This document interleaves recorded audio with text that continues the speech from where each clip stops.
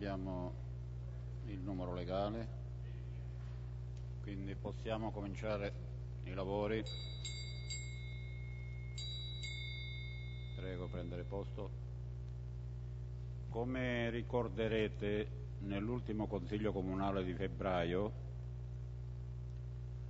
vi avevo comunicato che il Presidente dei Revisori dei Conti mi aveva fatto pervenire due verbali, il numero 81 e il numero 87, e vi avevo comunicato che potevate prendere visione presso la segreteria e chiedere eventualmente una copia. Per quanto riguarda il verbale numero 87, il Presidente il, del Collegio dei Revisori mi chiedeva di voler adottare i dovuti provvedimenti al fine di regolarizzare la posizione che riguardava l'esposto presentato dal consigliere Furgiuele. Io mi sono rivolto a chi garantisce legalmente tutti gli atti del Comune al segretario dottor Morra che molto gentilmente mi ha fatto pervenire il documento che adesso vi leggo. Pregherei un po' d'attenzione. Gentile Presidente Nicola Mercurio, in riferimento alla sua nota in data 14 febbraio 2013, protocollo numero 0005671, sentiti i competenti uffici comunali, le relaziono quanto segue. A seguito delle linee di indirizzo stabilite dalla Giunta Comunale con deliberazione numero 150 del 15 settembre 2010, è stato approvato nell'anno 2011 l'elenco di avvocati per l'affidamento di incarichi di assistenza giuridico-legale e di patrocinio e difesa dell'ente, giusta determinazione numero 60-205-2011. L'avviso pubblico all'articolo 5 così recita. Trattamento economico.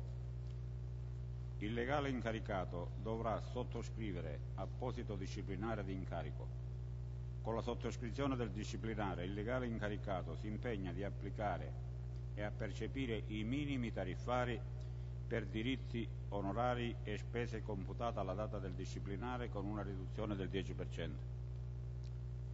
All'epoca della pubblicazione dell'avviso pubblico erano ancora in vigore i tariffari a cui gli avvocati dovevano attenersi per definire i compensi loro spettanti nello svolgimento di incarichi professionali. La Giunta Comunale, con deliberazione 100, numero 116 del 18 luglio 2012, ha ritenuto opportuno costituirsi nel giudizio che l'avvocato Luigi Sodano ha presentato al TAR Piemonte notificato al Comune di Chiere in data 18 giugno 2012 per l'annullamento dell'atto di revoca dell'esponente di componente della Giunta Comunale datato 24 aprile 2012 a firma del Sindaco del Comune di Chieri. Con la determinazione del direttore generale numero 342 del 18 luglio 2012 si dava atto che ai fini della scelta del legale da incaricare per l'assistenza nel ricorso in oggetto era stato utilizzato l'elenco avvocati applicando il criterio della rotazione e procedendo in ordine alfabetico. In particolare, poiché nell'anno 2011 si era proceduto ad affidare incarichi a professionisti i cui cognomi iniziavano con la lettera A, B e C, si procedeva nel 2012 ad attingere dai nominativi il cui cognome iniziava con la lettera Z, in alternanza con la lettera D. Veniva affidato all'avvocato Francesco Dal Piazza l'incarico di legale patrocinante del Comune nel suddetto ricorso. Veniva impegnata la somma di 2.831,40 euro come da preventivo di spesa protocollo 21951 del 28 giugno 2012 e veniva altresì approvata la bozza di contratto. Con ordinanza numero 431 del 26 luglio 2012 il TAR Piemonte prendeva atto della rinuncia all'istanza cautelare proposta dall'avvocato Sodano e gli assegnava il termine di 60 giorni per la proposizione della querela di falso da esprimere contro il Comune.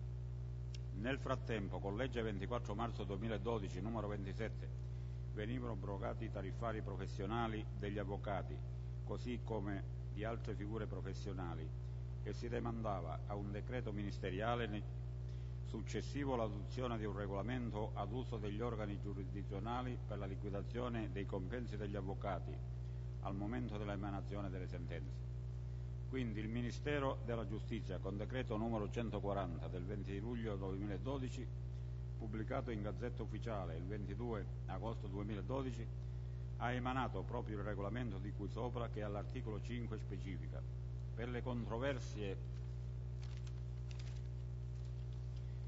di valore indeterminato o indeterminabile si tiene particolare conto dell'oggetto e della complessità della stessa e all'articolo 11 ha inserito alla determinazione del compenso rinvia la tabella A che prevede un unico riferimento al valore medio delle varie fasi di giudizio, modificabile a discrezione del giudice a secondo del valore e della natura e complessità della controversia, del numero e della complessità delle questioni trattate.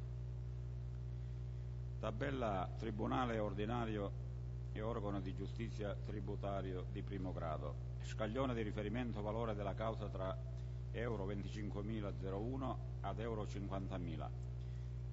Fase di studio, valore medio di liquidazione euro 1.200, aumento fino a, più 60%, diminuzione fino a meno 50%.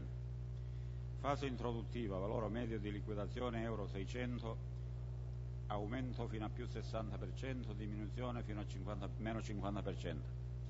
Fase istruttoria, valore medio di liquidazione euro 1200, aumento fino a, a più 150, diminuzione fino a meno 70. Fase decisoria, valore medio di liquidazione euro 1500, 1500, aumento fino a più 60%, riduzione fino a, a meno 50%. A questo punto, con atto di citazione notificato in data 4 settembre, 14 settembre 2012 l'avvocato Sodano chiamava in giudizio davanti al Tribunale di Torino il Comune di Chieri per dichiarare la falsità e non veridicità del verbale di deliberazione di Consiglio Comunale di Chieri numero 40 del 27 aprile 2012.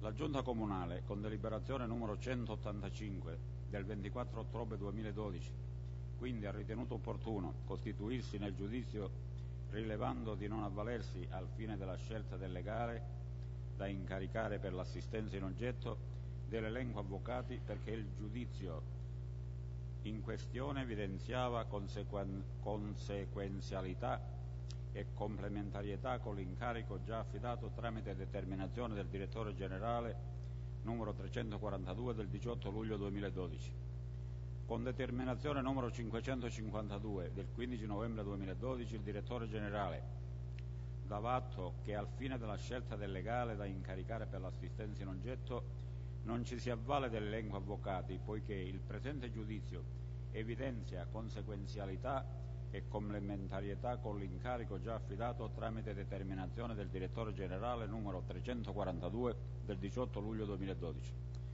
affidava all'avvocato Francesco Dal Piazza l'incarico di legale patrocinante del Comune nel suddetto giudizio davanti al Tribunale di Torino. Impegnava la somma di euro 6.292, oneri inclusi, così come da preventivo nostro protocollo 32523-2012. Veniva altresì approvata la bozza di contratto. Il contratto definitivo veniva sottoscritto in data 3 dicembre 2012 lo stesso mantiene fisse le condizioni essenziali e tipiche previste dalla bozza di contratto approvata, ma è stato strutturato in base al tipo di incarico affidato e poiché solo nel mese di agosto è stato pubblicato il decreto ministeriale numero 140 2012 di cui sopra e solo nei mesi di ottobre e novembre 2012 sono state pubblicate le prime osservazioni dottrinali e giurisprudenziali relative all'interrogazione e all'interpretazione della nuova normativa sui parametri da applicare nella liquidazione delle spese legali, il contratto definitivo ha recepito la novità normativa introducendo l'articolo 2 che recita il legale si impegna ad applicare per l'incarico ricevuto e di cui al presente contratto i minimi di parcella previsti dall'ultimo decreto ministeriale relativo alle tariffe professionali in, materia civile, penale e stragiudiziale, ridotti del 10%, un nuovo, contro, eh, un nuovo capoverso. Rispetto alle condizioni richieste al punto 5 dell'avviso pubblico di selezione dell'elenco avvocati approvato con determina 770 del 7 eh, dicembre 2011 si precisa che il preventivo di spesa è stato elaborato tenendo conto delle modifiche legislative intervenute con decreto ministeriale 20 luglio 2012 numero 140, entrato in vigore il 23 agosto 2012. A seguito della richiesta di chiarimenti comunicata con verbale numero 71 del Collegio dei Revisori, l'Avvocato Dal Piazze ha inviato notola protocollo numero 2943 del 23 gennaio 2013 con il dettaglio delle singole voci in cui si articola il compenso concordato con preventivo di cui al nostro protocollo numero 2032 523 del 2012 sottolineando nel contempo che l'avvertenza in questione per le peculiarità della controversia e della procedura riveste particolare complessità e importanza e nella sostanza, applicando il valore medio di riferimento previsto dalla tabella A del decreto ministeriale numero 150 del 20 luglio 2012, preciso che qualora quanto sopra evidenziato non sia ritenuto esaustivo, rientra nella piena facoltà dei consiglieri comunali richiedere l'esame di quanto segnalato da parte della Commissione di controllo e garanzia ai sensi dell'articolo 54 del regolamento del Consiglio Comunale e delle Commissioni Consiliari. Ritengo invece non pertinente l'invito rivolto, rivoltole dal Collegio dei Revisori a voler adottare i dovuti provvedimenti al fine di regolarizzare la posizione e questo in quanto non è attribuita né a lei né ad alcun altro componente del Consiglio Comunale l'adozione di atti gestionali rimessi dall'articolo 107 del decreto legislativo 267 del 2000 all'esclusiva valutazione del dirigente competente in merito. Distinti saluti, dottor Morra. Se qualcuno volesse una copia di, questo, di questa comunicazione si rivolge alla segreteria e viene dato. Prima di dare il via al lavoro del Consiglio c'è una comunicazione della collega Biglia. Prego. Sì, grazie.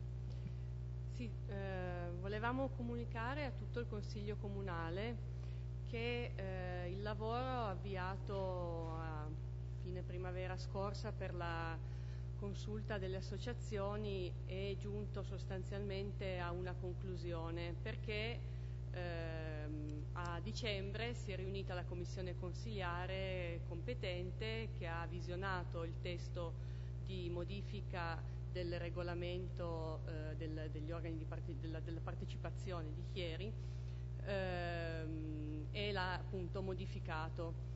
Uh, adesso vorremmo, per assicurare che il voto espresso da tutto il Consiglio Comunale favorevole per l'istituzione della consulta comunale non andasse a vuoto, quindi perché possano essere anche rispettati i tempi, tra un anno sostanzialmente finisce la legislatura e quindi insomma per garantire che invece questo lavoro possa giungere a termine eh, vorremmo che fosse messo agli atti che noi chiediamo formalmente che il testo che è stato eh, modificato in commissione consiliare venga inviato per commenti a tutte le associazioni, che a fronte di eventuali risposte venga riportato in commissione consiliare e infine in approvazione in Consiglio Comunale entro fine maggio, in modo che eh, possa poi essere, eh, possano poi essere avviati i successivi passi necessari per la costituzione formale della consulta.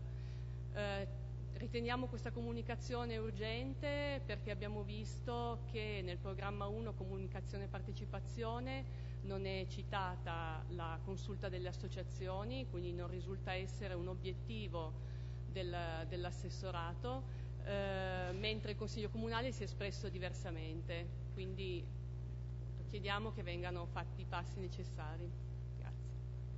Ok, prima di passare al, alla mozione, eh, come sapete è mancato il capo della polizia, il dottor Manganelli, io vi inviterei a fare un minuto di silenzio se riteniamo, qualche collega mi suggeriva questo, inviterei a un minuto di silenzio.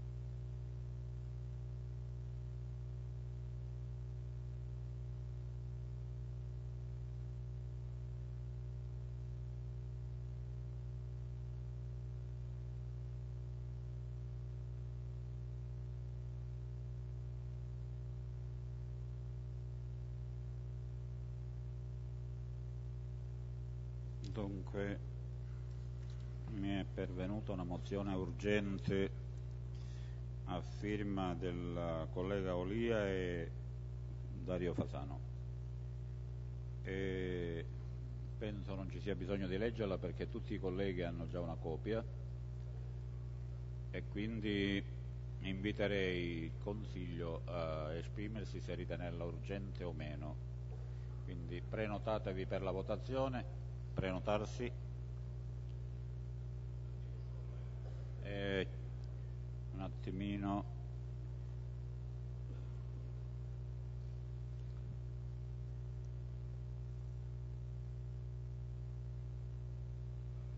Prenotarsi.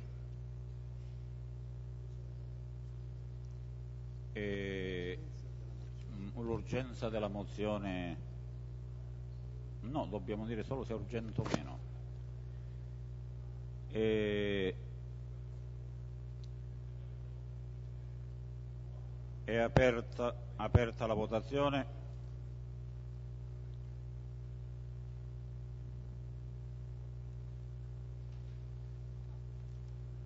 Votare.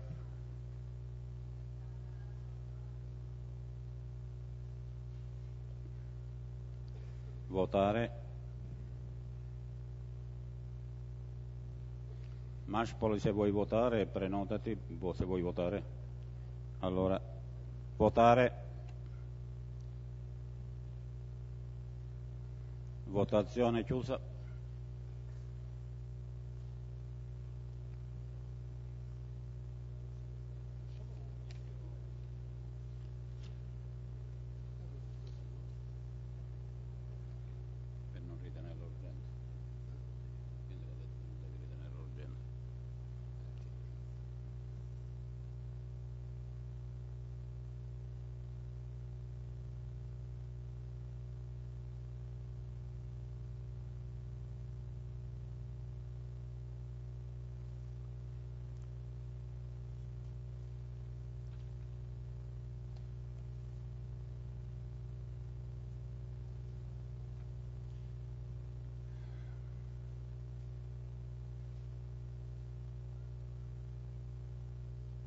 Esito della votazione.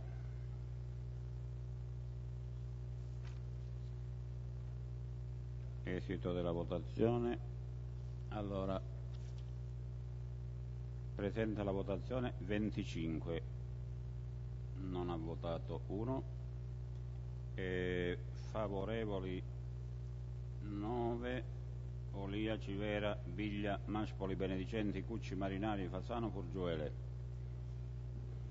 contrari 14, Vasino, Emma Fasano, Rappazzo, Tamagnone, Stellato, Bulgarello, Mercurio, Passarello, Rubatto, Caivano, Sidere, Bozzalla Grossa, Latel, Castella, Lancione.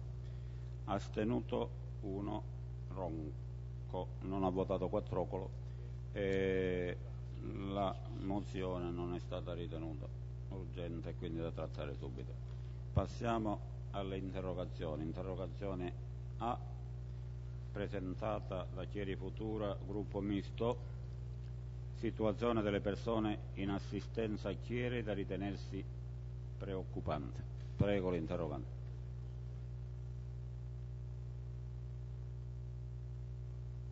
Furgiuele, se vuoi parlare, se no passa la risposta. Ho sentito gruppo misto, però non ho sentito quale gruppo, allora mi stavo zitto. Detto Chieri Futura, gruppo misto, ho detto tutte e due. Va bene. Penso ci sei solo tu. Allora,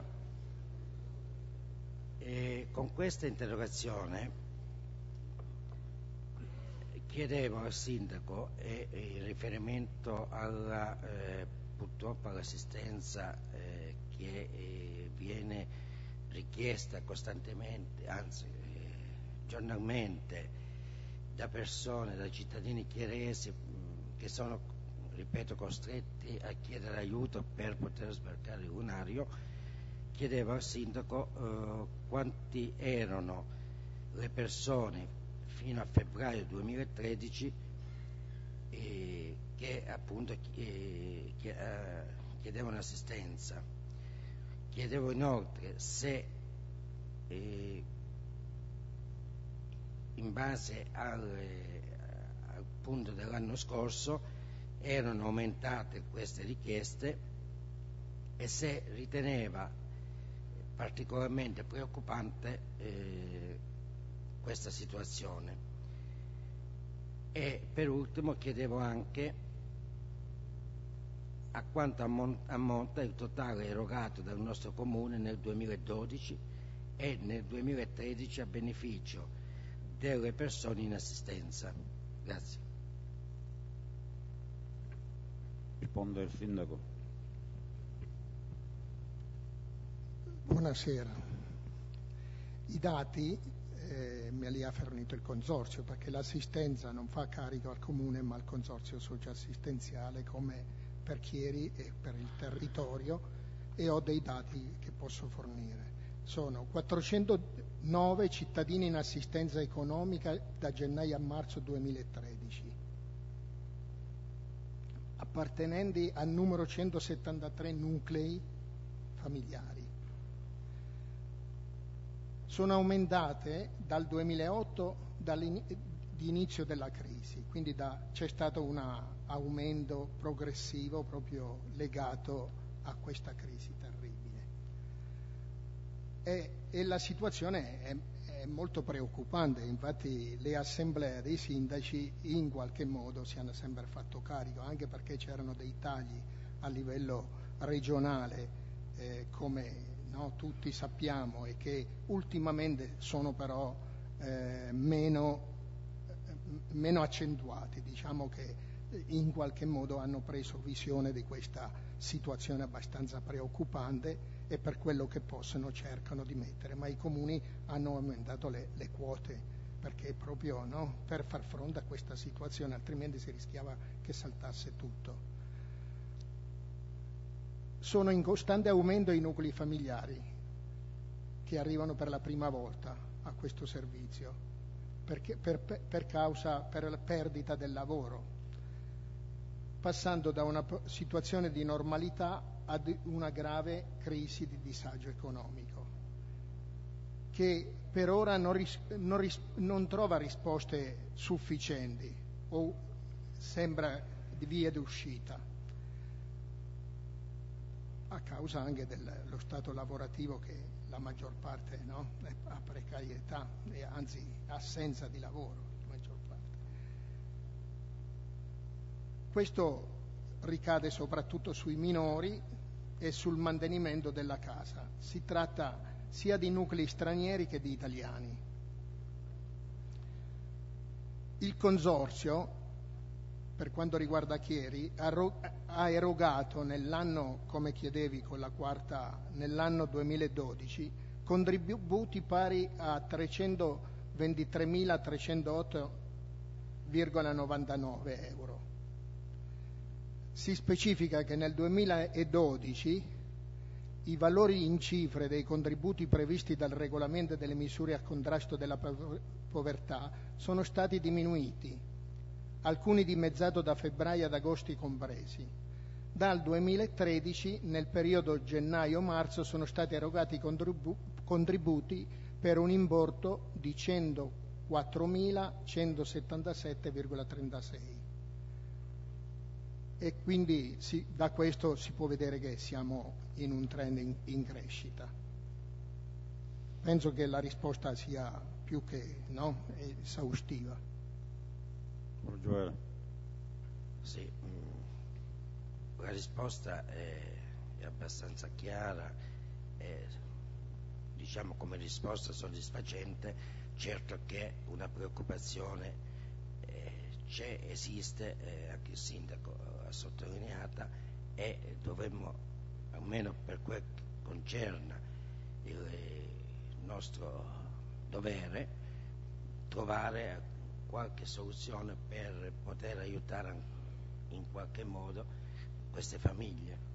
Io mi auguro che eh, si possa trovare una, una, soluzione, anche se è una soluzione tampone, però che si possa aiutare in, qualche maniera, eh, possano aiutare queste famiglie. Grazie. Interrogazione successiva presentata dal consigliere Furgiuele di Chieri Futura Gruppo Misto circa risparmio energetico da oggi è più semplice ridurre la spesa per l'illuminazione pubblica anche negli immobili di proprietà comunale. Prego, Borgiuele. Penso che eh, c'è poco da illustrare qua se non eh, ascoltare prima quello che sicuramente e chiaramente eh, dirà l'assessore. Grazie Presidente, buonasera a tutti, grazie consigliere che mi dà l'opportunità di illustrare eh, un provvedimento fatto dalla Giunta regionale, proprio come dice il consigliere non c'è nulla da illustrare in quanto è già tutto deliberato e già attuato dalla, dalla città di Chieri, ma nello specifico dell'interrogazione si precisa che la Giunta regionale, come ricorda anche il consigliere, con deliberazione numero 3 barra 5449 del 4 marzo 2013, quindi l'altro giorno, pubblicata sul bollettino ufficiale della Regione numero 10 del 7 marzo 2013, ha approvato lo schema di capitolato relativo in primis a erogazione del servizio Energia Plus con realizzazione di interventi di efficienza energetica, generazione da fonti rinnovabili e adeguamento normativo degli impianti con finanziamento tramite terzi nelle strutture sanitarie e sociosanitarie, utilizzabile da parte delle aziende sanitarie piemontesi quale contributo e riferimento per l'appalto del servizio energia del patrimonio immobiliare di pertinenza. Secondo punto, in erogazione del servizio Energia Plus, realizzazione di interventi di efficienza energetica, generazione da fonti rinnovabili, adeguamento normativo degli impianti, come punto precedente, nell'ambito degli edifici e o dei patrimoni immobiliari pubblici con finanziamento tramite terzi, utilizzabile da parte dell'amministrazione degli enti locali piemontesi quale contributo e riferimento per l'appalto del servizio energia nel patrimonio immobiliare di pertinenza. Il punto 3 nella gestione del servizio di illuminazione pubblica, realizzazione di interventi di efficienza energetica e di adeguamento normativo sugli impianti comunali con finanziamento tramite terzi utilizzabili da parte delle amministrazioni comunali per l'appalto del correlato servizio. Tali schemi di capitolato approvati, ricordo, pochi giorni fa, sono stati approvati per supportare i comuni nella stipula di contratti innovativi e quindi l'amministrazione, a seguito dell'esame tecnico della documentazione pubblicata nei giorni scorsi, valuterà l'opportunità di utilizzare tali elementi relativamente al secondo e terzo capitolato che sarebbero quelli che riguardano eh, il patrimonio pubblico.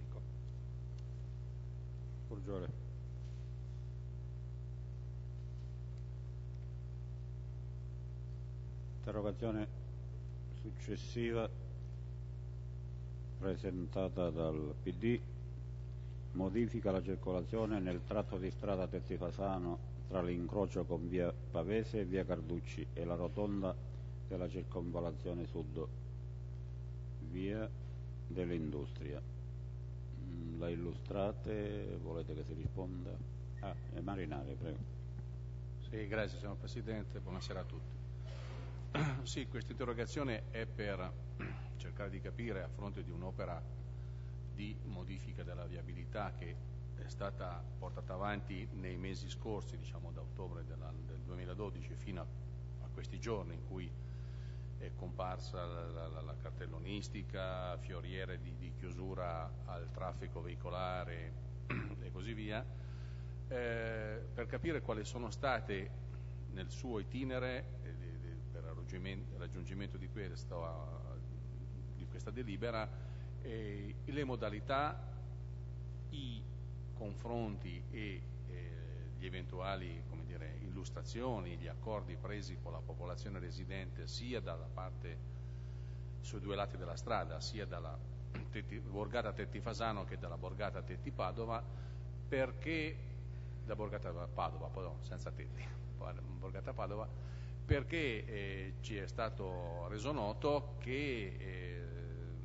fronte di questa chiusura al traffico veicolare c'è stato un certo malcontento che ha portato a una raccolta di firme ad una petizione che è stata portata alla conoscenza del sindaco e dell'assessore competente. Sappiamo che ci sono stati degli incontri preliminari a cui questa amministrazione non si è certamente sottratta, però di fatto quest'opera eh, attuata e portata a fine con degli oneri provenienti dall'urbanizzazione della zona di Fontaneto ha creato, un certo scompenso e un certo malcontento.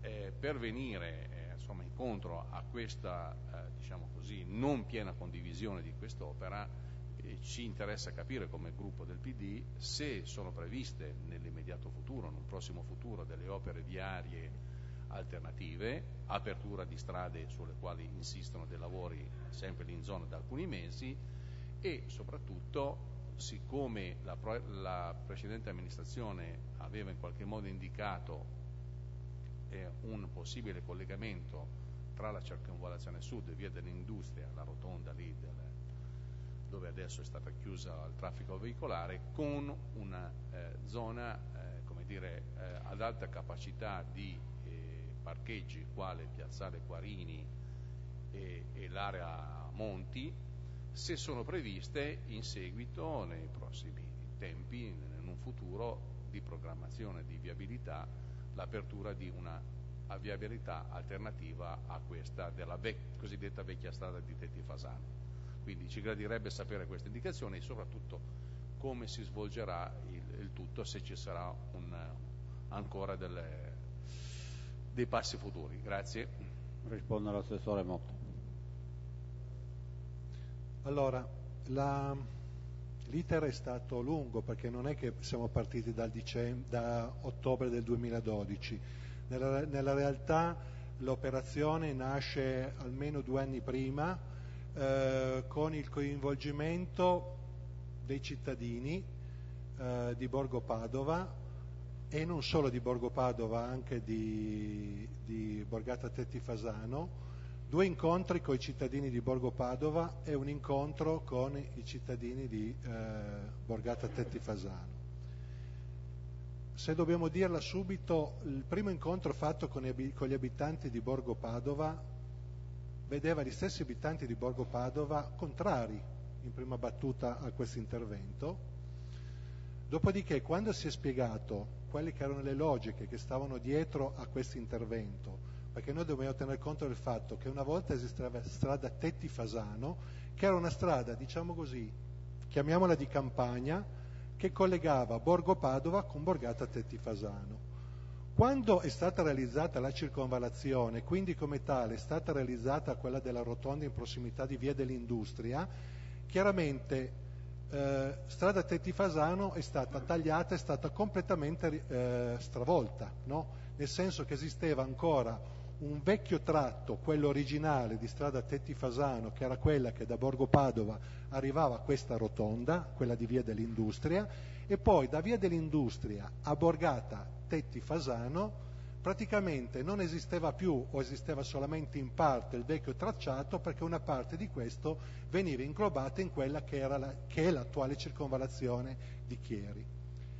Risultato qual è? È quello che nella realtà noi abbiamo una borgata, borgata Tetti Fasano, che nella realtà risulta tagliata dalla città di Chieri da una circonvalazione e una delle eh, ehm, rimostranze fatte dagli abitanti di eh, Borgata Tetifasano era quella che nella realtà se volevano a piedi o in bicicletta le famiglie, le mamme, i bambini venire a Chieri, nella realtà nel momento stesso che mettevano il naso fuori nella rotonda di Borgata Tettifasano si trovavano su una circonvalazione. E uno di quegli impegni che stiamo ancora portando avanti è quello di rendere il vecchio tracciato di strada Tettifasano chiaramente integrato perché in alcuni tratti questa è stata inglobata nella circonvalazione, farla diventare un percorso ciclopedonale che si collega, che collega Borgata Tetti Fasano con Borgo Padova e con Chieri.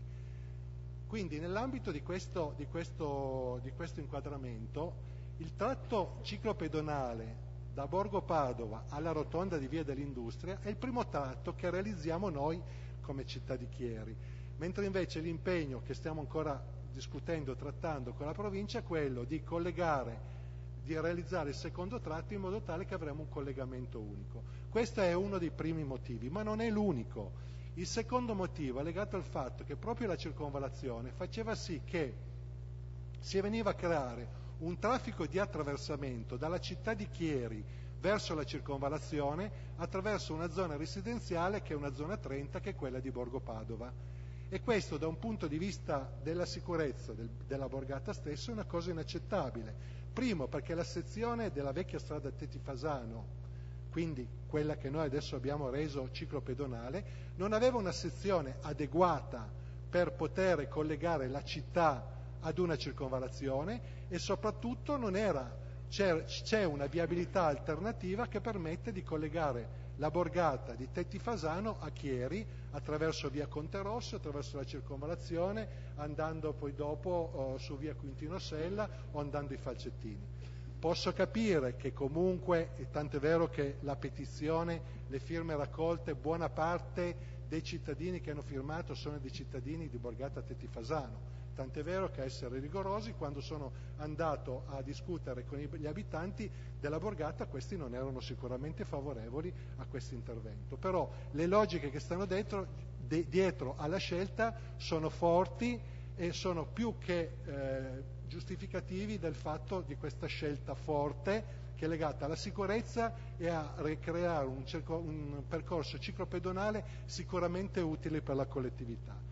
Per quanto riguarda invece le altre, sulla viabilità alternativa, due parole perché mi sta scadendo il tempo, andremo ad aprire via Pavese che sarà una via a senso unico che permette di collegare strada Tetti Fasano con via Conte Rossi e via Broferio che sarà in parte senso unico a salire da strada Conte Rossi verso strada Tetti Fasano e l'ultimo tratto invece sarà doppio senso di circolazione. Eh, mi fermo eh, perché mi hanno tagliato il tempo.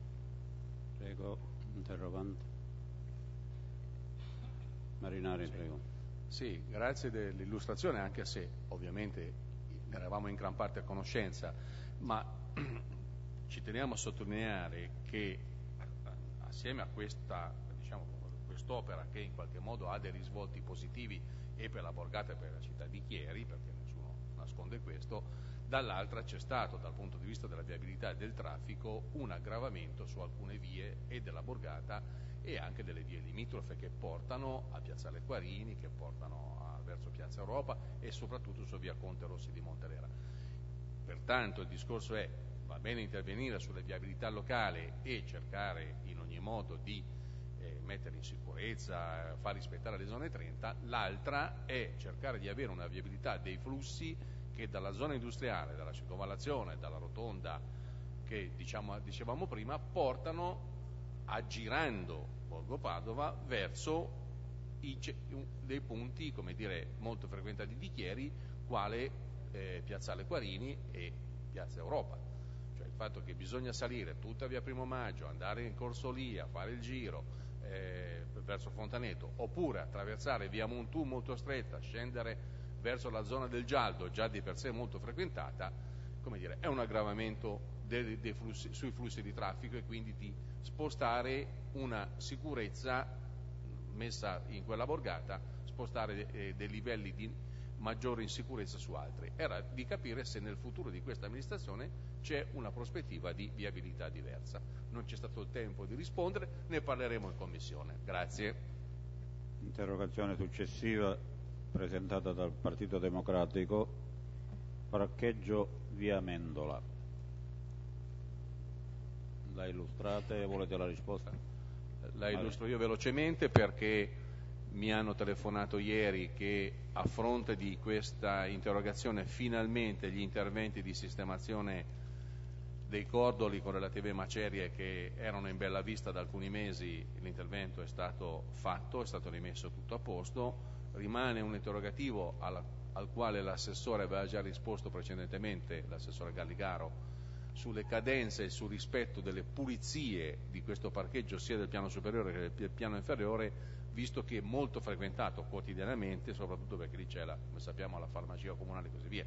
Per, dal punto di vista del, dell'intervento dispiace che ci siano delle lungaggini e che si debba arrivare a un'interrogazione per poter effettuare degli interventi, solo questo. Se vuole rispondere bene, altrimenti prendiamo atto.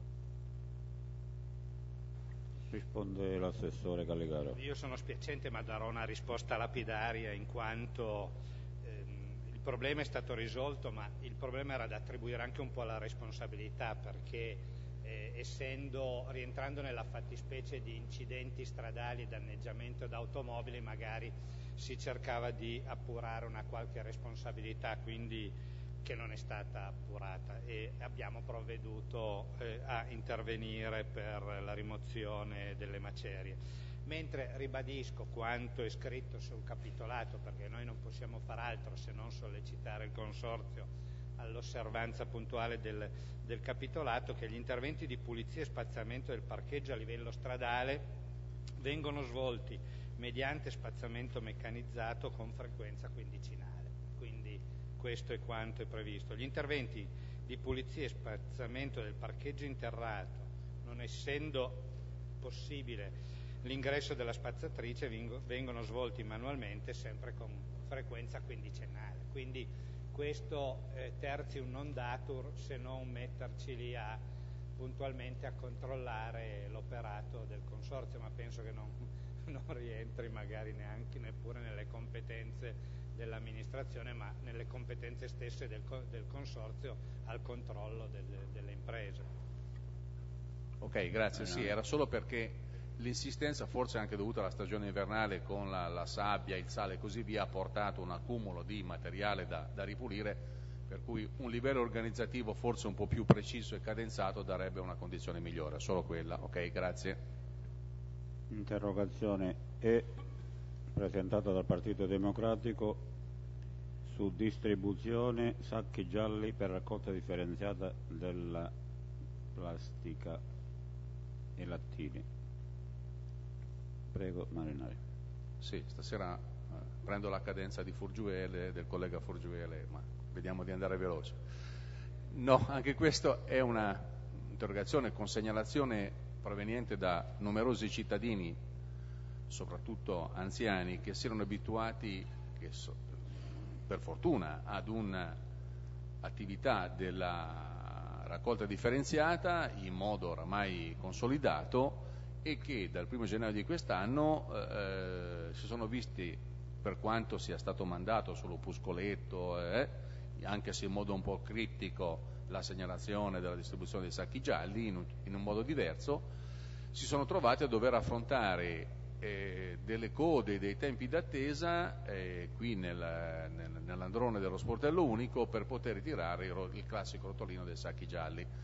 Questo ha creato disagio, alcuni utenti se vedono che entro 5-10 minuti non ha ritirato il rotolo se ne vanno e questo può causare dire, delle eh, condizioni non più così agevoli dovuti alla, alla, raccolta differenziata, nel senso che poi la gente, li ho già viste in giro, anziché mettere gli imballi, la raccolta degli imballi della plastica, nel classico sacco giallo lo mette nel sacco nero che poi non viene ritirato perché il consorzio non è autorizzato a ritirare i sacchi neri nei quali non si vede all'interno. Quindi era da chiedere, uno, è stata presa questa decisione ovviamente per motivi gestionali del personale, questo è chiaro. L'altro è che però i tempi d'attesa ricadono sui cittadini attivi che, si, che fanno la raccolta differenziata Tre, se non è il caso di semplificare questa procedura, magari con distribuzione automatica o in fasce orarie ben definite, in cui uno va lì col tesserino, ritira se ne va, senza stare un quarto d'ora come è successo o 20 minuti in attesa del passaggio all'ecosportello. Grazie. Risponde l'assessore Callegaro. Grazie consigliere, ma i problemi sono di eh, due tipi in, questo problema. Uno è un tipo di carattere economico, poiché i sacchetti hanno un costo e quindi questo costo ricadono su tutti i cittadini ed è oltretutto un elemento normato contrattualmente e non si può derogare. Il secondo tema è quello proprio dell'agevolazione dei cittadini stessi poiché noi siamo vincolati dalla rigidità contrattuale con cui abbiamo sottoscritto tutti i passaggi per la gestione del sistema integrato dei rifiuti, abbiamo dovuto eh, in qualche modo, cioè non noi ma il Consorzio, attivare una modifica gestionale di questo passaggio. In passato la distribuzione dei sacchi gialli per la raccolta differenziata della plastica veniva effettuata dall'addetta all'infodesk dello sportello unico dietro la compilazione manuale da parte dell'utente di un registro in cui indicare i propri dati anagrafici e con la posizione della firma. Nel mese di novembre 2011 il Consorzio per i servizi del Chiarese ha attivato questa nuova procedura che le dicevo per la distribuzione dei sacchi gialli mediante lettura del codice a barre della tessera sanitaria dell'intestatario TIA in modo da avere subito la meccanizzazione e l'elemento contabilizzante del, dell'uscita dei sacchi con appunto la finalità di controllo che precedentemente non erano perseguibili eh, mediante una semplice eh, procedura cartacea. Quindi con questo processo abbiamo, è stato attuato il controllo della regolare iscrizione dell'utente della, nella banca dati TIA, quindi avevamo la certezza del pagamento e del servizio il controllo dei quantitativi di sacchetti distribuiti al fine di prevenire ed evitare abusi o utilizzi impropri. Molta gente utilizzava questi, sacchetti per altri usi. Tale procedura veniva assegnata sempre all'addetta dell'infodesk che tuttavia doveva lavorare su una doppia postazione, in quanto l'attrezzatura poteva essere installata solamente su una macchina con il sistema operativo Windows XP mentre le attrezzature dello sportello unico hanno tutte Windows eh, 8, ma utilizzando un solo schermo in quanto non c'è lo spazio fisico all'infodesk per due postazioni complete, con le conseguenti difficoltà operative di dover entrare e uscire continuamente dagli applicativi gestionali, la distribuzione media per guardare i numeri è di 70-80 eh, elementi di richieste di sacchi gialli. Trascorsi alcuni mesi del 2012 è stato segnalato questo problema al Consorzio e sono state appunto segnalate le oggettive difficoltà del nostro Infodes nell'espletare l'attività con le nuove modalità operative, sottolineando che se per loro tali modalità erano imprescindibili il servizio non poteva essere svolto presso l'ecosportello, quindi bisognava cercare un'altra soluzione. Per meglio organizzare il servizio, il Consorzio ci chiedeva di continuare la distribuzione dei sacchi gialli presso l'Infodes fino alla fine del 2012, così da poter informare adeguatamente gli utenti e di predisporre un ulteriore pulsante del codometro, quello che lascia, in modo da gestire separatamente le due code, con velocità ovviamente differenti.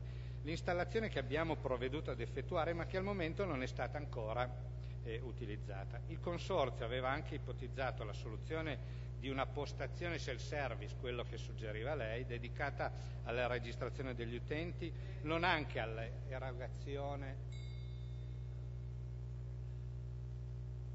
non tanto all'erogazione dei sacchi gialli, che però non ci risulta che abbia avuto seguito. Quindi eh, faremo ulteriormente presente se il fenomeno si manifesta al Consorzio per trovare una quadra.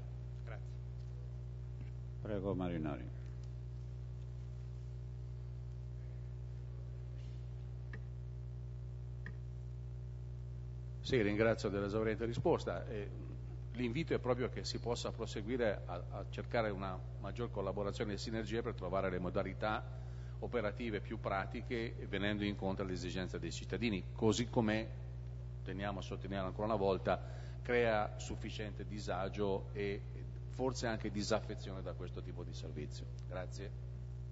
Interrogazione F del Partito Democratico su situazione parcheggi centro Chieri.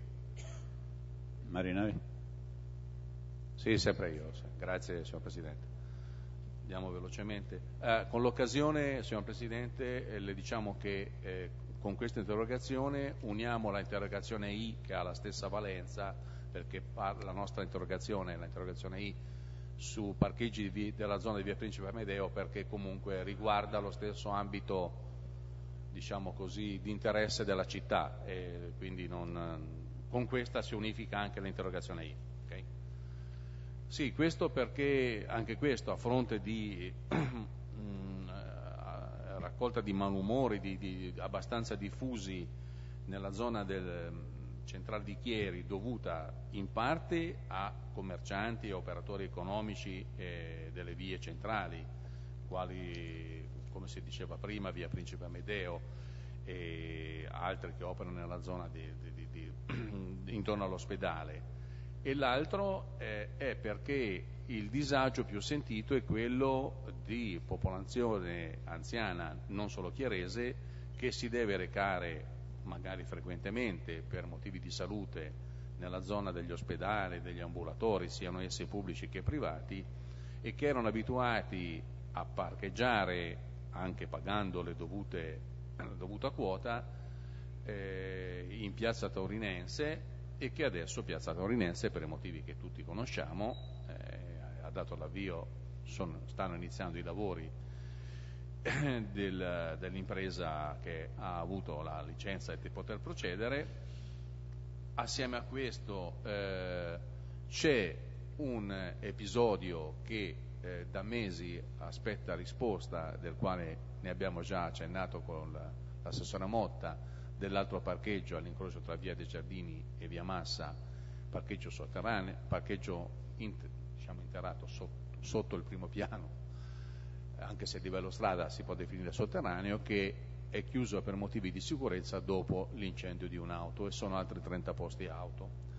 Legato a questo eh, ci si aspetta che il parcheggio sotterraneo della nuova ala dell'ospedale ASL su Piazza Pellico di circa 200 posti, se, andiamo, se non andiamo errati o poco più, eh, venga aperto al pubblico e agli operatori eh, sanitari eh, della, dell'ospedale affinché dire, questo disagio di poter parcheggiare la macchina in zone vicine al centro o limitrofe al centro o per o, necessità proprio in centro per il tempo necessario eh, in qualche modo vada incontro alle esigenze della cittadinanza. In questo momento c'è un disagio abbastanza diffuso e più volte segnalato. Vorremmo sapere da questa amministrazione cosa si intende fare nell'immediato, uno per il parcheggio di via Massa e via dei Giardini, due quando verrà aperto le, le, il, il, di, il, parcheggio di Piazza Pellico sotto la nuova ala ospedale ASL, tre qual è la politica dei parcheggi in centro, perché non fa parte di questa erogazione ma lo sottolineiamo nel piano delle opere pubbliche triennali il parcheggio di Piazza Dante non c'è più, c'è la sistemazione di Piazza Pellico e va bene, però ci sembra che la situazione rimanga alquanto critica. Grazie. Risponde il Sindaco sia per l'interrogazione F che per l'interrogazione I. Prego. Come da, da già detto, a seguito dell'incendio verificatosi presso il parcheggio interrato di via Massa e via dei Giardini, e visto le problematiche emerse nel sopralluogo congiunte con i vigili del fuoco, si è deciso di procedere alla riapertura dello stesso solo successivamente all'installazione delle attrezzature necessarie al controllo e alla videosorveglianza degli accessi. I lavori di attrezzaggio del parcheggio di via Massa, via dei Giardini, saranno concomitanti ai lavori di attrezzaggio del parcheggio di piazza Pellico, in corso di ultimazione da parte dell'ASL Tocingue e sono inoltre in corso di definizione con l'ASL Tocingue le quote di proprietà ASL e comune e le modalità di gestione del futuro parcheggio. Essendo la zona oggetto dell'intervento dislocata in centro, non è stato possibile individuare nuovi parcheggi alternativi all'area di Piazza Brigata Taurinense, in quanto non presente aree libere. E a questo proposito volevo dire che la maggior parte dei parcheggi dell'area taurinense era goduta dai dipendenti che facevano i turni all'ospedale, erano sulla quantità abbastanza elevata, che però possono accedere in questo momento in attesa che si venga a liberare il parcheggio di, di sotto il de, de, del piazza Silvio Pellico, sotto il distretto, sotto il distretto eh, altre cose, tipo Piazza Trento Trieste e altre zone, perché loro facendo i turni, eh, no, soprattutto ad esempio la maggior parte, tanti sono, di, eh, sono donne che lavorano in ospedale, quindi si è, sta, si è stati sempre sensibili a venirgli incontro in modo da permettergli, soprattutto per i turni disagiati, la mattina presto, la sera tardi, cercare di organizzarla. Comunque si stanno studiando soluzioni rivolte ai, sia ai commercianti che ai residenti per agevolare la ricerca del parcheggio temporaneo. Il parcheggio di Via De Maria, Piazza Pelica è in corso di ultimazione e quindi dovrà essere attivo solo dopo il rilascio dei certificati di agibilità e la realizzazione dell'attrezzaggio necessario per la gestione e videosorveglianza dell'edificio.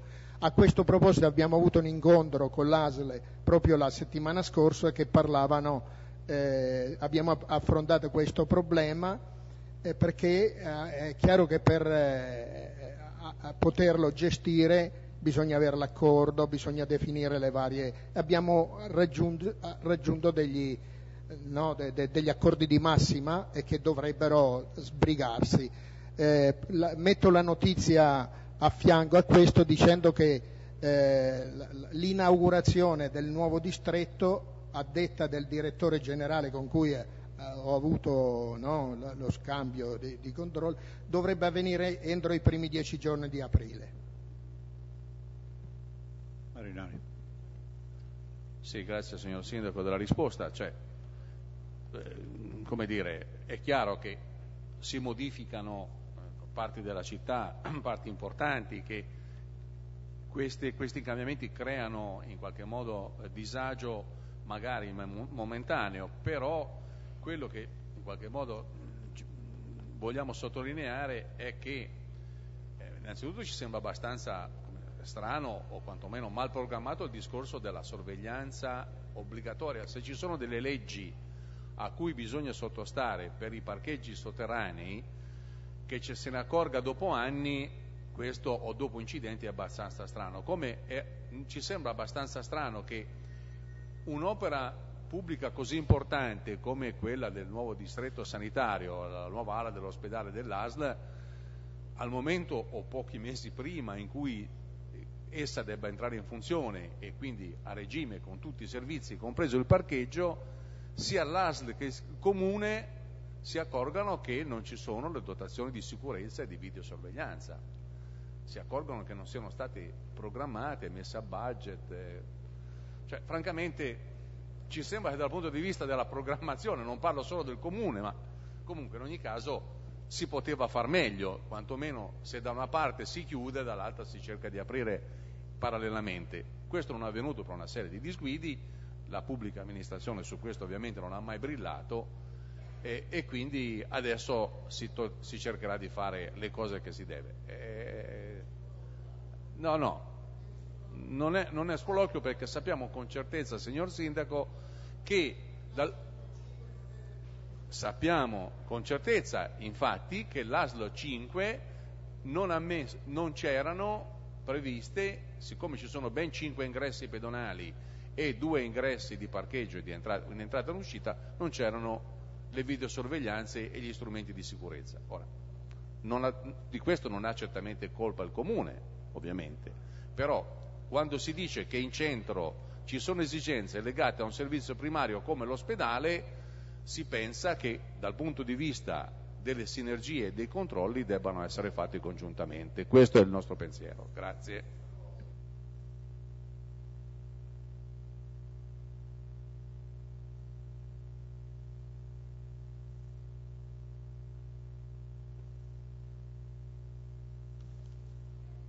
Interrogazione successiva del Partito Democratico Ricomparsa o scomparsa totale della pista ciclabile di Piazza Europa. Marinari. Sì, sono io? Grazie, signor Presidente. Sì, eh, più che un'interrogazione questa vuole essere, permettetemi, uno stimolo. Siccome se ne parla, se ne parla al nostro interno, se ne parla nelle commissioni, se ne parla sui giornali, però il tempo passa e la soluzione a fronte di una decisione assunta da questa amministrazione di cancellare la pista ciclabile che esisteva e a fronte di modificazioni di flussi di traffico già avvenuti e in parte ancora da completare, come l'assessore ci ha spiegato più volte in commissione, il, però il dover, perché questo è l'impegno, quindi si parla di dover, ritracciare un nuovo percorso diverso da quello che c'era precedentemente, di una pista ciclabile, di un passaggio di bici su una piazza che quantomeno è libera eh, 5 giorni su 7 perché è impegnata due giorni alla settimana per il mercato, non ci sembra impresa così difficile. Forse ci sono questioni che vanno oltre la semplice progettazione e l'esecuzione tecnica e quindi ci piacerebbe sapere se c'è un indirizzo eh, come dire, di, e una volontà di questa amministrazione di addivenire alla conclusione dicendo e mettendo nero su bianco, non dico costruendo, ma mettendo nero su bianco un progetto, un disegno tecnico nel quale ci viene, viene detto la pista ciclabile che era lì sarà messa qui o se invece sarà definitivamente cancellata. Grazie. Ponte dell'assessore Callegaro. Mi tocca di nuovo ringraziare il consigliere perché porta a sottolineare anche quelle che sono le intenzioni di questa amministrazione nel favorire il più possibile la mobilità sostenibile, quindi qualche modo dare tutela, incentivare l'utilizzo dei, me dei mezzi ecologicamente compatibili come possono essere eh, quelli ciclabili. Eh, è notizia di oggi che è in giunta, è passata oggi una delibera che abbiamo ricevuto un contributo di 10.000 euro per le biciclette elettriche ad pedalata assistita, quindi questo dimostra di come l'amministrazione sia sul, sul, pezzo.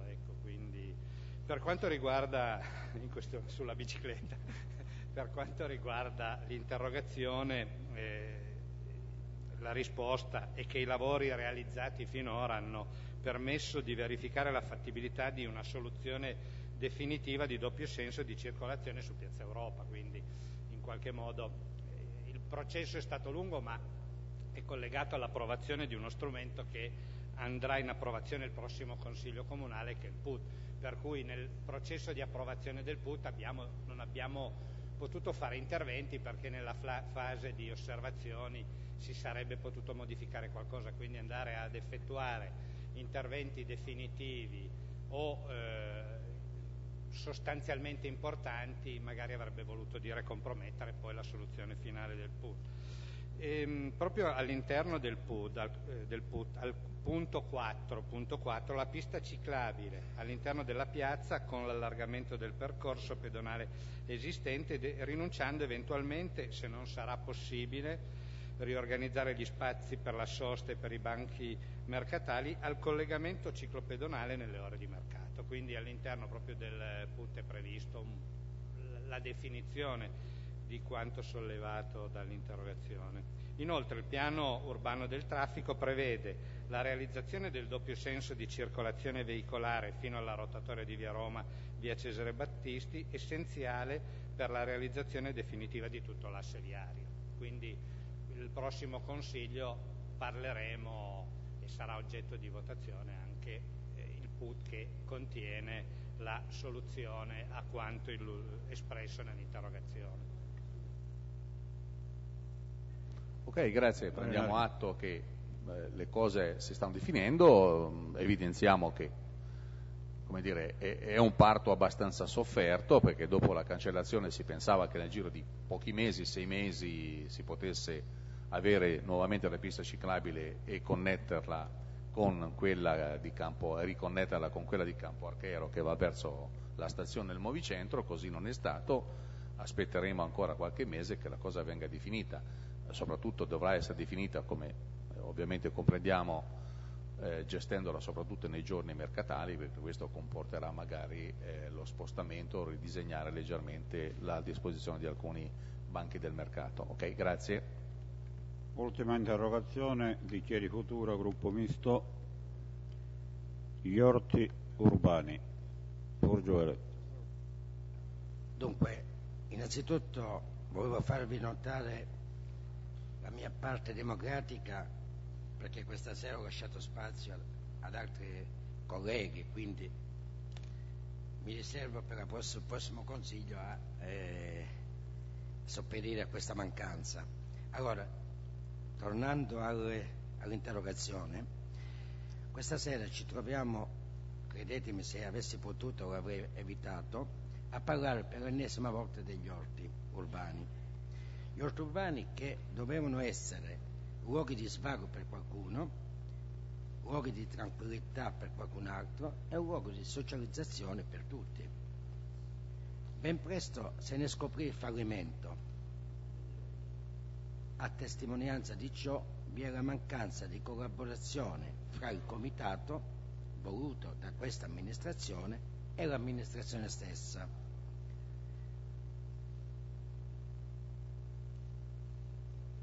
Per motivare il contenuto di questa interrogazione, permettetemi se faccio dei piccoli flash.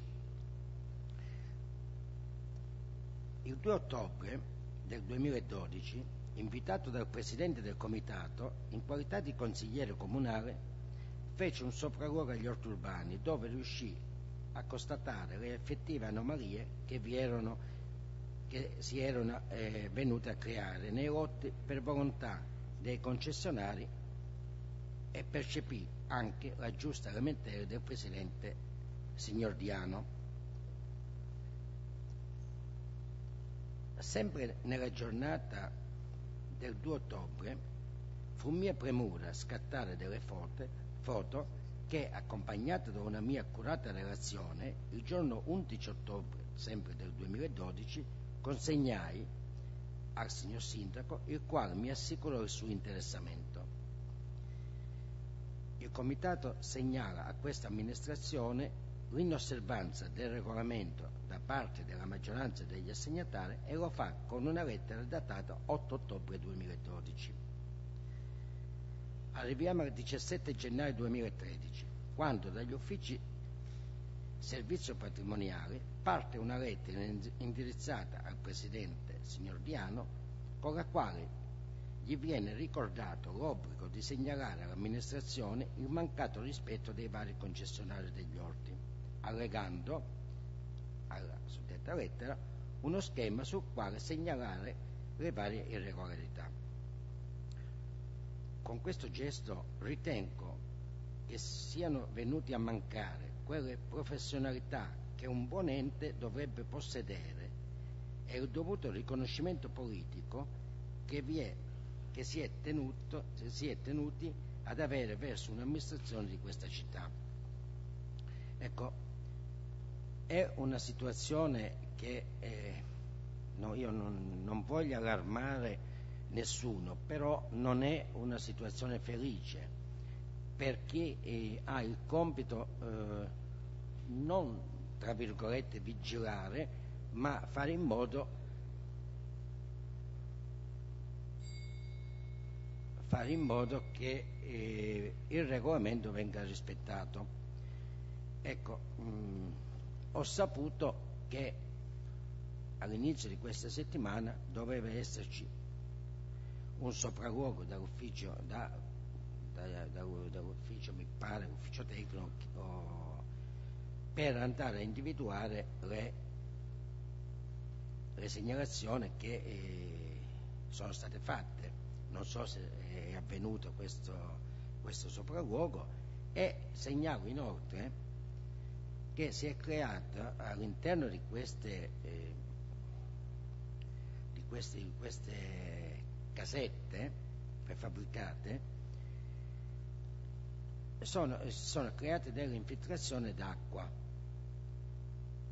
giustamente l'amministrazione dice nessuno si permette a modificare niente perché eh, sarà chiamata la ditta che ha fornito le casette e rimedierà, rimedierà a tutto. Ancora non è avvenuto. Ecco, cioè, secondo me è qualche cosa che non sta eh, in piedi questo. Allora, se c'è la volontà di portare avanti questo progetto che io ho sempre condiviso dall'inizio, perché eh,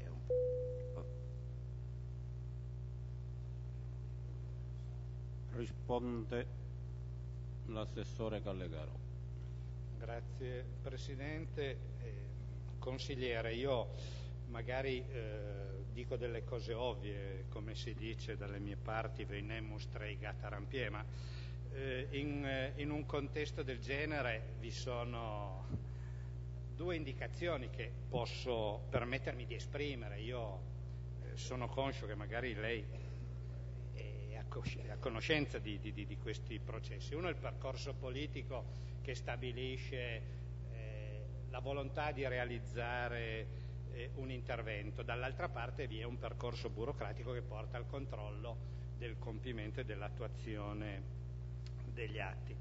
Eh, e anche questi atti sono abbastanza complessi e richiedono procedure che non sono immediate, quindi tutte le parti convenzionali hanno bisogno per eh, il rispetto di queste parti di procedure previste dalla normativa, quindi non le sto dicendo nulla di nuovo che quando si rileva un abuso, un qualcosa, eh, si innesca tutto un meccanismo che non è immediato come potrebbe sembrare eh, ai più, per cui so che parlo con una persona competente e, e quindi eh, è a conoscenza di, che, che, questi processi necessitano di tempi relativamente lunghi. Mm, questo Consiglio approvato proprio un regolamento con la partecipazione politica di tutti i gruppi, quindi rispettando quelli che sono gli indirizzi della legge ad esempio 8193 che separa il ruolo politico da quello amministrativo e delegando dopo l'approvazione di questo regolamento alla struttura, alla gestione del, eh, del contesto. Quindi il Consiglio ha approvato con la delibera 147 del 30 gennaio del 2011 il regolamento degli orti urbani. Questa amministrazione eh, ha effettuato i controlli, doveva esserci un sopralluogo lunedì scorso, ma a causa della neve questo eh, sopralluogo congiunto non è stato effettuato ma verrà fatto e eh, quindi questa amministrazione sta effettuando tutti i controlli del caso per verificare quello che è stato rappresentato tramite le segnalazioni e eh, le fotografie e sempre ai sensi dell'articolo 12 di questo regolamento verranno svolti eh, i controlli puntuali e più approfonditi per accertare il rispetto del regolamento e le eventuali responsabilità e qualora accertate prendere i provvedimenti del caso che saranno conseguenti. Quindi eh, l'amministrazione non ha preso sotto gamba la segnalazione, chiaro che in qualche modo eh, è parte attiva a far sì che gli atti emessi dalla, dall'amministrazione stessa vengano osservati dai cittadini, ma come eh, in tutti i contesti questo si confronta un po' con eh, con l'educazione della controparte, magari qualcuno è rispettoso e osservante di tutti i regolamenti e qualcuno magari li interpreta ad uso e consumo proprio, quindi in quei casi lì l'amministrazione senz'altro non chiuderà gli occhi. Mozione presentata dal Partito Democratico. Eh, linee di indirizzo per Presidente, la gestione. Chiedo scusa. Chiedo scusa, Purgiuole. Se, se permette vorrei... Chiedo scusa, le interrogazioni richiedono il tempo massimo di 5 minuti, tu hai fatto 5-10 secondi, bisogna calcolarli, te li dici te li puoi Sì, leggere lì. Devo, devo dire se sono soddisfatto o no. No, No, no, neanche quello. puoi leggere lì, tu puoi dire soddisfatto o non soddisfatto nei temp- nel tempo di 5 minuti. Ne hai passato hai superato il tempo di 10 secondi. Allora, se vuoi dire vedo, soddisfatto vedo, o meno... Se vedo che vengono superati due, due secondi... Andiamo alla mozione del Partito Democratico. Linee di indirizzo per la gestione futura del Giovanni XXIII in seguito all'audizione del commissario. Prego, Manuela Olia. Eh? allora, era una mozione urgente e non, soprattutto il sindaco ma tutto il consiglio ha ritenuto che non fosse urgente e infatti quello che c'è scritto all'interno della mozione non è stato preso in considerazione all'interno del bando che è stato pubblicato. Eh, non ci sono i riferimenti alla collaborazione fra le varie IPAB del, del territorio di Chieri come era stato chiesto in, eh, in commissione e eh, diciamo che per fortuna il commissario Giunta molto gentilmente e correttamente ha risposto punto per punto mandando un suo documento, però come dire l'aspetto politico della mozione, che era dare un indirizzo da parte del Consiglio, non è stato recepito. Dopodiché il commissario Giunta ha fatto il suo lavoro, che era, cioè, che era quello che ci ha detto in commissione, l'ha portato a termine e, e diciamo, ci siamo persi con questo eh, un'opportunità. Eh, sulla valutazione dell'urgenza o meno, francamente trovo che siamo veramente eh, abbiamo dei criteri che sono oggettivamente diversi da quelli di questo Consiglio. Questa sera, insieme, così come è stata rimandata questa mozione, per cui è stato inutile questa, questa, sollecitazione ad agire in senso politico del Consiglio, lo stesso è inutile questa sollecitazione, visto che le decisioni sui nostri servizi sanitari stanno per essere prese, mi sembrava che il sindaco si potesse sedere al tavolo anche forte di una posizione del Consiglio, ma non la vogliamo prendere, quindi sono veramente un po' colpita dal, dal, dal disinteresse che questi temi sollevano o, come dire, devono essere lasciati ad una gestione puramente eh, politica, politico-tecnica che si fa in altre stanze che non sono il Consiglio Comunale. Eh, detto questo, data il fatto che eh, comunque il bando è stato emesso, non ci sono i criteri che abbiamo richiesto, ci sono le motivazioni eh, del commissario che ci sono arrivate questa sera, ritiriamo la mozione. Forgione. Sì. Allora, penso che come amministratori di questa città è nostro dovere impegnarci fino all'impossibile affinché il Giovanni XXIII venga risanato. Ah, la ritirata? Chiedo scusa. Eh no, mi ha dato la parola. Eh, no. Chiedo scusa. Manuela hai detto l'hai ritirata, la ritiravi? No. Furgioele? Eh no, e tu mi hai dato la parola, non l'ho sentito io. Eh, passiamo alla mozione seguente. eh, sempre del Partito Democratico, per la conservazione del servizio scuola bus. Sì, la mozione impegna a garantire il mantenimento per il prossimo anno scolastico del servizio scuola bus nelle tratte già esistenti, eh, in particolare per eh, le tratte che collegano eh, alcune zone della città ai plessi indicati nella mozione, soprattutto perché le iscrizioni sono state fatte senza essere a conoscenza del fatto che, ehm, che questo servizio non sarebbe più stato attivo verso quei plessi. Questo ci è stato riferito da eh, famiglie che hanno iscritto i, bambini, i ragazzini, i bambini in questi plessi scolastici, quindi i neoiscritti in questi plessi non erano a conoscenza del fatto che un altro anno dovranno attrezzarsi eh, per andare a scuola senza scuola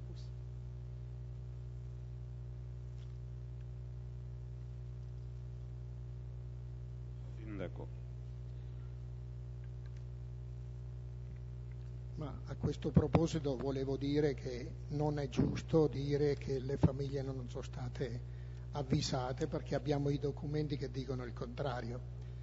Eh, riguardano eh, no, il trasporto scolastico proprio della linea 8 e avvertivano più che in tempo che da, da quella zona là non si potesse più andare verso la Guarini, ma rimanevano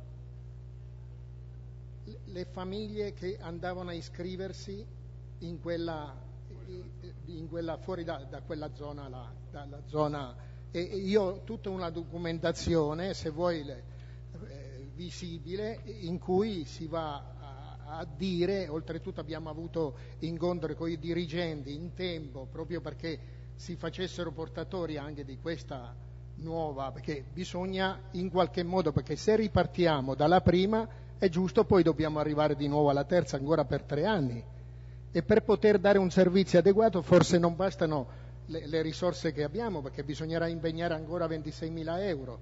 Poi il problema è che i bus, se vuole io le do le zonizzazione perché la nuova scuola è basata su determinate zone. È chiaro che ognuno è padrone di andare dove vuole, però deve, se non rispetta questo tipo di scelta, è chiaro che si deve impegnare a portare i bambini dove decide di fare, perché altrimenti è difficile poter gestire ancora un trasporto che possa soddisfare queste, queste esigenze. È dalla prima, perché fino alla terza media, quelli che erano iscritti alla media, è da qualche anno poi che gli abbiamo detto. L'ultimo anno è quello, sapendo che quest'anno partivano le, i dimensionamenti nuovi, quindi le zonizzazioni che si sono venute a creare. Io ho sentito la, anche la, la, la, dirigente della Guarini, no? perché il problema è successo per la Guarini, perché alcuni eh, vogliono andare verso la Guarini. Addirittura ho sentito eh, il, il, il, presidente dei responsabili dei genitori che lui ha scelto di mandare un bambino alla, Guarini e lui stesso mi ha detto ma io lo sapevo e io ho, ho, ho scelto questo e porto mio figlio là. Quindi non è proprio così. Poi è, è presente tutta la, la, documentazione che gli uffici possono fornire, o se vuoi ce l'ho anch'io. Borgiore. Sì, allora occorre inizialmente evidenziare come a livello normativo il servizio di trasporto alunni, diversamente definito scuola bus, rientra nel più vasto concetto di assistenza scolastica, le cui funzioni amministrative sono state attribuite dalle regioni ai comuni. Spetta dunque alla regione di regolare a mezzo di apposite leggi le, norma, modalità di svolgimento delle funzioni comunali in materia di trasporto scolastico, in particolare per quanto attiene agli alunni frequentanti le istituzioni scolastiche di scuole d'infanzia, primarie e secondarie di primo grado. La Regione Piemonte, con legge 29 aprile 1985, numero 40 ha dato attribuzione al citato articolo 45, assegnando ai comuni con l'articolo 9 le funzioni di quell'articolo 42 dello stesso decreto, ovvero le funzioni amministrative relative alle materie di assistenza scolastica concernente tutte le strutture, i servizi e le attività destinate a facilitare mediante eh, erogazione e provvidenze di denaro in denaro o mediante servizi individuali o collettivi a favore degli alunni di, istitu- di istituzioni scolastiche pubbliche o private. E tra queste ovviamente il servizio trasporto alunni. La competenza è dunque riferita a interventi di trasporto allo stesso modo degli interventi di mensa, quindi sia per gli alunni per gli uni che per gli altri ha l'obbligo di istituire il servizio e quindi di gestirlo nelle forme e nei modi che ciascun comune, singolo o associato affiderà ai propri strumenti regolamentari. Fermo restando l'impegno morale a svolgere tutte le azioni necessarie per attuare gli interventi di trasporto degli alunni delle scuole prima, eh, prima citate, inoltre Tengo a mettere in rilievo che il trasporto degli alunni delle scuole primarie e secondarie di primo grado deve essere obbligatoriamente attivo, attivato per gli alunni che si trovino in situazioni particolari di disagio geografico. Non solo i comuni hanno l'obbligo di assicurare il trasporto speciale di quegli studenti che si trovano in situazioni particolari di disagio geografico, cioè come, come distanza tra scuola e casa, ma anche per gli studenti disabili. Detto ciò, detto ciò, il Movimento Chieri Futura trova giusta la preoccupazione dei cittadini che abitano nelle zone riportate nella mozione e si associa all'invito fatto da, al sindaco e alla sua giunta affinché venga mantenuto il servizio scuola bus per il prossimo anno scolastico. Eh, Benedicente. Ma io eh, sono un po' costernato perché leggendo la mozione avevo capito anch'io che mh, sarebbe stato giusto che ci fosse questo, ancora questo scuola bus lì. Poi da quanto ha detto anche il sindaco adesso, ma da quanto mi sono informato anch'io prima, qualcuno effettivamente mi ha detto che sì, avevano ricevuto queste lettere, per cui eh, per i dimensionamenti e il riordino delle scuole non ci sarebbe più stato questo scuola bus a partire dal 2013-2014. L'unica cosa che non avevo ancora capito bene, chiedo che magari qualcuno riesce, può spiegarlo, è perché eh, quelli che si sono iscritti quest'anno come facevano a saperlo, o forse dovevano saperlo che in base al riordino delle scuole eh, era, la tua scuola non era più la Quarini, senza aver ricevuto nessuna lettera, perché qualcuno probabilmente c'è stato questo malinteso qui, dice io la lettera non l'ho ricevuta perché l'ho scritto per il primo anno, adesso a febbraio scrivono i, i bimbi, no? Eh, però questi avrebbero dovuto sapere in, in, automatico che in base al riordino delle scuole non era più la Quarini quella lì, ma il tangenziale. Grazie. Altri interventi? Dichiarazione di voto? Eh, sì. no, no, no. Allora abbiamo visto la documentazione eh. che, dato, che ci ha fatto vedere il sindaco. Allora, questa documentazione sostanzialmente attesta che chi era già iscritto ogni anno che qualcuno che era fuori da quando si sa della riorganizzazione appunto degli istituti comprensivi, della zonizzazione diciamo, chi era iscritto alle Quarini ed era fuori zona veniva informato. C'è stata una carenza di informazione, infatti questa documentazione, quello, sì, su chi quest'anno si iscriveva in prima e si è iscritto lì sapendo che c'era il servizio per qualche ragione. Su questo c'è una carenza. Comunque, sì, sì, perché c'era l'iscrizione online, su cui infatti fa riferimento tutta questa documentazione e documentazione inviata a gente che si è iscritta al servizio del trasporto scolastico verso le Quarini a settembre quest'anno facendo prima, seconda o terza media, che comunque non gli interesserebbe più. A questi qui è stata data l'informazione, guarda che eccezionalmente accettiamo l'iscrizione, da un altro anno non ce l'hai più il servizio. Quelli sono stati informati. In effetti quelli che hanno chiesto a noi di attivarci sono persone che si sono iscritte online alla Quarini quest'anno senza sapere che questo servizio non c'era, perché a loro questa informazione non è arrivata, non c'era sul sito della scuola, c'era anzi, sul, hanno, mh, hanno, detto, c'era mh, scegliendo la scuola sul sito online, c'era scritto se uno voleva usufruire o meno del servizio di scuola bus. Quindi indicava quello pensando che ci fosse, boh, sono, sappiamo che da quella, dalla zona di Stradandezzeno, quella, quell'area lì, sono più decine di persone, di, di ragazzini che hanno scelto quella scuola e quindi ci siamo fatti portavoce di questa istanza. Comprendiamo che si è, da, si è voluto dare un criterio per la sostenibilità del servizio, quindi ritiriamo la mozione anche se dal punto di vista della comunicazione non è arrivata ai nuovi iscritti. Mozione successiva presentata da Olia, Furgiuele, Cucci, Fasano. Mozione contro la chiusura dell'ufficio territoriale dell'Agenzia delle Entrate di Chieri. Chiede la parola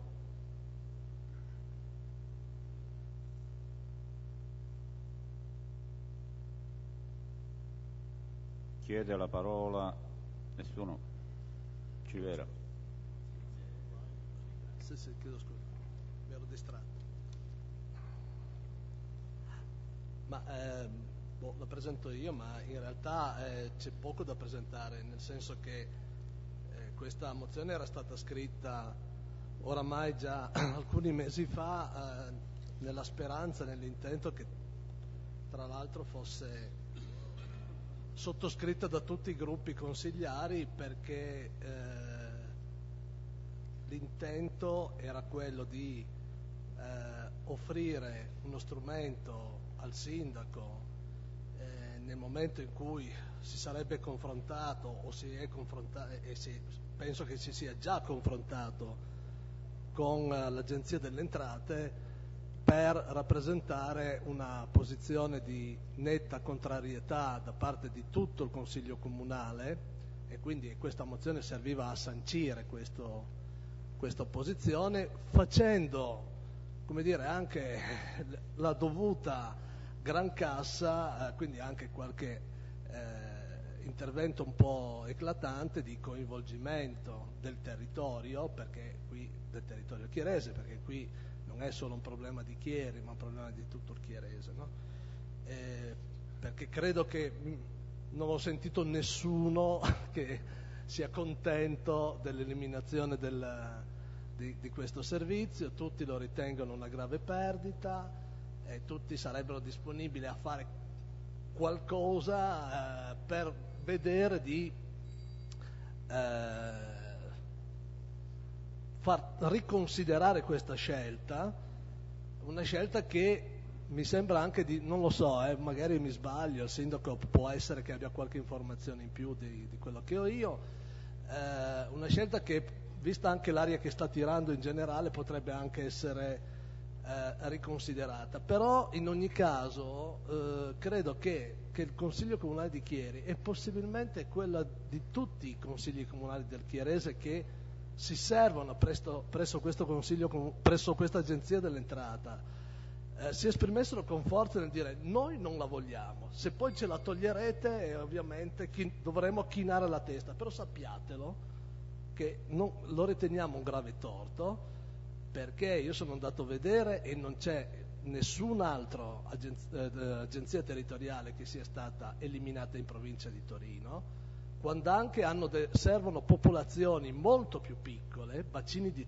territoriali molto più piccoli, ehm, apparentemente la scusa della vicinanza con Torino è una, è una cosa che può valere se uno non, non si rende conto di, di, quanto tempo ci vuole a, per un anziano andare in, in Torino, ma mm, in realtà probabilmente è molto più veloce arrivare da Curnia a Torino no? per, per, citare un'agenzia territoriale che è stata mantenuta con dei numeri sicuramente e immagino degli accessi sicuramente più piccoli. E poi un'altra cosa è anche che eh, era anche un modo per, secondo me, esprimere eh, da parte del Consiglio Comunale e spero anche di tutto il territorio anche un apprezzamento per il lavoro svolto dall'Agenzia Territoriale di Chieri, perché il semplice numero degli accessi eh, che non sia troppo elevato non vuol dire per forza che sia poco usato, vuol dire che la gente quando va trova soddisfazione ai propri problemi, non deve ritornare 3, 4, 5 volte, va una volta sola, magari non fa nemmeno tantissima coda e risolve il proprio problema. No? Quindi il, il, i piccoli numeri relativi, eh, perché poi in realtà non sono assolutamente piccoli, sono eh, numeri però che denotano anche che c'è una produttività e c'è un'efficienza da parte di questo servizio. Per cui eh, se poi eh, qualcun altro ancora vuole, vuole, aggiungere la propria firma sotto la mozione, ovviamente non è targata, non è polemica se non nei confronti della, della direzione generale dell'Agenzia delle Entrate, lo si può fare.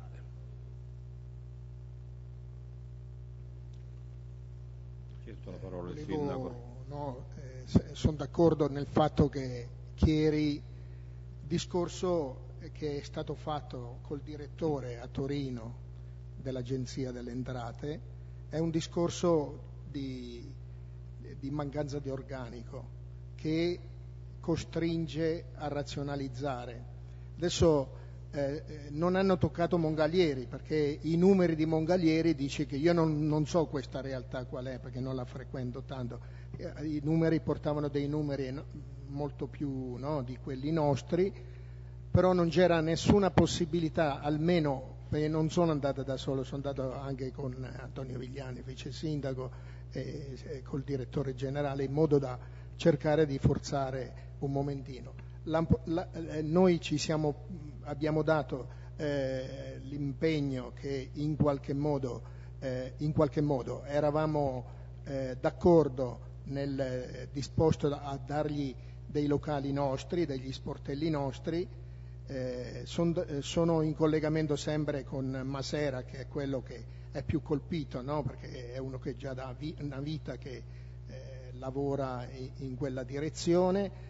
Eh, stiamo aspettando che loro ci dicano no, di, di quando sono disposti a venire a, a visionare in modo da dirci di che cosa hanno bisogno e di che cosa noi riusciamo e dove è meglio farlo, ma pensiamo di farlo all'interno del comune, in una zona magari eh, dove ci sono gli sportelli ICA o altro, vedremo in base alle loro necessità, per cui eh, oggi, ma sono due o tre giorni che sollecito, però la direttrice eh, ha dei problemi perché sta facendo de, de, de un congresso, qualcosa che questi giorni, ma io spero perché entro venerdì se non mi telefona la cerco di nuovo in modo da, da poter chiarire questa roba qua e questo è quando. Eh, devo anche dire che eh, tra i comuni limitrofi chi è che era più sensibile è stato Ludovico Giglio di, di, di Riva che addirittura si era impegnato no?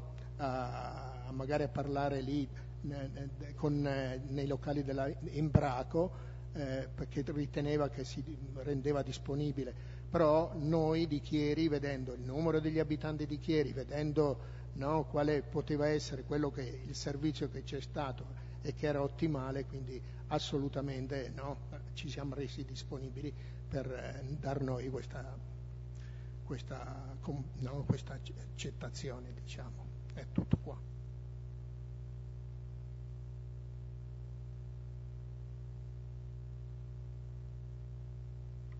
Interventi.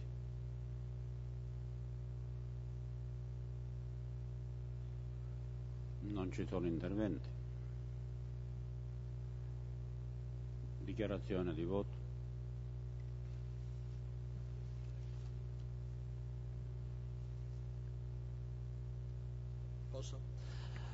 Beh, uh, un clima surreale, devo dire, che si creano que- oramai sempre più frequentemente in questo Consiglio Comunale. Io cerco di mantenere dire, un profilo di calma, anche se devo dire che mi, mi sento abbastanza bollire dentro. Um, guardate, quello, eh, io, io, vabbè, tanto sono alla fine di questo percorso amministrativo per una mia scelta e, e quindi mi permetto di dire proprio spassionatamente quello che penso. Eh, probabilmente questo consiglio comunale non credo ai chieresi, eh, ma questo Consiglio Comunale non si rende assolutamente conto che, uno, Chieri, il sindaco di Chieri è il sindaco del Chierese. Quello che fa il sindaco di Chieri conta per tutto il Chierese. Perché oramai non si ragiona più in termini di campanile, sarà sempre più così e sarà sempre più in termini di territorio. Secondo, noi siamo sempre assenti come Chierese da tutti i tavoli che contano noi non alziamo mai una volta la voce. Guardate che la difesa del territorio si fa a volte sapendo che forse è una battaglia che, che si perde, ma la si fa combattendo, perché ci si guadagna dei crediti. Se una volta non ti tolgono una cosa, ma tu ti sei battuto e hai fatto valere il, il tuo orgoglio di territorio, la volta dopo qualcuno si sentirà in dovere di, darti, di dare a te e di togliere a qualcun altro. Ora, il Chiarese è sempre assente dappertutto. Questi atteggiamenti remissivi, non c'è stata nessuna dichiarazione di voto, ma credo che sia, eh, dire, molto eh, esplicito, il silenzio è, è una eh, esplicita dichiarazione che la cosa non interessa, è, eh, è, è veramente demoralizzante. Eh, e, la trovo, e la trovo una visione perdente, perdente. Guardate che qui stiamo, stiamo facendo dei passi indietro per questo territorio che diventerà un deserto economico, anzi già avviato a diventare un deserto economico sarà con l'area metropolitana, quando ci sarà la provincia metropolitana, un'anonima periferia, dormitorio di Torino.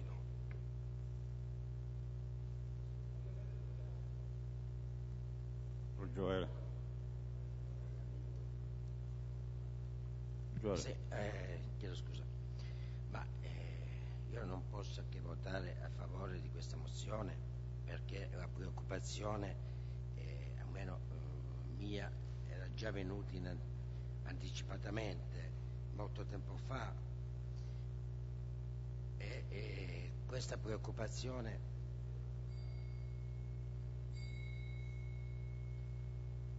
questa preoccupazione va a toccare, a ferire i cittadini, prima i cittadini chieresi, ma tutti, come si diceva, come diceva qualche collega, tutti il, il territorio chierese. Pensiamo soltanto, pensiamo soltanto alle, all'affluenza che i, i, vari uffici delle, delle entrate hanno sia a Moncaliere che a Torino se aggiungiamo all'affluenza eh, giornaliera quella del luogo, quella che può eh, aggiungersi dei chieresi, di chieri dei chieresi, ma eh, io penso che eh, non è stata valutata positivamente questa preoccupazione qua. Il disagio che può affrontare una persona diversamente giovane a recarsi agli sportelli per un motivo qualsiasi non è eh, assolutamente facile sia per lo spostamento sia per il tempo necessario che è sempre un punto interrogativo andando in questo ufficio. Ecco, io eh, mi associo alla preoccupazione del collega Civera e invito eh, colleghi della maggioranza a questa volta veramente a mettersi la mano sulla coscienza e cercare di eh, votare a favore di questa mozione non per la mozione in sé ma per portare effettivamente un contributo ai, ai propri cittadini. Rubato. Ma ehm, siccome io ho eh, piena fiducia nelle parole che ha detto il nostro sindaco, eh, mi sembra di aver sentito che lui si è attivato in prima persona insieme al vice sindaco, insieme al direttore generale, per perorare la nostra causa. Quindi questo non significa che non ci si attiva, non ci si lavora e non si va nell'interesse della cittadinanza chierese e non si ha sensibilità. Mi sembra tutto l'opposto. Purtroppo immagino che ci siano delle decisioni che arrivano da direzioni generali di agenzie centrali quali possono, eh, alle quali non possono opporsi forse neppure il Consiglio Comunale, neppure le amministrazioni stesse. Io ho piena fiducia di quello che il sindaco ha detto. Se lui si è attivato, ha parlato con le persone eh, responsabili e competenti ai più alti livelli e questi tutt'al più hanno dimostrato la loro attenzione nel voler venire a visionare e, e verificare queste cose, noi cosa possiamo fare d'altro? Cioè, non, non, penso che sia proprio un'accusa quella che Civera rivolge al, al Consiglio Comunale e all'amministrazione, è un'accusa una che non abbia senso, noi la rigettiamo, il sindaco si sta dando da fare e aspettiamo con fiducia quello che verrà detto. Cucci. Cucci. Grazie. Allora, come avete visto, noi del Centro Democratico Indipendente siamo confermatari di questa mozione. Certo, io ho sentito quanto è stato detto da, da Civera eh, riguardo all'impegno del sindaco, dell'amministrazione, mi pare che non è proprio così, però ognuno è libero di dire quello che sente. Però, se mi permettete, riguardo a questa mozione, e mi rivolgo davvero a tutti quanti i consiglieri, se vogliono ascoltare, ascoltare vuol dire non avere preconcetti, perché abbiamo deciso in un modo e, e quindi non ascoltiamo nemmeno. Se vogliamo ascoltare è questo. Questa mozione, pur riconoscendo il sindaco che si è attivato, e abbiamo ascoltato benissimo, e che giorno dopo giorno cerca di mettersi in contatto per sapere quindi quali sono le esigenze e poter insieme concertare, concordare una sistemazione. Però, proprio perché bisognerebbe ri- confrontarsi senza preconcetti, no? Ma questo lo dico alla maggioranza come anche alla minoranza, perché alle volte si è un po' pesanti quando si dice ecco l'amministrazione non fa abbastanza per farsi valere, perché non è sempre così, non è sempre così e bisogna riconoscerlo. Io a questo punto vorrei che cadessero queste barriere, tra virgolette, psicologiche, perché eh, lo presentiamo noi e non voi. Ecco, qui lì cosa impegna questa mozione? E, e qualcuno che ride su quello che, che sto dicendo, perché pare che non lo so il perché, dei miei colleghi dietro, questa mozione impegna il sindaco a prendere dei provvedimenti, dare soluzione a questo problema, cosa che sta già facendo.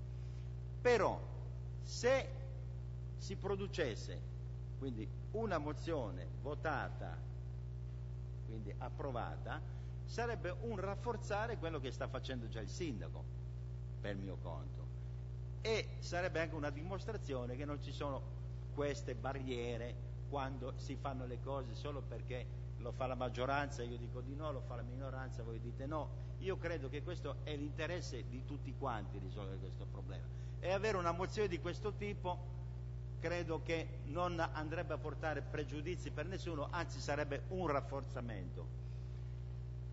Scusate se sono stato troppo prolisso in cose che si possono dire in due minuti, però la dovevo dire.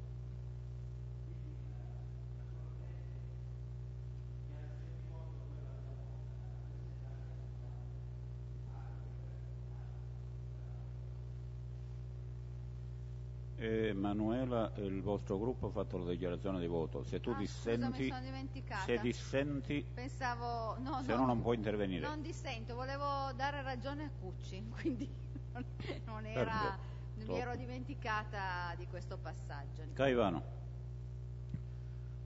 Eh, volevo anche nella dichiarazione di voto che sicuramente no a questa mozione e mi dispiace che Riccardo dica che noi non siamo non, non, controlliamo il bene della città e non sappiamo cosa vuol dire che, eh, non esserci l'ufficio delle entrate più acchiere. Mi dispiace stai dicendo una cosa errata. Eh, ho capito questo allora.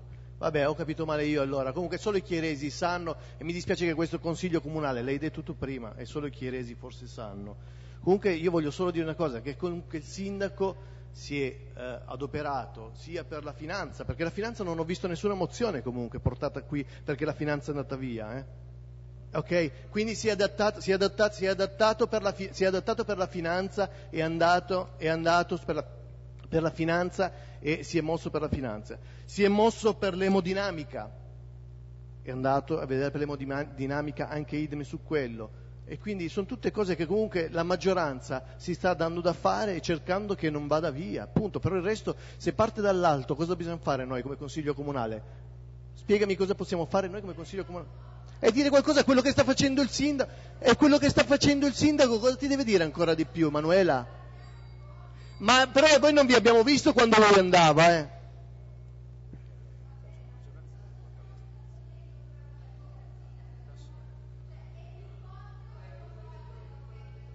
Borgioele. Allora,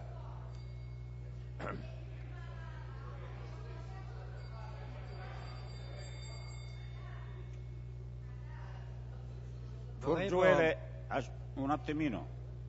Poco prima tu sei intervenuto e hai detto con dichiarazione di voto che votavi a favore della mozione, stop, Non hai fatto la tua vero, ho detto dichiarazione di sono voto. d'accordo, non ho fatto la dichiarazione di voto. Eh, Per me era una dichiarazione di voto. Senti Nicola, vuoi che vengo col bavaglio? No, dimmelo se devo venire col bavaglio, che sto zitto, non parlo più. Vuoi fare un'altra dichiarazione di voto? Gliela Io facciamo capito. ripetere. Allora, io vorrei sapere, per le mozioni, aspettano un quarto d'ora o no? Eh, Furgiuele, tu il regolamento lo conosci come me, o forse meglio. Io- Dopo aver fatto chiedo- la dichiarazione di voto non si può più fare interventi.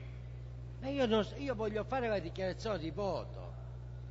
Posso farla? Avevi già fatto la dichiarazione di voto, in via eccezionale rifalla. Oh, ma quella è scema. Per me il regolamento non ti consente di intervenire. Poi se tu la parola te la vuoi prendere, io te la dovrei togliere. Ma eh, sono io presidente, per cui io chiedo a testimoniare i colleghi, ha fatto la dichiarazione di voto o no? E allora non posso, non posso darti la parola. Per cui pensaci per le prossime cose, quando dichiari non puoi più intervenire. Ma io non ho fatto... Non posso darti più la parola, Fulgiore, mi dispiace. Allora, altri interventi?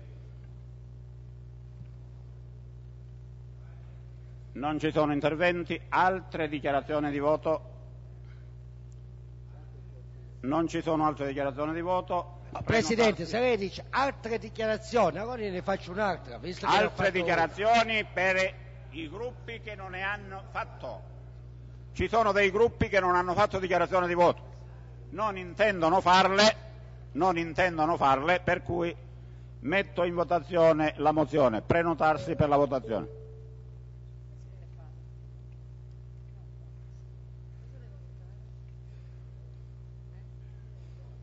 È aperta la votazione.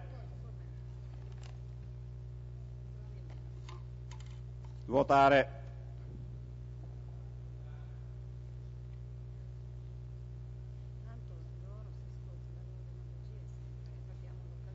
Votazione chiusa.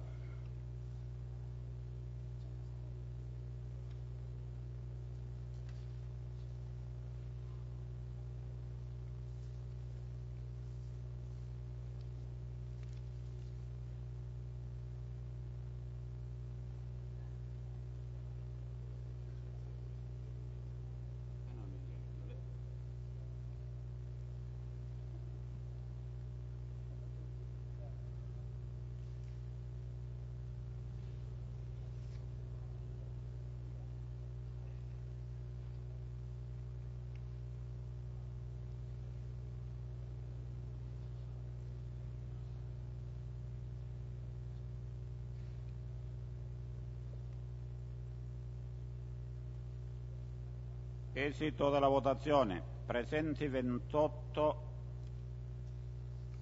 eh, favorevoli 11, Bagna, Olia, Civera, Biglia, Maspoli, Benedicenti, Cucci, Marinari, Dario Fasano, Furgiuele, Foglio. Contrari, contrari sono 17, Vasino, Emma Fasano, Rappazzo, Tamagnone, Stellato, Burgarello, Mercurio, Triolo, Passarello, Rubatto, Arduino, Ronco, Caivano, Sideri, Bozzalla Grossola, Castella, Lancione. Il- la mozione non passa. Il dottor Morra mi chiedeva di fare una precisazione, voleva fare una precisazione, prego dottore.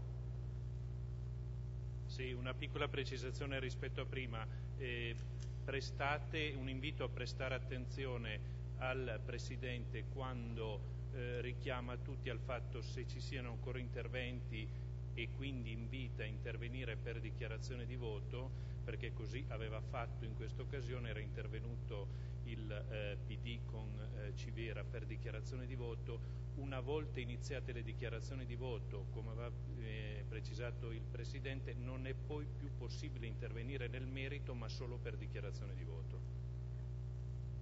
Ma il regolamento penso lo conoscano un po' meglio di me e non c'è bisogno di fare storie, discussioni. E era distratta Manuela, se no è sempre molto corretta Il tempo a disposizione dell'ora e mezza è terminato, passiamo agli altri punti. Approvazione verbali delle sedute del 13 e 19 febbraio. Prenotarsi per la votazione.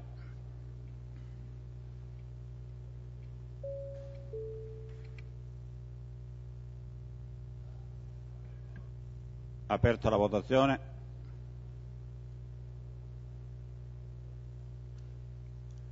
Votare.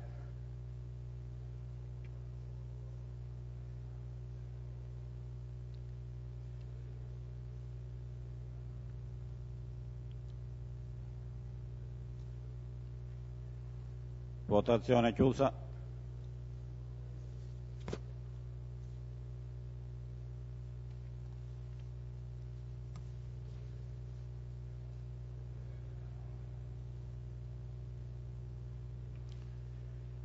Presenti 27, favorevoli 27. Andiamo avanti. Punto successivo. Regolamento generale delle entrate. Modifica. Su questo regolamento c'è un emendamento presentato dal Partito Democratico. Come sapete viene discusso il punto, viene discusso l'emendamento, poi si vota l'emendamento e poi si vota il Eh, punto I finale. consiglieri ce l'hanno il, eh, l'emendamento? Non ho cap-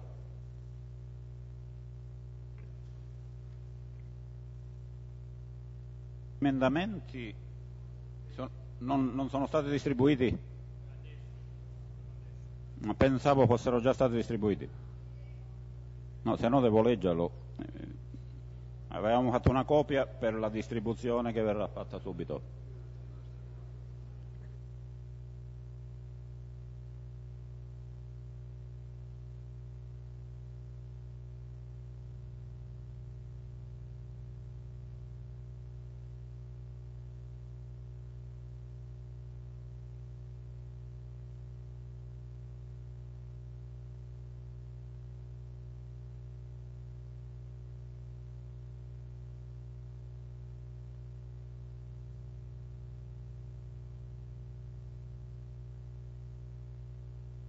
Presidente, se nel frattempo vuole per cortesia incominciare a, a le- a leggere l'emendamento, forse è meglio. L'emendamento viene distribuito e non c'è bisogno che io lo legga. Deve rimanere agli atti per cortesia se vuole leggerlo.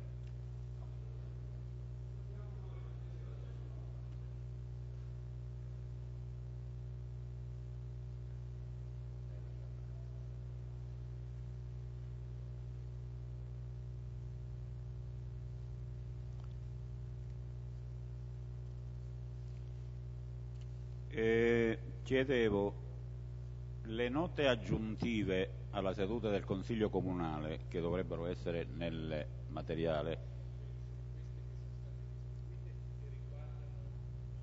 Tut- tutti gli emendamenti. Vediamo se qualcuno non ce l'ha, ce l'avete tutti? Mi sembra di sì. Nessuno si lamenta, quindi tutti quanti avete ricevuto le note. Allora, eh, ripeto, si apre la discussione sul punto, poi sull'emendamento, poi viene votato l'emendamento e poi viene votato il punto emendato. Allora, è aperta la discussione.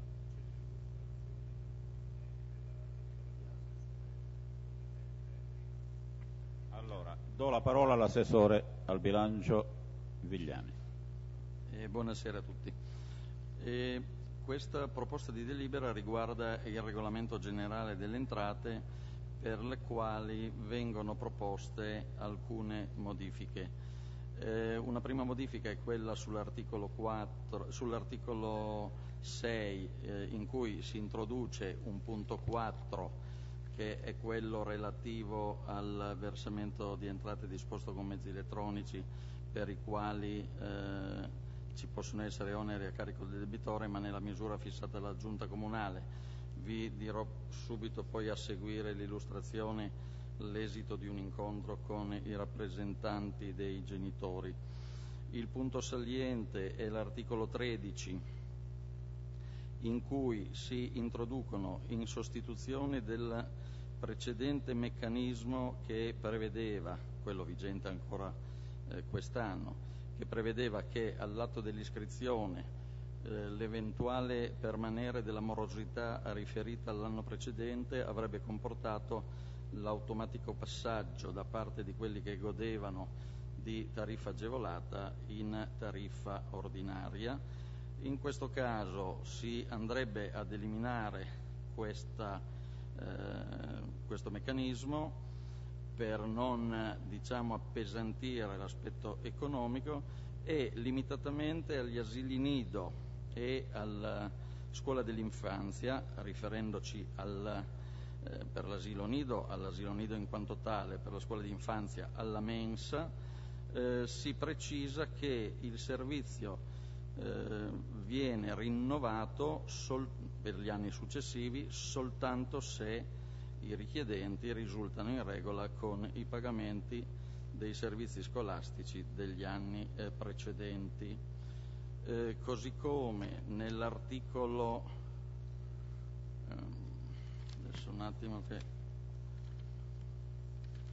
nell'articolo eh, sempre 13 eh, viene introdotto il comma 9.2 in cui si introduce appunto come causa di sospensione del servizio sempre di eh, vuoi di asilo nido, vuoi di mensa scolastica della scuola dell'infanzia, la eh, interruzione del servizio ovvio previa diffida e, e quindi trascorsi i tempi necessari perché i soggetti possano mettersi in regola, eh, interruzione del servizio con decorrenza dal mese successivo alla scadenza della diffida stessa.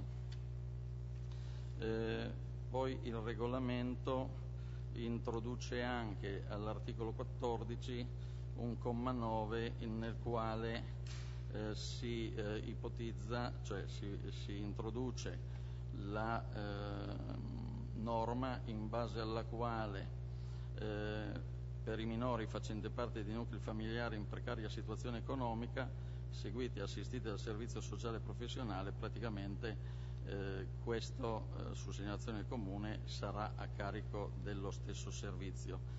Eh, su questo tema abbiamo iniziato il, diciamo, il, le riunioni con il consorzio socioassistenziale, il quale ovviamente doveva fare una ricognizione per armonizzare le situazioni tra i vari comuni, va da sé che eh, eventualmente eh, ci siamo anche impegnati col consorzio che questa eh, norma potrebbe anche costituire eh, estrema razio eh, occasione eh, di erogazione di un fondo integrativo al consorzio stesso. L'articolo poi, poi mi, difo- mi, ritornerò sull'aspetto della mensa, all'articolo 18 in quanto riguarda i parcheggi vengono introdotte modifiche eh, in merito alle zone riservate alla possibilità dei residenti del centro storico di eh, parcheggiare a titolo gratuito la vettura. E quindi sostanzialmente eh, all'interno della zona ZTM vengono escluse Piazza Duomo, Piazza Umberto, Piazza Mazzini, Piazza Mosso, via Balbo, via Tana, via Santa Clara e via Principe Amedeo. Alcune di queste vie fino ad oggi era consentita la sosta gratuita, per contro questa sosta gratuita viene eh, consentita in Piazza Dante, in Via Robbio, in Via Gualderia e in Via delle Rosine. Per quanto riguarda l'aspetto degli articoli 13 e 14 che sono stati poi anche oggetto della proposta di emendamento presentata dal PD, mi corre l'obbligo di precisare l'esito di un incontro avuto la settimana scorsa con il Cogen, i rappresentanti dei genitori, nel quale si è confermato un rapporto assolutamente collaborativo. Ehm, I genitori direi che hanno posto l'attenzione più sul discorso dell'onere del 2% per i pagamenti con carta di credito e a questo proposito eh, diciamo come amministrazione ci siamo impegnati eh, a verificare la situazione con gli uffici e eh, siccome tanto il tutto è demandato la determinazione dell'entità a una delibera di giunta comunale, eh, vi terremo informati su quelle che saranno le risultanze di questo monitoraggio e le conclusioni a cui arriveremo. Sull'aspetto della morosità è un tema che i genitori stessi hanno confermato essere un tema eh, anche di loro preoccupazione, cioè non hanno nessun interesse che questo fenomeno si diffonda. Tra l'altro comunico che eh, l'aver parlato soltanto del tema ha fatto sì che se a gennaio la morosità rilevata era del 18%, a marzo, non vi so dire il giorno esatto, è stata rimonitorata e la morosità è del 9% quindi vuol dire che sensibilizzare è utile e a proposito di sensibilizzare i genitori hanno convenuto con noi che eh, sia anche una questione di informazione e quindi eh, c'è la disponibilità da parte di alcuni di loro esperti in materia di collaborare con gli uffici proprio per garantire in tal senso una eh, maggiore informazione.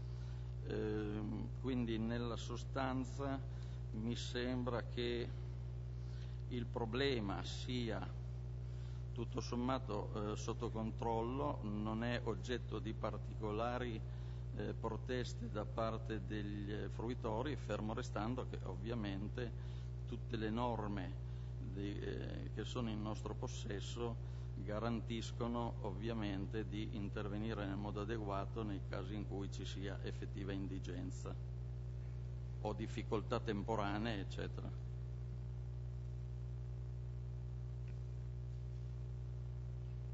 Interventi?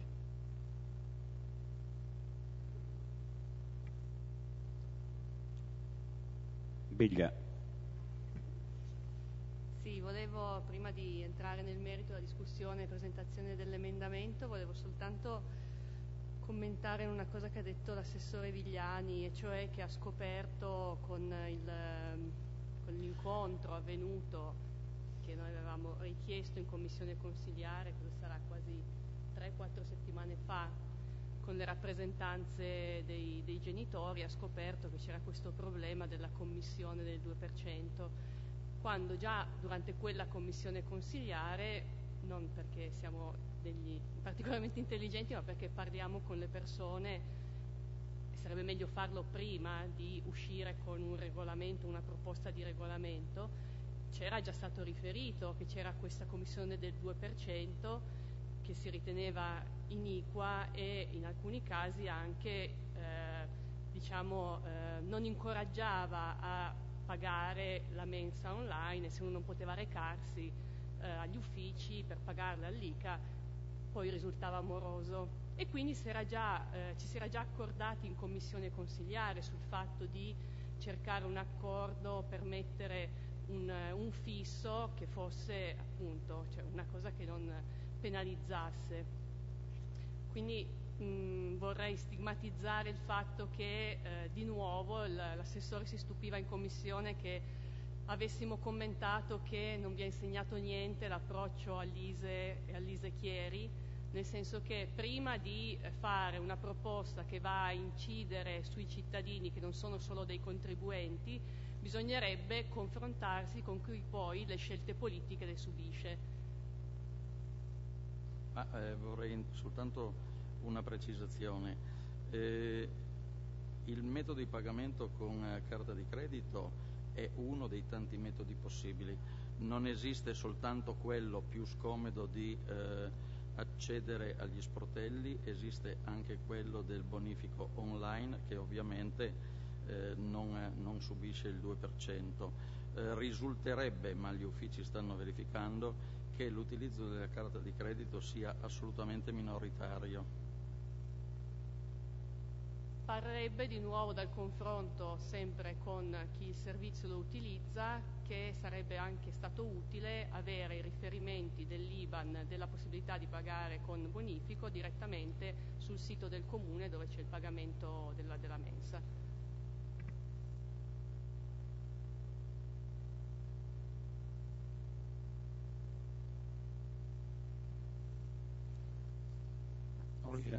Olivia.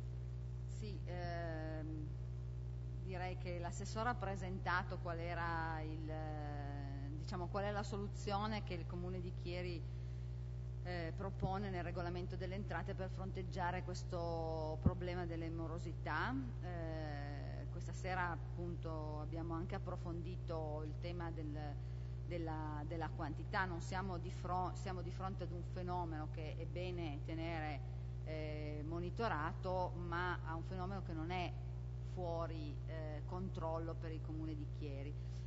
L'emendamento che abbiamo presentato nasce dalla discussione che era già stata presentata ai consiglieri eh, in commissione, nel senso che il regolamento prima lo proponeva per tutti i ragazzi che frequentavano la scuola, compresa la scuola dell'obbligo, ora lo propone solo per i bambini della materna, propone un meccanismo diciamo deterrente nei confronti di chi eh, ha una morosità che colpisce il bambino.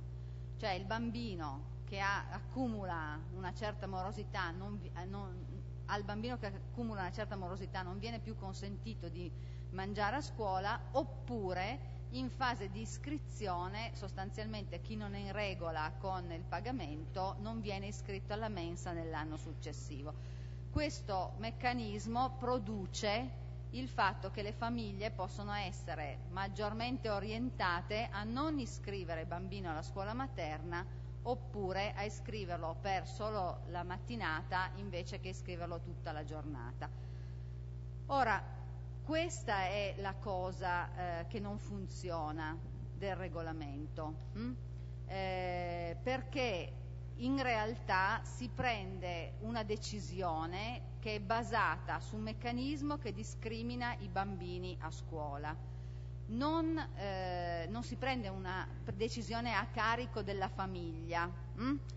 Eh, di fatto si fa una la decisione che stiamo prendendo non è né piccola perché riguarda solo i bambini della materna, che fra l'altro sono una quota, abbiamo visto le morosità questa sera sono qualche decina eh, i bambini, eh, non è una modifica piccola e non è nemmeno una modifica che riguarda eh, la questione di giustizia, cioè se usi un servizio è giusto che lo paghi, nessuno mette in discussione questo, questo principio.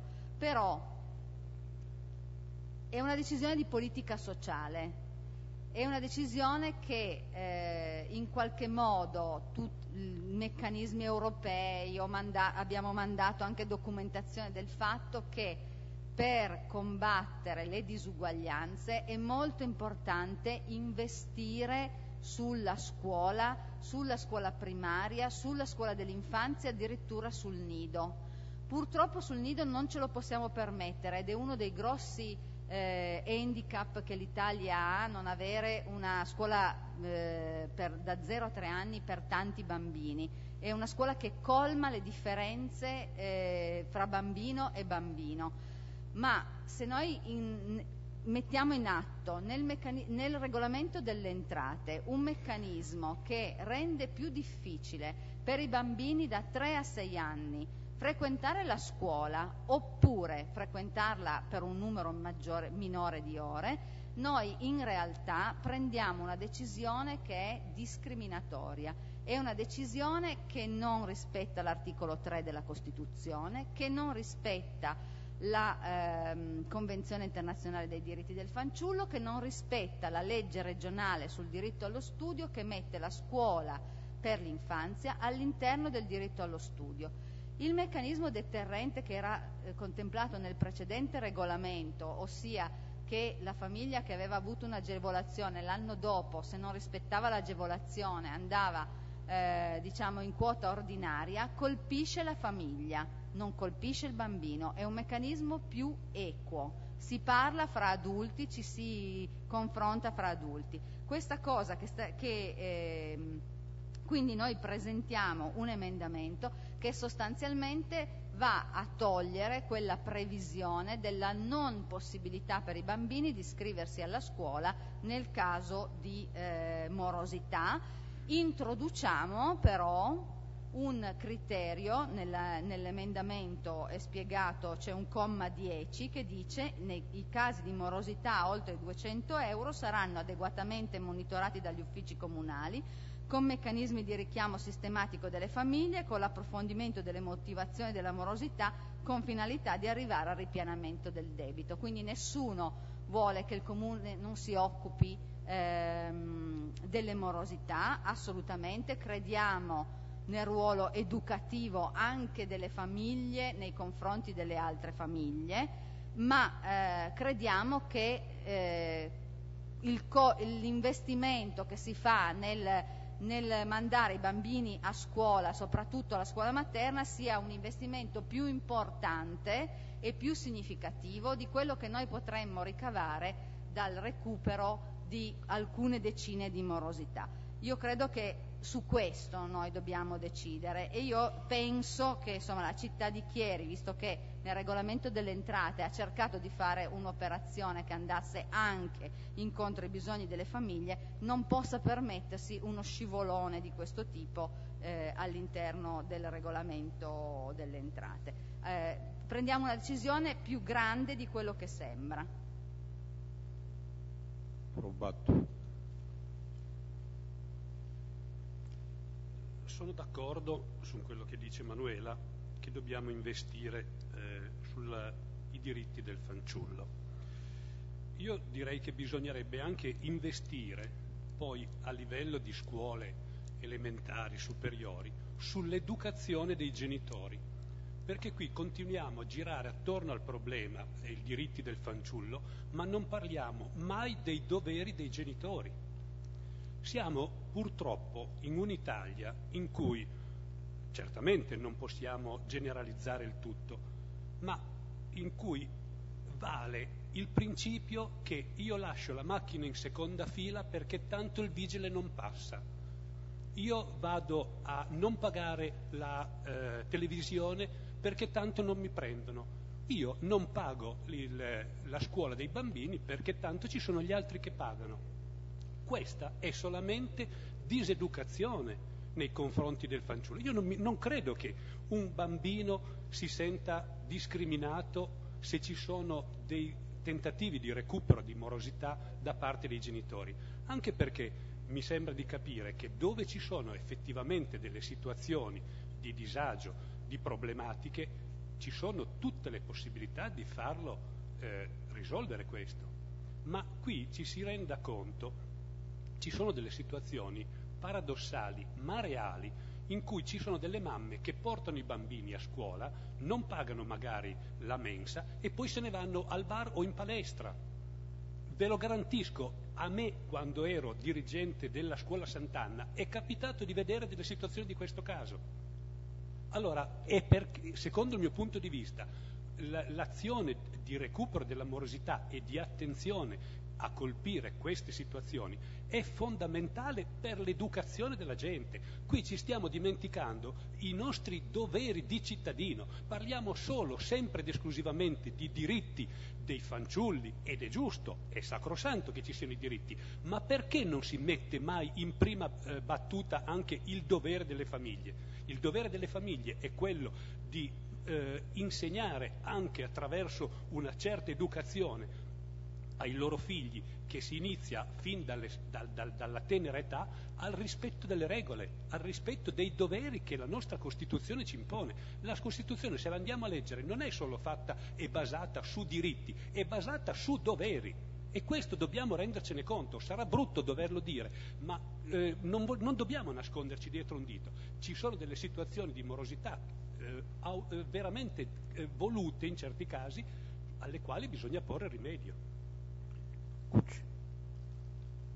Grazie. Noi come Centro Democratico Indipendente abbiamo una nostra visione della questione. Certamente là quando viene identificato il furbo, certamente eh, bisogna che ognuno paghi consumi ed è giusto e che vengano anche in qualche modo se possibile, sanzionati. Però, ripeto, noi in particolare come gruppo cattolico, con i nostri valori cattolici, pensiamo che là quando viene acclarata la palese difficoltà,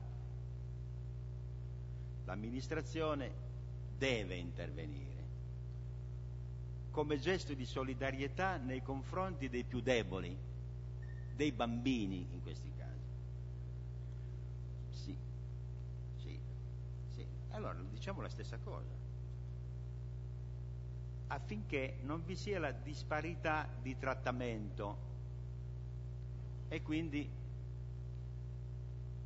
no, la non sospensione del servizio. Perché proprio in quei casi lì, quindi abbiamo capito che ci sono i meccanismi che vengono già messi in atto, però questa è diciamo, una situazione, specialmente per i bambini in particolare, può succedere davvero che ci sia il bambino che viene eh, allontanato dalla mensa perché in qualche modo eh, o per, anche solo per un giorno perché fin quando magari non, viene, non entrano in moto i meccanismi, eccetera, eccetera, diventa davvero un problema.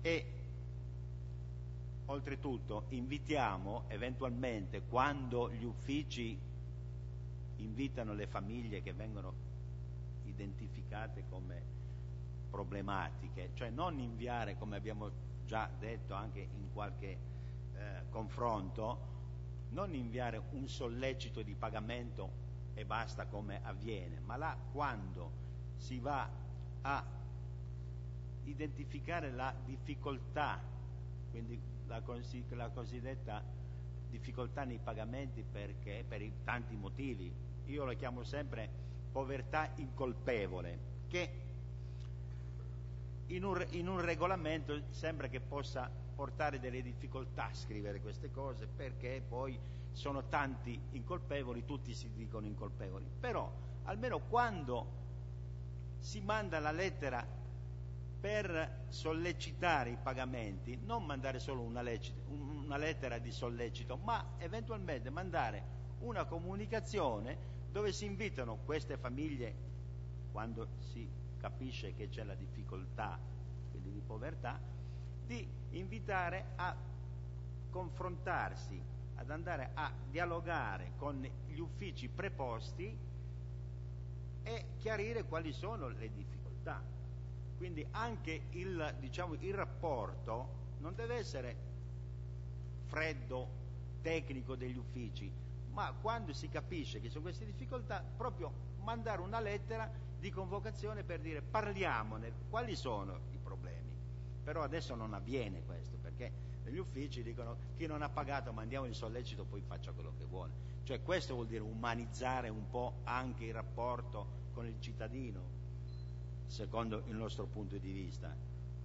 Quindi queste eh, sono le difficoltà che noi eh, abbiamo visto e che riscontriamo. Quindi ci viene davvero difficile questi emendamenti non sostenerli Civera. Ehm, accorcio di molto l'intervento perché mi ritrovo completamente in quello eh, di, di Cucci che mi ha preceduto, quindi e, evito di ripetere E volevo però solo far, eh, portare Rubato a ragionare su un aspetto, perché mi sembra che tu hai guardato il problema solo da un, da un punto di vista e hai attribuito a noi il vederlo solo da un'angolazione, e non è così. Eh, quello che è difficile in un momento eh, molto complesso, eh, socio-economico come quello che sta vivendo l'Italia, che, e quindi che vive anche il Chiarese, è contemperare quelli che sono i doveri delle famiglie con i diritti dei bambini. I diritti dei bambini, soprattutto, poi rendiamoci conto, stiamo parlando di bambini della scuola materna, cioè non possono essere eh, eliminati da una norma regolamentare cieca che se poi applicata, cioè qui sembra quasi che ci vogliate dire, ah ma non vi preoccupate, questo è uno spauracchio, è, una, è un deterrente, infatti vedete dal 18% siamo già arrivati al 9%. Ma, ma, prima o poi, se viene applicato anche solo su un caso, allora io ve lo chiedo a tutti voi e lo chiedo alle vostre coscienze ai vostri cuori, ma voi davvero vi sentite in, anche solo per un caso ad un bambino, ad una bambina di 4 anni di non farla mangiare nella mensa con i propri compagni perché la famiglia, chissà poi per quale motivo, giusto o sbagliato, colpevole o incolpevole, no, ha, pag- ha superato i 200 euro di morosità? Ma voi pensate che una bambina, un bambino di 4 anni riesca a capire che il motivo è che i propri genitori hanno mancato ai propri doveri? Allora io dico, se voi volete arrivare su questi livelli, ragioniamo su un altro piano, perché se anche solo un cittadino chierese, un bambino chierese, una bambina chierese sono costretti a, a passare da questo gioco, allora facciamo una cosa più facile, più semplice, che ci risolve pure un sacco di problemi di bilancio, lo dico provocatoriamente. Togliamo le mense, ognuno si porta il cestino da casa, così siamo tutti uguali, tutti uguali e non ci sarà mai discriminazione. Ma se voi introducete un elemento di tale discriminazione, anche solo teorica, è veramente una, una cosa... Evito l'aggettivo se vogliamo fare le cose provocatorie, allora aumentiamo di qualche aliquota l'IMU, pagano tutti i cittadini, ma pagano anche per coloro i quali non, non sono disposti a pagare. Recu- per, copriare, per coprire il buco. Per coprire il buco andiamo a pagare tutti quanti, per così eh, salviamo quelli che non pagheranno. L'assessore ha appena detto che il fenomeno non è fuori controllo, cioè voglio dire, stiamo parlando, non stiamo parlando di situazione, stiamo parlando di una situazione contingente di crisi dove quello che dovrebbe spingerci è, politica, una politica di pari opportunità. Tutta l'Europa sta investendo su politiche per, per i bambini da 0 a 8 anni, vogliono cambiare il welfare. Allora, vogliamo, vogliamo ragionare di costi o vogliamo ragionare di investimenti? Questo è il concetto non stiamo, stiamo parlando di, di, altro, stiamo parlando di questo. Vigliani. Ma, eh, a me era perso di eh, precisare che ci sono quei famosi 30 giorni, cioè non è che il, gli uffici burocraticamente e senza cuore mandano un messaggio e intimano. Non intimano, avvisano ci sono 30 giorni, in quei 30 giorni hanno soltanto da presentarsi agli uffici, palesare i loro problemi e, e certamente eh, saremo lì a risolverli. Eh, che, cioè, t- tutta questa eh, vostra eh, diciamo, preoccupazione non mi risulta sia stata palesata dai genitori che fanno parte del COGEN. Vi ho detto, eh, si sono raccomandati che ci sia una maggiore collaborazione per dare una maggiore informazione. Eh, hanno detto che molto probabilmente ci può essere da parte di qualcuno, ma di quei pochi che sono effettivamente in difficoltà, una certa ritrosia a palesarsi. Eh, pur intendo dire, eh, se uno è in difficoltà non deve mica vergognarsi no, a questo mondo, eh, tanto più in questo momento. Da parte dell'amministrazione non c'è nessuna volontà di assumere atteggiamenti persecutori. Trovo abbastanza eh, discutibile che eh, il Comune, anziché attendersi che siano i genitori a palesarsi, debba mettere su un ufficio per il quale non avremmo neanche molto probabilmente eh, personale adeguato sia in termini numerici che di formazione, eh, che si attivi per eh, gli opportuni monitoraggi, per mettere in pista meccanismi di richiamo sistematico fam- delle famiglie con l'approfondimento delle motivazioni. Dico qui tra un po' dobbiamo mettere un ufficio di psicologi per capire il perché la gente non paga.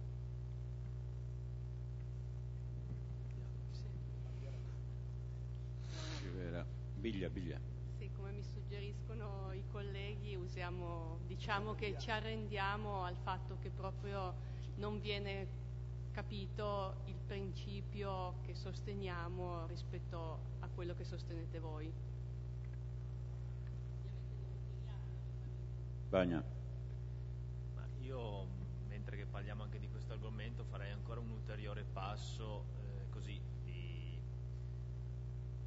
diciamo di, osservazione del problema è che eh, era già eh, successo tempi addietro anche con la scorsa amministrazione, era proprio il fatto eh, di monitorare questo discorso dello spreco invece della mensa e di questo mangiare che invece si butta via.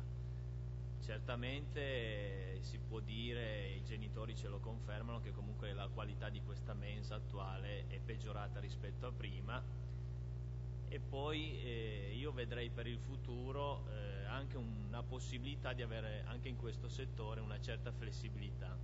In tutti i settori, dalle imprese su di giù si parla tutto di flessibilità, ma però invece abbiamo un sistema rigido e direi che si potrebbe così eh, indirizzare il discorso, il genitore che si paga la mensa, che vuole portare il bambino alla mensa, il genitore che dice io voglio fare parte de, della mensa, quindi dare il pasto al mio bambino per una parte di questo pranzo e quindi ad esempio alcune volte si sente delle mense che danno solo il primo e il bambino in base a come mangia, in base alle sue abitudini, in base anche all'educazione che i genitori danno al proprio figlio e do eh, ragione eh, a chi sostiene che comunque bisogna anche educare i genitori, quindi dare un proprio input al, proprio bambino è il genitore che dice no, mio figlio mangia poco, abituato a mangiare così, do il pranzo a sacco e quindi tutta questa sfaccettatura si dà la possibilità alla famiglia di tenere comunque in carreggiata il bambino.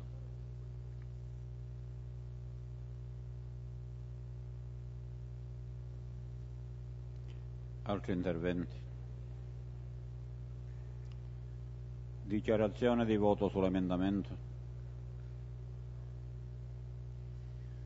Non ci sono dichiarazioni di voto, mm, prenotarsi per la votazione dell'emendamento.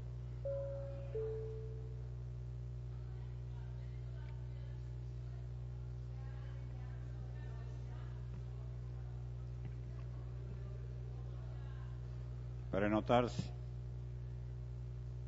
È aperta la votazione.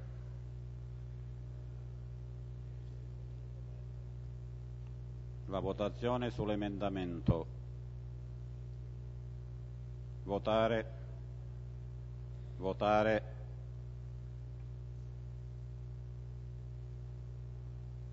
votare,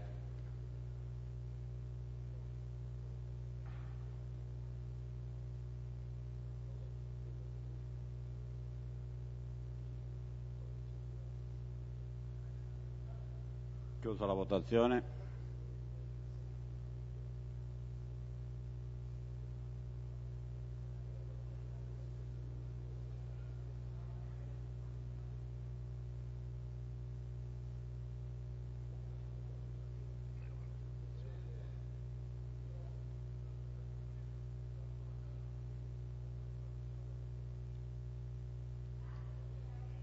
non fa niente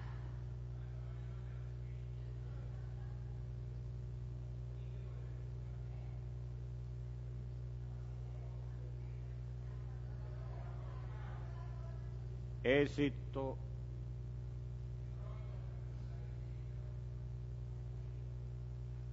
della votazione presenti votanti 28 allora favorevoli 12 Burgarello Bagna, Olia, Civera, Biglia, Maspoli, Benedicenti, Cucci, Marinari, Dario Fasano, Furgiuele, Foglio. Contrari 16, Vasino, Emma Fasano, Rappazzo, Tamagnone, Stellato, Mercurio, Triolo, Passarello, Rubatto, Arduino, Ronco, Caivano, Sideri, Bozzalla Grossa, Castella, Lancione. L'emendamento non viene accolto. Prenotarsi adesso. C'è dichiarazione di voto sul punto deliberativo così che non è stato emendato, nessuna dichiarazione di voto? Allora prenotarsi per la votazione del punto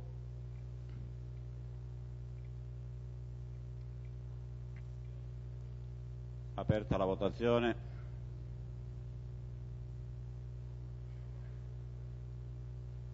si vota adesso il punto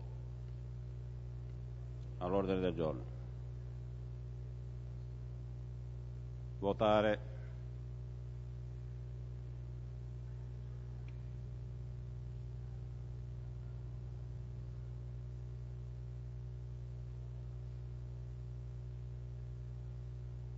Votazione chiusa.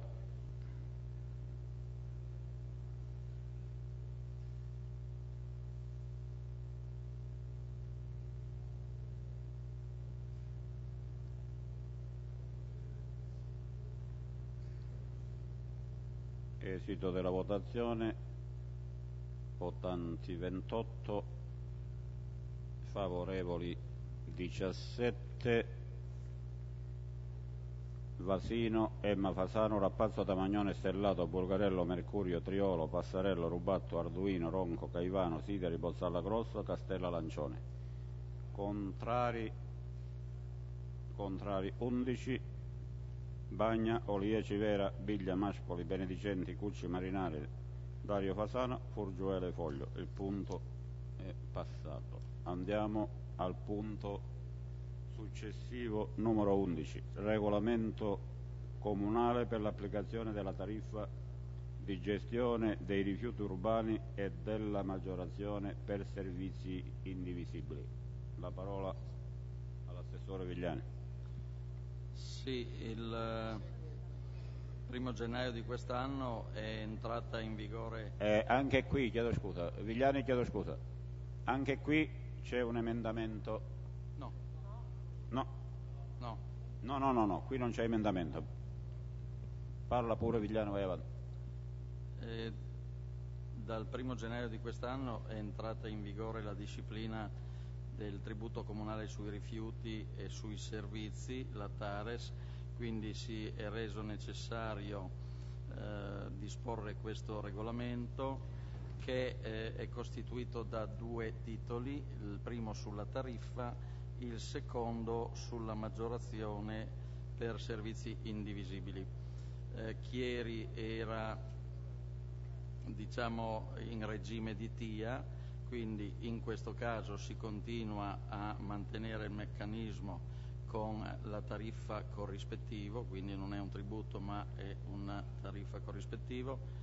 Direi che gli aspetti da sottolineare sono del regolamento, articoli 13 e 14 eh, relativi alle riduzioni tariffarie, le quali di legge sono finanziate dalla tariffa e sono quelle che introducono il 35% di riduzione limitatamente alla quota variabile per utenze domestiche che eh, procedono direttamente al recupero della frazione organica, mentre sull'articolo 14 relativo a agevolazioni, contributi e esenzioni sulla tariffa che sono precisate nell'allegato 3 e che sono leggermente modificate rispetto a quelle che c'erano eh, nel passato eh, regime, eh, e queste sono finanziate dal Comune con risorse a bilancio.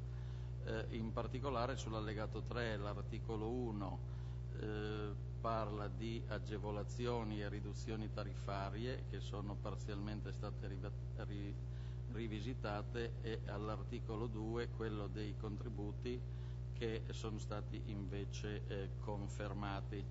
Eh, la, per quanto riguarda diciamo, il meccanismo di calcolo vale il precedente, quindi sono le superfici che già precedentemente venivano eh, utilizzate in quanto dichiarate dai cittadini eh, per la determinazione della, della TIA eh, in attesa che il catasto si adegui e riporti quelle che sono le eh, superfici e quindi in questo caso poi si passerebbe all'80% delle superfici catastali.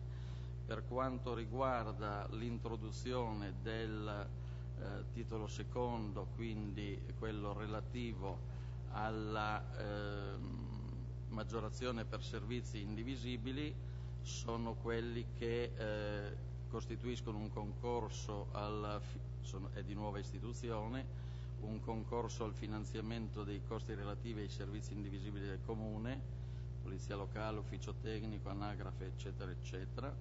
Eh, il meccanismo di calcolo comunque è sempre quello in base alle superfici che valgono per la mh, tariffa corrispettivo e eh, questo è un tributo comunale eh, nel bilancio comune, si paga esattamente come l'IVA con F24 o in banca o in posta.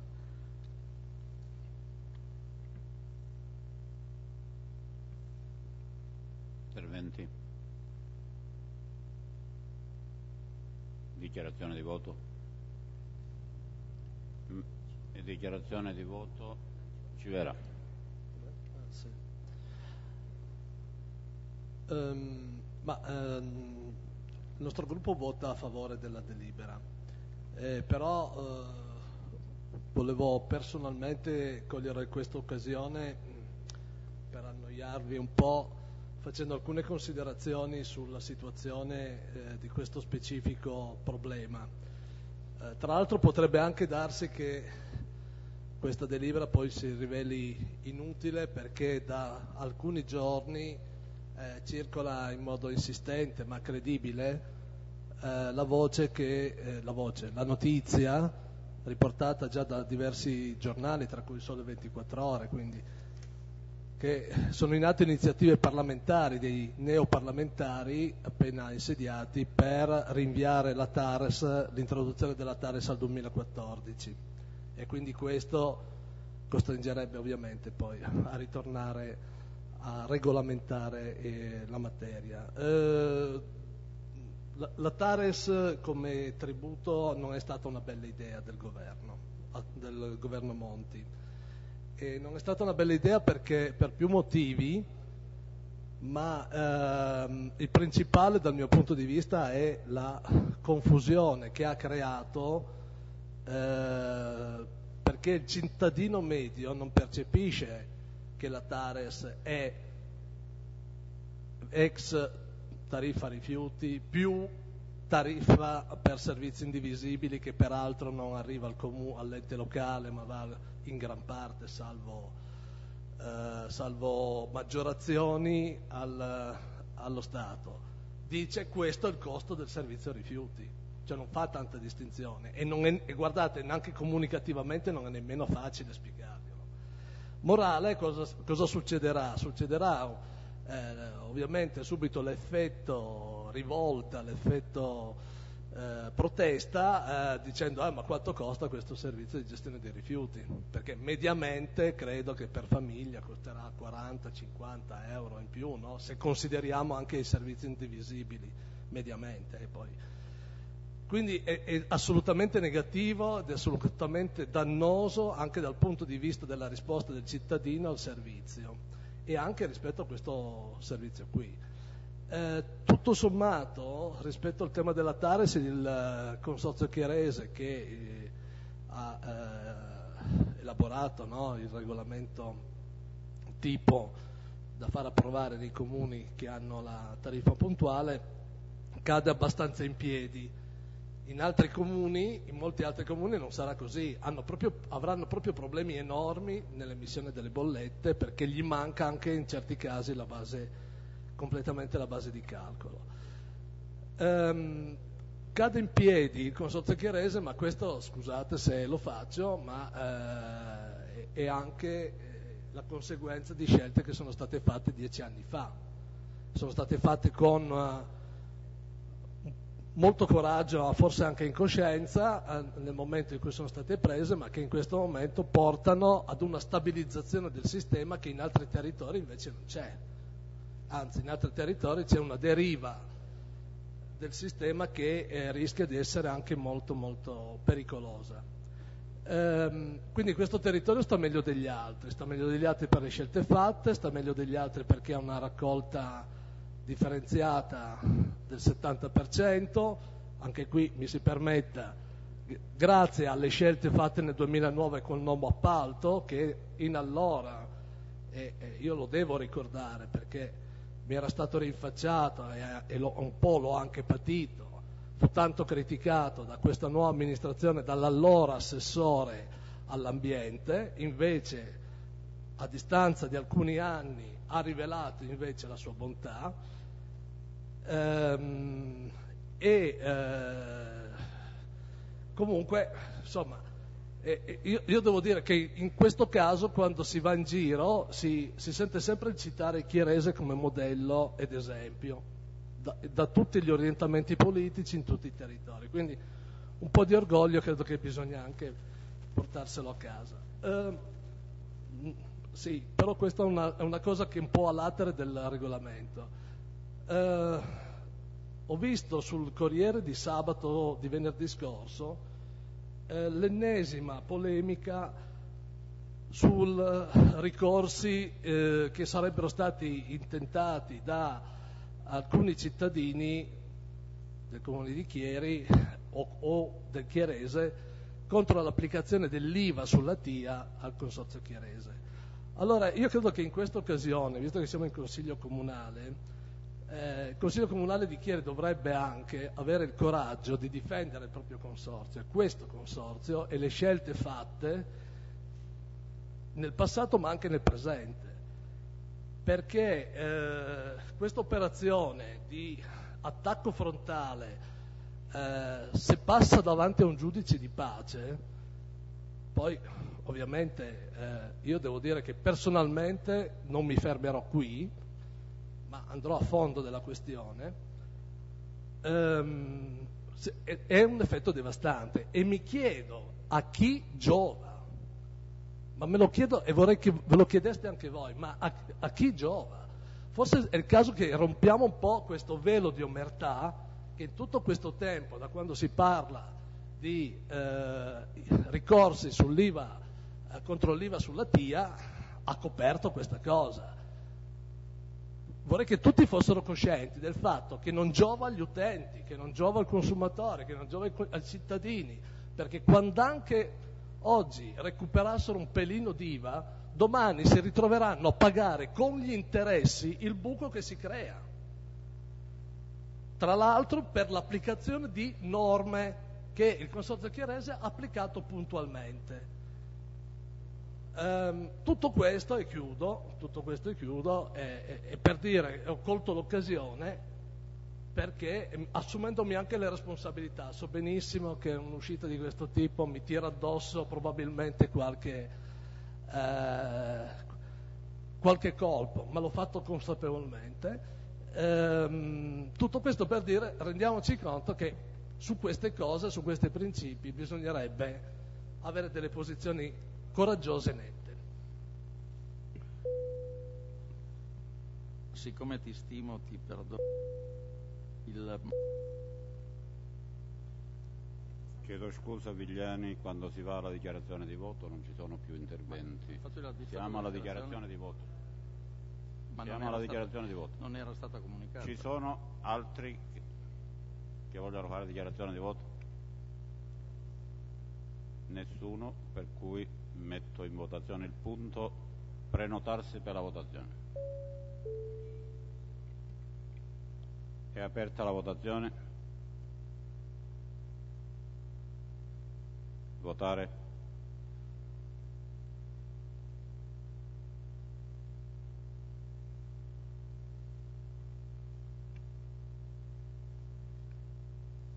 Votazione chiusa.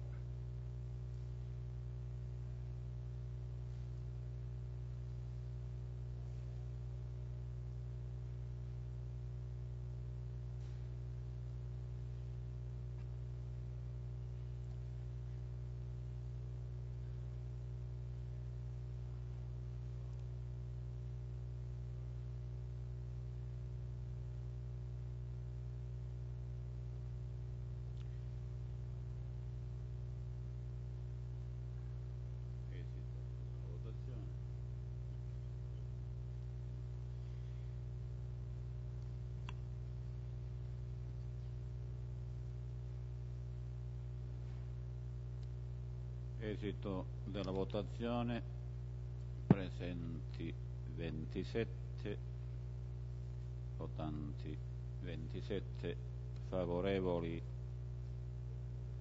24, Vasino, Emma Fasano, Rappazzo Tamagnone, Stellato Bulgarello, Mercurio, Bagna, Olia, Civera, Biglia, Benedicenti, Cucci, Marinari, Triolo, Passarello, Rubatto, Arduino, Ronco, Caivano, Sideri, Bozzalla Grossa, Castella, Lancione.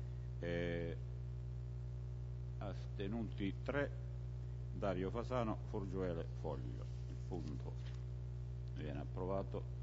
Andiamo avanti sul punto numero 12, regolamento comunale per l'applicazione del canone di installazione mezzi pubblicitari e su questo punto c'è un emendamento quindi è presentato dal Partito Democratico. È aperta la discussione. Posso, eh, posso, solo una precisazione però, errore di battitura. Sull'emendamento posso farla? Prego, prego. No, eh, per un problema di mh, battitura e anche di diotrie, eh, la, c'è stato un errore per cui eh, nel secondo punto, laddove si dice all'articolo 32,8 inserire un nuovo punto D, almeno sette giorni, eccetera, eccetera, i, i punti finali sono uh, la, il J, il K e l'L, invece mi è sfuggito una I, eh, non volevo riferirmi ai balconi, volevo riferirmi ai partiti. Spero che si capisca, insomma, che non era... Uh, no, è solo che abbiamo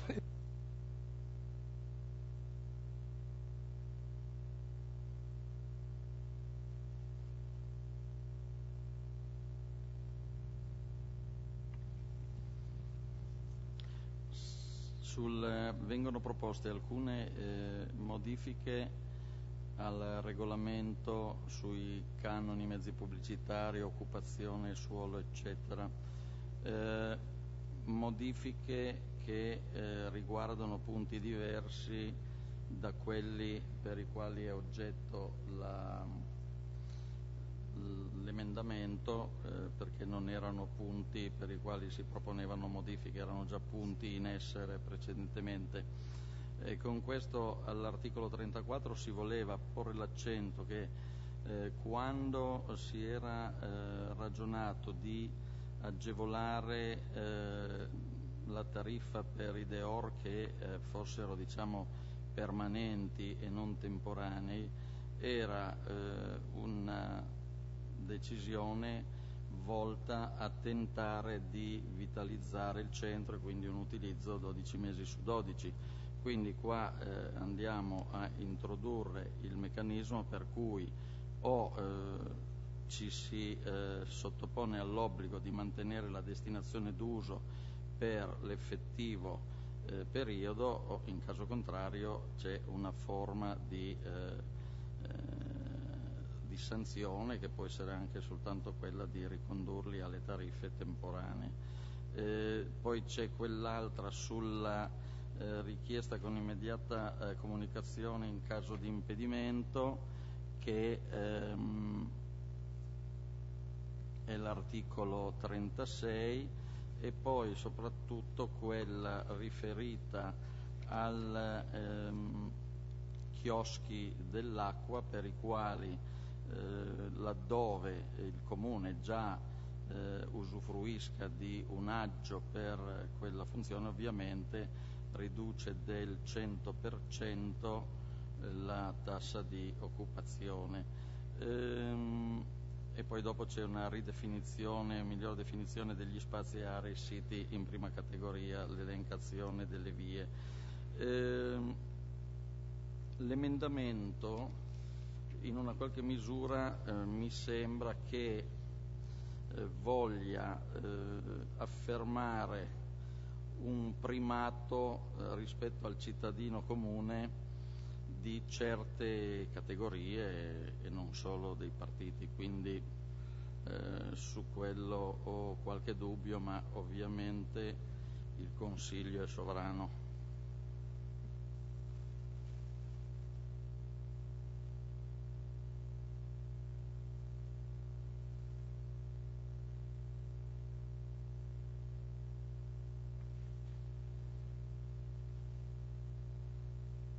Civera, prego. Po- ma posso parlare dell'emendamento adesso? Sì. Ma volevo, volevamo solo presentare e eh, anche dire il, la, motivazione, la motivazione che ci ha indotti e spinti a presentarlo. Ma dunque, qui eh, c'erano due aspetti, come evidenziava già l'assessore Vigliani. Uno è che prevalentemente si interviene su norme che erano già preesistenti quindi però qui andando ad approvare il eh, regolamento nel suo, nel suo, complesso abbiamo pensato che fosse il momento opportuno per proporlo.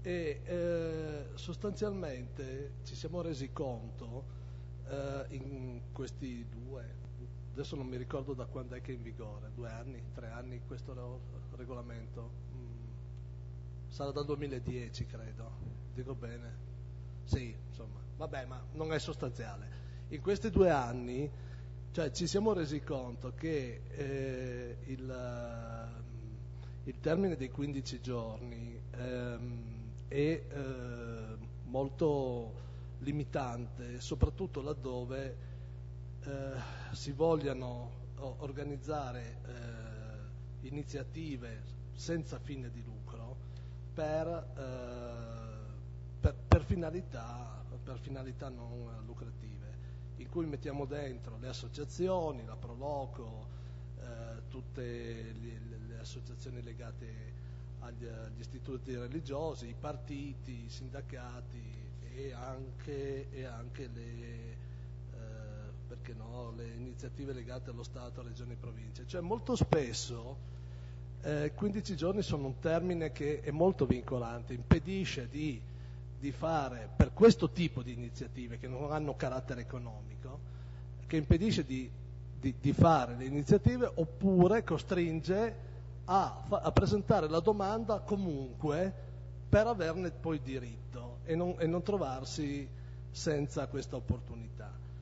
Ehm, l'altra, eh, e quindi noi abbiamo pensato di proporre la riduzione a 7, anche perché questo limita effettivamente tutte le forme associative e partecipative, anche spontanee dei cittadini.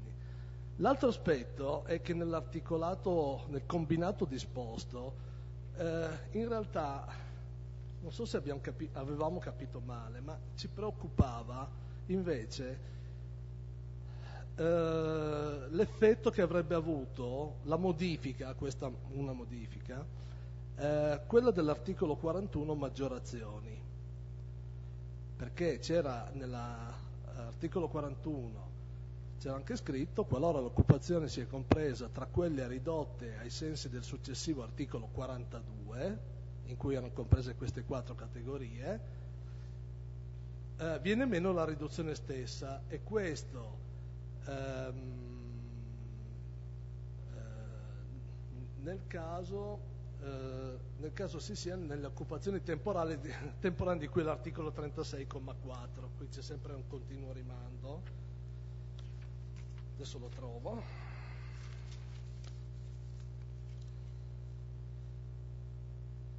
Allora, le occupazioni temporanee articolo 36,4, l'occupazione temporanea di durata non superiore ai 15 giorni, la cui domanda perviene al Comune oltre ai termini indicati nel precedente articolo 32,8 lettera C, ma comunque entro il 15 giorni antecedente eh, l'inizio dell'occupazione stessa potrà essere rilasciata l'autorizzazione eh, concessione previo pagamento di una maggiorazione. Cioè, qui non, non, mm, a noi è sembrato, leggendo questo combinato disposto, che alla fine, rientrando in questa casistica, anche le associazioni eh, senza fine di lucro dovessero pagare. È giusto? Allora, eh, quindi associazioni, partiti politici, eh, associazioni religiose, eccetera, secondo noi questo sarebbe molto limitante, limitativo delle, delle iniziative che eh, i cittadini sotto forma organizzata ma sempre senza fini di lucro vogliono prendere e quindi vorremmo evitare questo rischio che, che chi si organizza per fare una manifestazione, promuovere una propria idea, di qualunque idea esso sia, eh, debba pure essere costretto a pagare occupazioni pesanti. Ma eh, semplicemente poi tutto è fattibile perché ovviamente gli uffici ove necessario si, si organizzano però i sette giorni, tenendo conto dei tempi del protocollo, dei tempi di istruttoria, sopralluoghi dei vigili urbani, eccetera, eccetera, eh, sono effettivamente molto risicati. Io eh, dubito che eh, associazioni, eccetera, quando debbono organizzare un qualche evento lo programmino in tempi così ristretti. Eh, dopodiché poi se ci fosse anche una qualche eh, modificazione dei programmi, nel momento in cui loro facessero la domanda nei 15 giorni eh, che il regolamento prevede e almeno si eh, peritassero, così come sempre il regolamento prevede, nel caso in cui per sopravvenuti motivi decidessero di non voler o poter occupare lo spazio che hanno bloccato, è sufficiente che lo comunicano con cinque giorni di anticipo e, e il problema non sussiste. Ad oggi è successo che mol, molte volte, proprio perché è gratuito, fisso eh, l'occupazione, non mi perito di dire che non la occupo e quindi qualche associazione a cui magari è stato detto no, lo spazio è occupato, eh, si lamenta perché poi lo trova effettivamente libero. Infatti questo è il meccanismo che volevamo cercare di sconfiggere con un tempo più breve, perché se eh, io come soprattutto funziona, io credo per eh, l'esercizio di potestà democratiche, cioè se c'è una, un evento di tipo politico, io non, non è che 15 giorni dopo do il volantino o o faccio una raccolta firme, eccetera, devo farla diciamo più o meno in corrispondenza. Allora, per evitare questa cosa qui si prenotano per tempi lunghi gli spazi. Se invece il tempo fosse più breve, secondo me uno eh, non avrebbe bisogno di prenotarli in anticipo, poi con rischio magari anche di non utilizzarli, per cui eh, il, la, l'emendamento è proprio per evitare il problema che l'assessore sottolineava. Altri interventi? Cosa?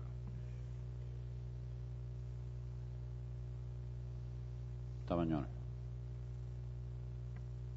Scusa Riccardo, forse non ero ben attento. L'ultimo passaggio dell'assessore ha precisato che questi spazi sono gratuiti. Nell'ultima parte del tuo intervento tu invece palesavi, sostenevi qualche difficoltà a recepire il fattore gratuito o sbaglio. Questa cosa mi rende un po' confuso, non, non ho capito bene. E poi sarebbe interessante capire, adesso forse Olia è stata molto più esplicativa, ma eh, tu dicevi che qualcuno è rimasto fuori perché sono troppo 15 giorni. Tu hai degli esempi di qualcuno che è rimasto fuori perché ci sono questi 15 giorni, eh, anche perché se eh, i tempi sono brevi e magari eh, servissero delle attrezzature, cose di questo genere, e il tempo di sette giorni per prenotare potrebbe essere eh, troppo breve perché rischi magari di chiedere delle attrezzature che non, non ci sono più, pur essendo tra i beni, eh, tra il patrimonio del comune. Eh, però sarebbe interessante capire perché così com'è io onestamente non ho capito le problematiche, se sono quelle dell'assessore per cui uno prenota e poi viene meno eh, l'obiettivo per cui si dimenticano di disdire, ok, è un disagio che dovrebbe lamentare il comune, quindi non chi ha fatto la domanda, perché eh, casomai è il comune che ne soffre di questa situazione. Peggio invece sarebbe se i, i 15 giorni fossero così lunghi da non consentire a qualcuno di esercitare la possibilità di effettuare l'evento però rispetto a tutto ciò veramente ho bisogno di un chiarimento.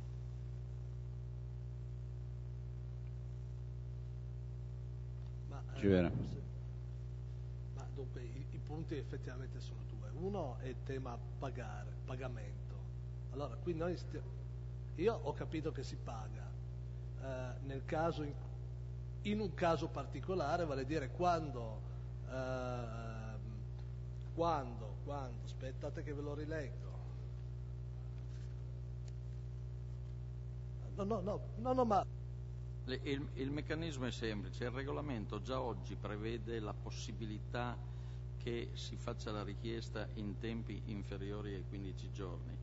In quel caso scatta il pagamento.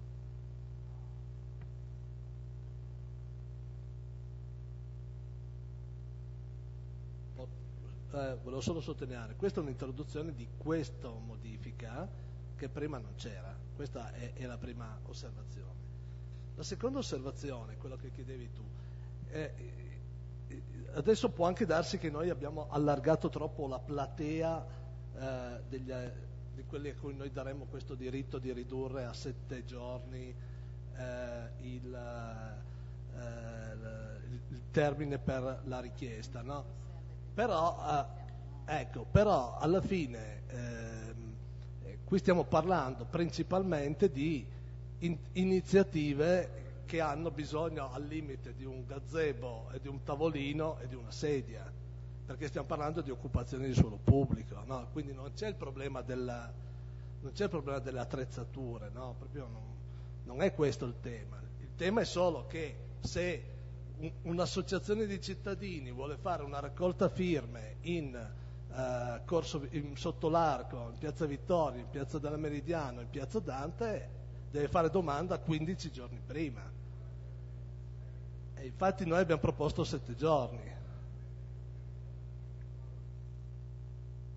Ecco, anche perché, ah perché l'ho allargato la Proloco, no, no, No, ma non volevo tagliare fuori tutti quelli che non erano... No, ma l'intenzione in realtà è stata ragionata così. Non tagliamo fuori nessuno di quelli che fanno in città delle iniziative senza fine di lucro. Solo quello, no? Cioè, chi lo fa commercialmente è un altro tema. Paga quello che deve pagare. Non vedo altri interventi. Dichiarazione di voto sull'emendamento? nemmeno quello, metto in votazione l'emendamento,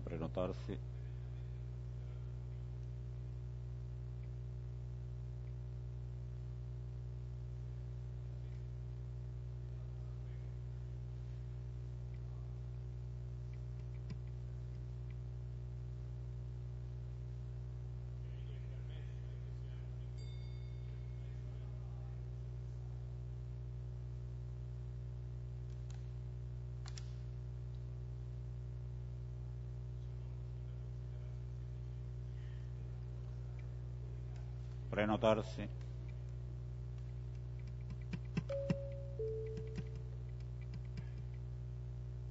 È aperta la votazione.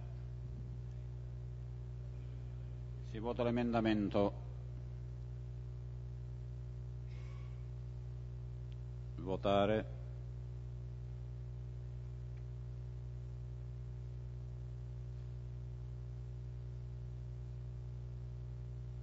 Votazione chiusa.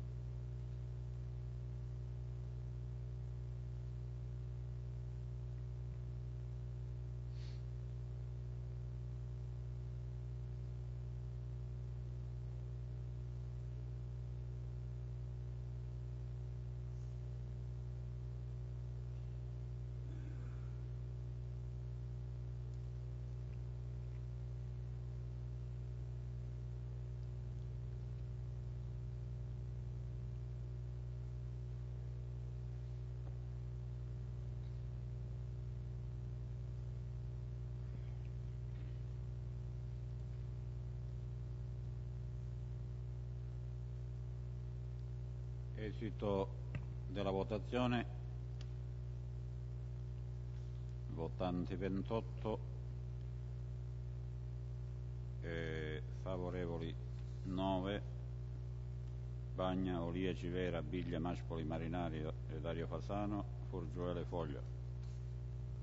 Contrari 17, Vasino e Mafasano, Rapazzo, Tamagnone, Stellato, Burgarello, Mercurio, Triolo, Passarello, Rubatto, Arduino, Ronco, Caivano, Sideri, Bozzalla Grossa, Castella, Lancione. Astenuti 2, Benedicenti, Cucci. L'emendamento non passa. Prenotarsi per la votazione del punto numero 12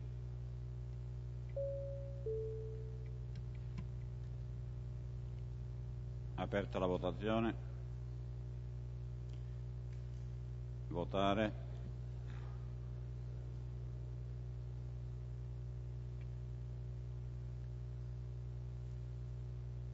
Votazione chiusa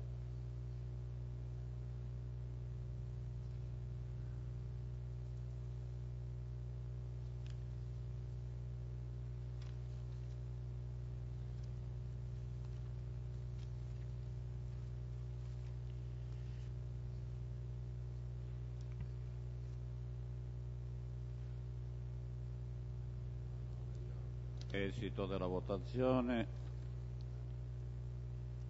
Presenti 27 favorevoli 20 Vasino e Mafasano Rappazzo Tamagnone Stellato Burgarello Mercurio Olia Benedicenti Cucci Triolo Passarello Rubatto Arduino Ronco Caivano Sideri Bozzalla Grosso Castella Lancione e contrari 7 Civera Biglia Maspoli Marinari Dario Fasano Forgiuele Foglio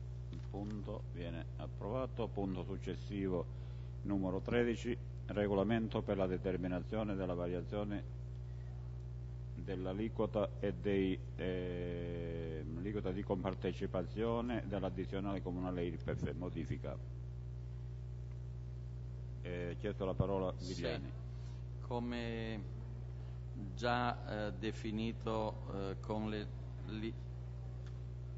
come già definito con eh, le linee guida al bilancio di previsione, eh, sostanzialmente eh, si eh, modifica il regolamento eh, specifico dell'addizionale IRPEF eh, precisando all'articolo 3 che l'aliquota di compartecipazione è stabilita nella misura dello 0,75 e introducendo un articolo 3 bis che eh, prevede appunto l'introduzione di una soglia di esenzione fissata ad euro eh, 7500 con la precisazione che per redditi superiori a questo limite l'addizionale viene applicata sull'intero reddito imponibile, cioè i 7.500 non sono una franchigia per tutti.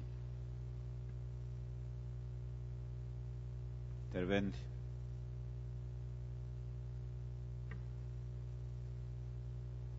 Forgione. Sì, io penso che la, la maggioranza, con la testa il sindaco Rangione, dovrebbe un po' eh, portare a fine e quindi smetterla di mettere le mani continuamente in tasca dei chiaresi per recuperare a tutti i costi de- del denaro. Se vuole maggiori entrate si deve diminuire ad esempio i costi per gli incarichi professionali. Le somme previste appaiono francamente sproporzionati per l'economia chiarese. Riguardante l'innalzamento dell'addizionale IRPEF, sono evidenti le pezze che il Comune intende apporre sulla situazione disastrosa dell'ente e per farlo ancora una volta mette le mani nelle tasche dei contribuenti già esageratamente tartassati da imposte tra le più alte d'Italia. Ciò che Chieri Futuro propone per sanare le casse del comune senza pesare ulteriormente sulle famiglie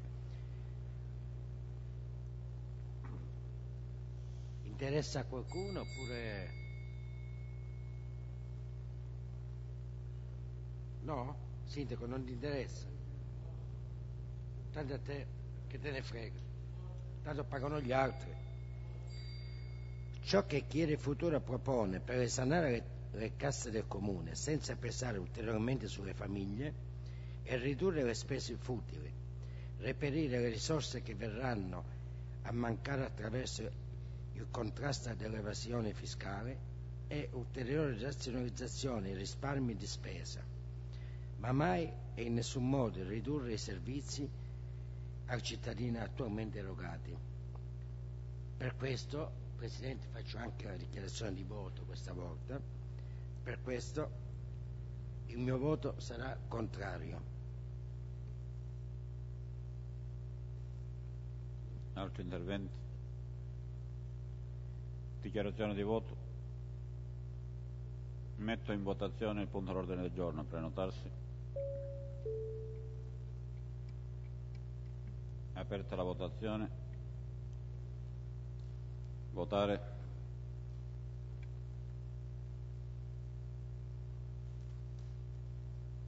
Chiusa la votazione.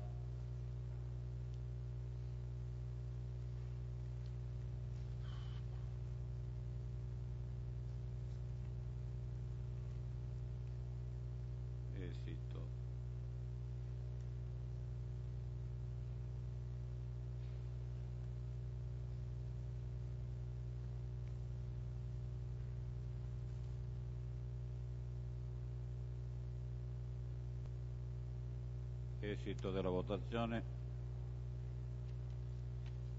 Votanti 27, favorevoli 16, Vasino, Emma Fasano, Rappazzo, Tamagnone, Stellato, Bulgarello, Mercurio, Triolo, Passarello, Rubatto, Ronco, Caivano, Sideri, Bozzalla Grossa, Castella, Lancione. Contrari 9, Bagna, Olie, Civera, Biglia, Maspoli, Marinari, Dario Fasano, Furgiuele, Foglio. Astenuti 2, Benedicenti, Cucci. Il punto approvato. Punto successivo numero 14, regolamento per la gestione dell'imposta municipale IMO. Modifica. La parola Vigliani. Sì, eh, praticamente è un adeguamento del regolamento a quelle che sono le nuove eh, disposizioni legislative e quindi sostanzialmente eh, si prende atto che il, la quota IMU per fabbricati produttivi eh, classe D, eh, categoria D e eh, quelli del eh, fabbricati agricoli, il, il, versamento è tutto a, carico, a favore dello Stato, mentre eh, negli altri casi il versamento è tutto a favore del comune. Dopodiché introduciamo anche eh, l'articolo in cui eh, il eh, Comune si riserva la possibilità di eh, ridurre l'aliquota del, dei fabbricati ad uso gratuito. Interventi? Dichiarazione di voto? Metto in votazione il punto, prenotarsi. Aperta la votazione. Votare.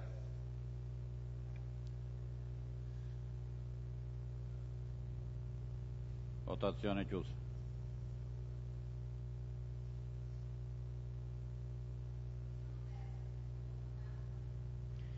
Stiamo votando il punto numero 14.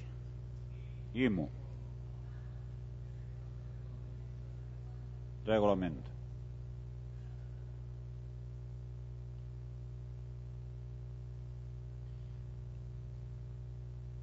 Esito della votazione, presenti 26, favorevoli 18, Vasino, Emma Fasano, Rappazzo, Tamagnone, Stellato, Bulgarello, Mercurio, Benedicenti, Cucci, Triolo, Passarello, Rubato, Ronco, Caivano, Sideri, Bozzalla Grossa, Castella Lancione. Contrari 8, Bagna, Civera, Biglia, Maspoli, Marinari, Dario Fasano, Furgiuele, Foglio. Punto Approvato. Punto successivo. Numero 15. Tributo comunale sui rifiuti e sui servizi, TARES, maggiorazione a copertura dei costi relativi ai servizi indivisibili del Comune, approvazione. La parola a Vigliani. Con eh, questa delibera si eh, propone di deliberare che eh, una maggiorazione di euro 0,40 per metro quadrato per tutto il territorio comunale e per tutte le tipologie di immobili a copertura dei costi relativi ai servizi indivisibili del Comune.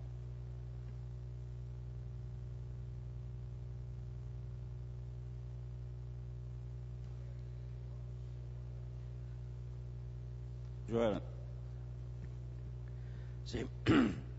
Allora, consider- considero che ci sia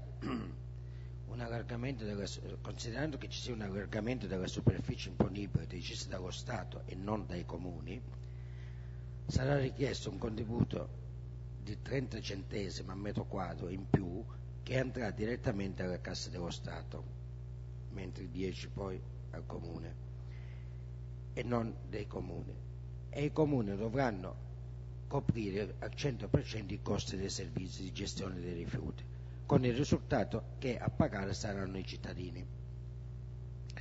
Non possiamo apparire agli occhi dei cittadini degli esattori di tasse e imposte che oltretutto molto spesso neppure finiscono nelle casse del, del comune. Chi nel futuro è assolutamente in linea con coloro che ritenendo che Tares nella versione del governo Monti è un bersaglio inutile, iniquo e inopportuno sosterranno la, la, su, la sua definitiva cancellazione. Noi faremo la nostra parte, sin d'ora ci collochiamo, ci collochiamo al fianco di quanti, credendo in questa battaglia di equità, si attiveranno per ottenerne, se non la definitiva cancellazione, almeno una sostanziale modifica nell'interesse delle famiglie e del tessuto produttivo da sempre ed ora più che mai colonna portante del nostro Paese.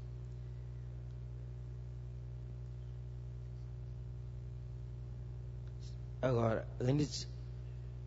io non posso, Presidente, non, non riesco a...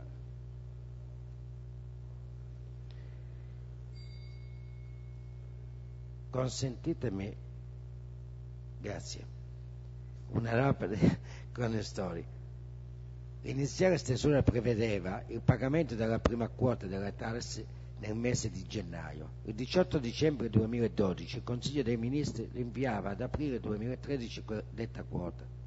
Il 22 gennaio il Governo ha ulteriormente prorogato a luglio il pagamento della prima rata, quindi 180 giorni dopo la scadenza originale. Si ricorda inoltre che i comuni hanno comunque la facoltà di posticipare ulteriormente tale pagamento. In conclusione, primo, la tassa la TARES pot- potrebbe essere cancellata dal nuovo governo. Seconda ipotesi, la, la, TARES potrebbe essere modificata dal, secondo, dal nuovo governo. Terzo, i comuni hanno un lasso di tempo ampiamente sufficiente qualora cancellazione o modifica non si eh, concretizzassero per predisporre un'applicazione della tassa secondo principi di equità. Salvaguardando nei limiti del possibile le famiglie e le attività produttive, quindi per le questioni di merito precedentemente evidenziate, invito i colleghi consiglieri della maggioranza e i colleghi della minoranza a respingere questo punto dell'ordine del giorno.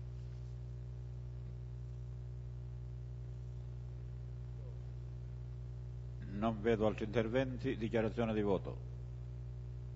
Non c'è dichiarazione di voto, metto in votazione il punto l'ordine del giorno, prenotarsi. Aperta la votazione. Votare. Votazione chiusa.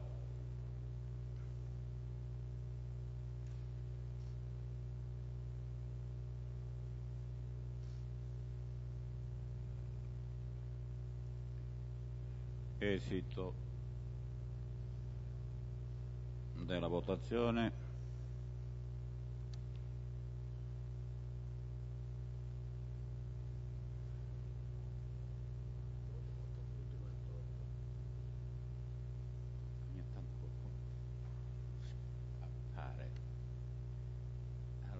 Allora, esito della votazione, presenti 28, favorevoli 17, Vasino, M. Fasano, Rappazzo, Tamagnone, Stellato, Burgarello, Mercurio, Triolo, Passarello, Rubatto, Arduino, Ronco, Caivano, Sideri, Bossalla Grossa, Castella Lancione. Contrari 9, Bagna, Olia, Civera, Biglia, Maspoli, Marinari, Dario Fasano, Furgiuele, Foglio.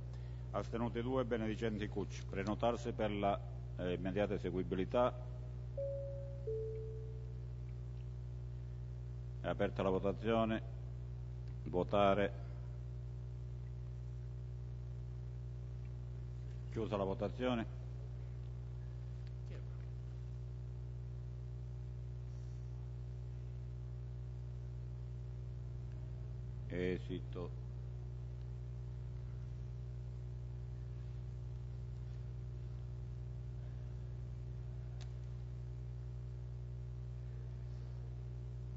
Esito. Della votazione. Votanti 25 e favorevoli 20 Vasino, Fasano, Rappazzo, Tavagnone, Stellato, Burgarello, Mercurio, Olia, Biglia, Purgiuele, Triolo, Passarello, Rubatto, Arduino, Ronco, Foglio, Sideri, Bozzalla Grossa, Castella Lancione. Contrari 3 Bagna, Maspoli, Marinari. Non ha votato Benedicenti e Cucci.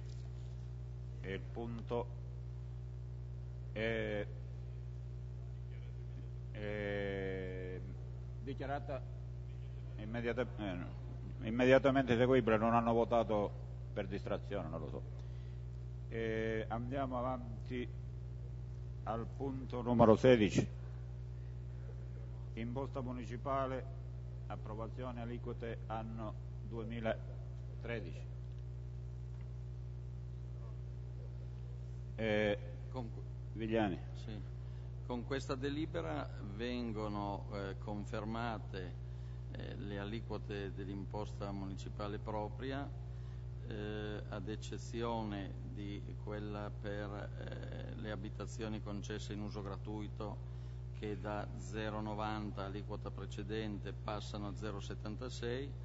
Ovviamente viene precisato che per gli immobili di categoria catastale D ad eccezione del D10 e D5, lo 0,76 è tutta quota riservata allo Stato, così come per l'aliquota per i fabbricati rurali ad uso strumentale lo 0,10 è tutto allo Stato, per gli immobili di categoria catastale D5, che per intenderci sono banche, assicurazioni eccetera, la quota viene eh, confermata a 0,90 di cui 0,76 riservata allo Stato, 0,14 riservata al Comune.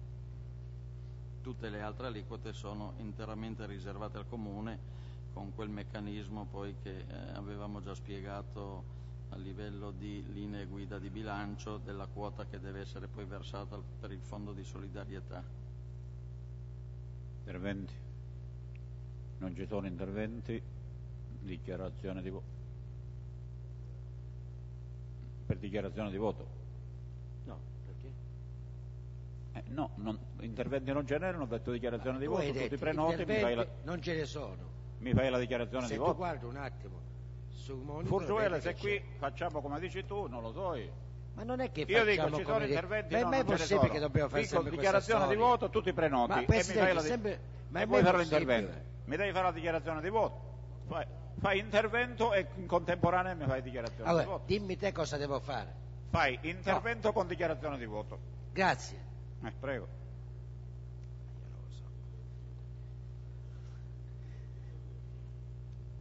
L- L'obiettivo del Movimento Chiede Futuro sarebbe quello di vedere dimezzare quel 4 per mille che è la quota dell'IMU oggi per portare al minimo del 2 per mille. Questo basandoci ovvi- ovviamente sulle leggi in vigore, ma speriamo ancora di qui a giugno, quando il bilancio andrà approvato, che le forze politiche, esprimendo un nuovo governo, visto che un po' tutte si sono dichiarate su questa linea di ridurre la pressione fiscale sui cittadini possa consentire anche interventi più decisivi. Per parte nostra siamo sicuri che con questa decisione potremo già far respirare molte famiglie. Per questo chiedo che venga abbassato da 4 per mille a 2 per mille per le prime case. Grazie. Olia. Sì, volevo argomentare solo un secondo perché votiamo contrario a questa, a questa delibera, perché eh, pur apprezzando lo sforzo relativo alle famiglie che affittano l'articolazione diversa della tariffa per quello che, che riguarda l'affitto a familiari, eh, ci siamo confrontati anche con altre, con altre, realtà intorno e abbiamo visto che in realtà essere, potevano essere adottate delle graduazioni anche un po' diverse, soprattutto nel caso di eh, anziani eh, che, vivevano, che vivono in case grandi e eh, un altro emendamento che è stato adottato in altri, in altri contesti è anche quello di eh, come dire, ridurre l'IMU o, o, applicare una riduzione per chi gestisce in, a domicilio anziani non autosufficienti con supporto di eh, personale, eh, ovviamente o di familiari o di personale in regola. In quel caso diciamo un, cittadino che eh, svolge un servizio che, potrebbe essere a carico della collettività potrebbe avere un vantaggio diciamo, anche dal punto di vista dell'IMU. Quindi non essendoci articolazioni, probabilmente eh, avremmo potuto gestirla in un modo con articolazioni più interessanti e quindi votiamo contro. Altre dichiarazioni di voto? Metto in votazione il punto all'ordine del giorno, prenotarsi.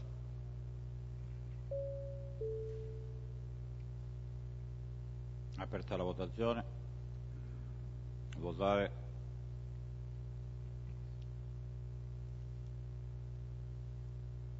Chiusa la votazione.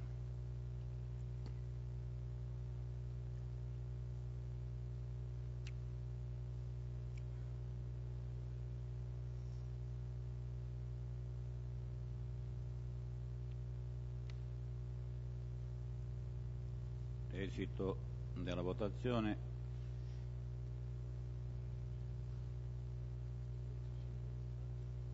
Votanti 25.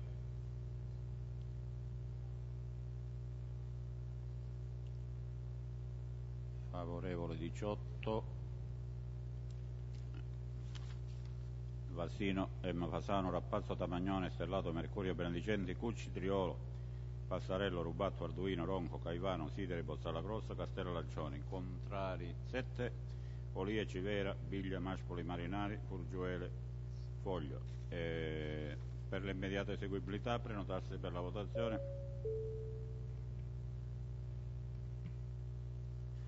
Aperta la votazione. Votare.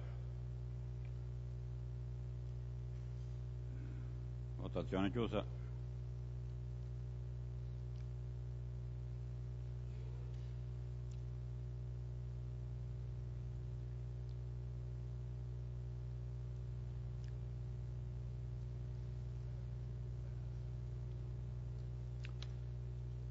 Presenti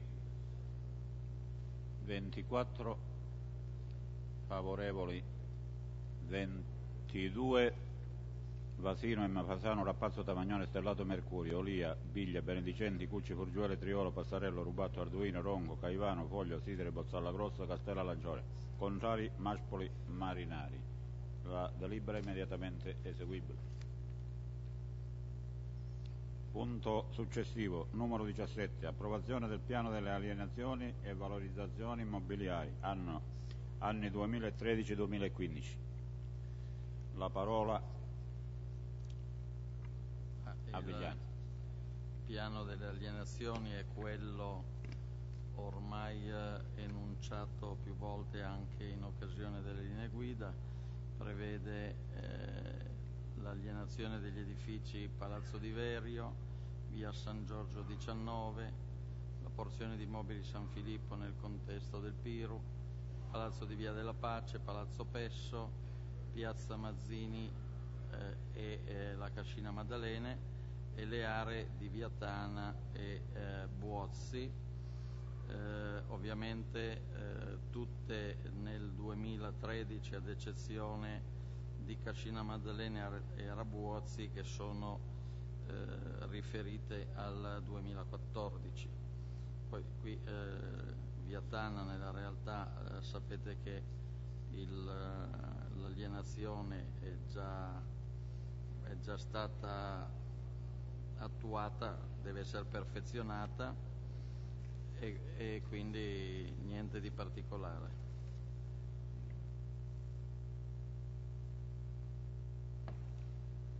Non ci sono interventi. Dichiarazione di voto. Non ci sono dichiarazioni. Civera.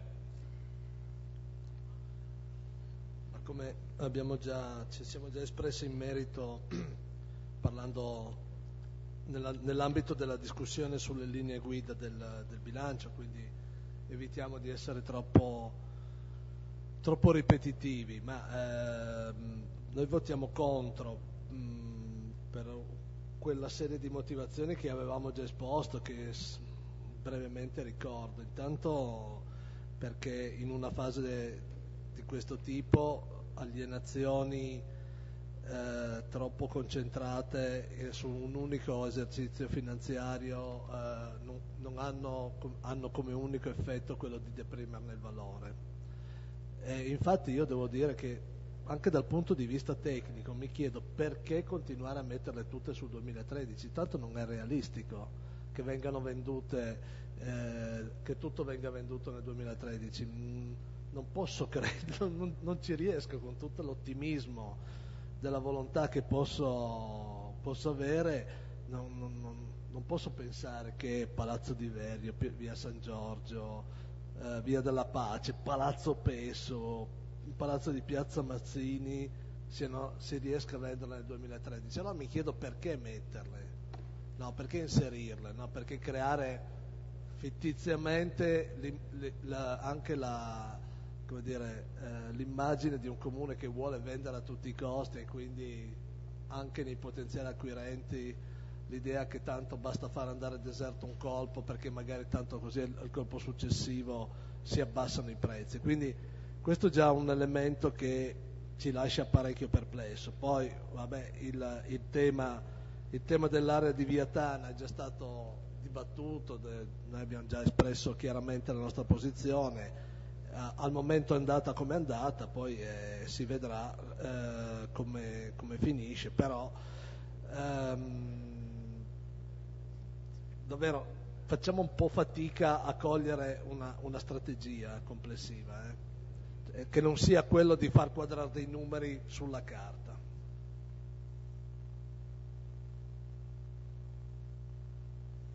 Loro non ci sono altri interventi, metto in votazione il punto prenotarsi.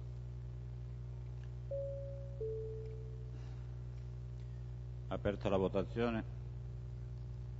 Votare. Votazione chiusa.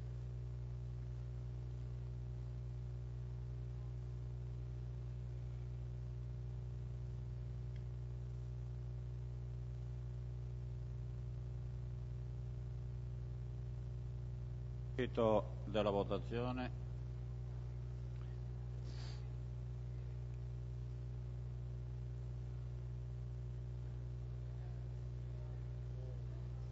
Esito della votazione. Votanti presenti alla votazione 26, favorevoli 18, Vasino, Immafasano, Rappazzo, Tamagnone, Stellato, Mercurio, Benedicenti, Cucci, Furgiuele, Triolo, Passarello, Rubatto, Ronco, Caivano, Sideri, Bozzalla Grossa, Castella, Lancione 7, Bagna, Olia, Civera, Biglia, Maspoli, Marinari, Foglio, astenuto, non ha votato Arduino. Eh, il punto è approvato. Chiedo scusa, Forgioela ha chiesto di parlare? Volevo soltanto fare un, eh, un chiarimento. Erroneamente ho votato sì, invece volevo votare contrario. So- Perfetto, chiedo che venga verbale. messa a verbale. Viene messa a verbale. Punto successivo. Verifica quantità, qualità e determinazione del prezzo di gestione. Ah giusto, chiedo scusa, c'è l'immediata eseguibilità, prenotarsi per la votazione. Aperta la votazione. Votare. Contrario. Votazione chiusa.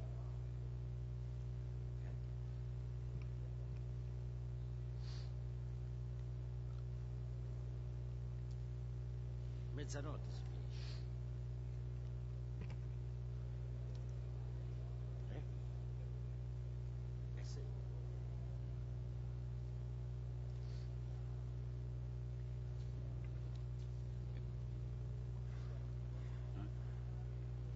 Siamo a 21. 17. Esito della votazione. Votanti 24, favorevoli 20, favorevoli 20, Vasino, Emma Fasano, Rappazzo Tamagnone, Stellato Mercurio, Olia, Benedicenti, Cucci Triolo, Passarello, Rubatto, Arduino, Rongo, Caivano, Foglio, Sideri, Bozzala Grosso, Castello Lanciore, contrari 4, Biglia, Maspoli, Marinari, Furgiuele, c'è l'immediata eseguibilità. Punto 18, la verifica quantità, qualità, determinazione del prezzo di cessione delle aree a destinazione alla, alla residenza ai sensi delle leggi, eccetera,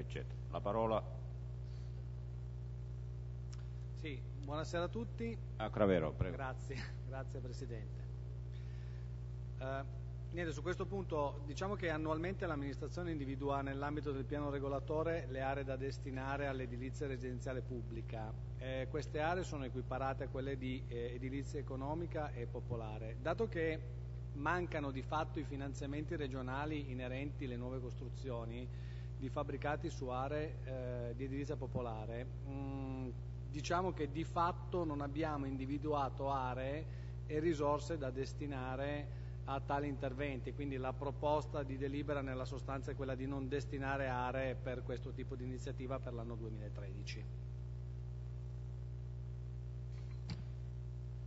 Olie, Eh, ma ehm, negli altri anni non individuavamo sempre un- un'area e- e- e rimane, e rimane quella lì oppure quest'anno non la...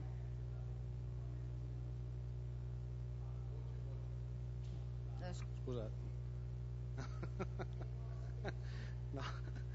Eh, di fatto questa, l'individuazione, l'individuazione è su base annuale, quindi ogni anno bisognerebbe individuare eh, l'area e le eventuali risorse perché tu potresti anche acquisirla. Di fatto, non essendoci più da parte della Regione la disponibilità di fondi per incentivare questo tipo di intervento, non riteniamo ci sia ragione di individuare aree che peraltro erano sostanzialmente due, la CR29 e la CR30 e si giocava su queste due aree, quindi alla fine non avevamo altro. No, vabbè, ma il dubbio è? E il dubbio era, cioè, se,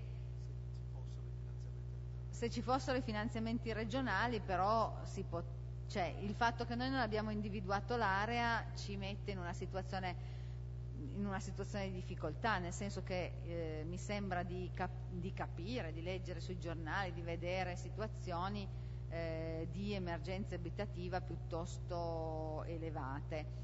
Eh, penso che ci, si- ci possano, possano esserci anche interventi eh, di co-housing, interventi, cioè no- non sto pensando alle classiche edilizia residenziale pubblico, ma io penso che il Comune di Chieri dovrebbe dare una possibilità per poi poter prendere finanziamenti, ci sono finanziamenti anche privati, per esempio della Compagnia di San Paolo, per qualcosa che vada in quella direzione. Non dico di farla da oggi a domani, però comunque l'idea, eh, altrimenti diventa difficile poi approfittare dell'occasione nel momento in cui, nel momento in cui poi c'è, viene fuori, ci sono finanziamenti o cose di questo genere. Mi cioè, di solito mh, davvero avevo capito che fosse la solita reiterazione che facevamo tutti gli anni eh, per non perdere la possibilità. Toglierla mi sembra Scusa.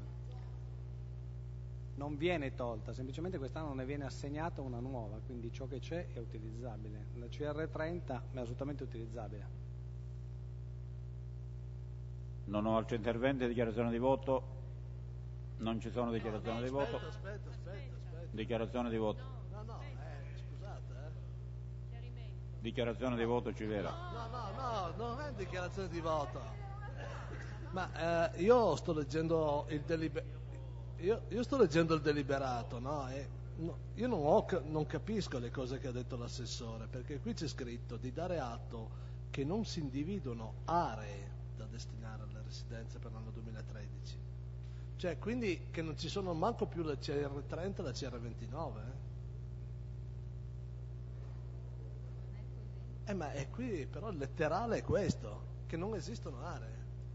Io poi, per carità, eh, se... Dichiarazione di voto.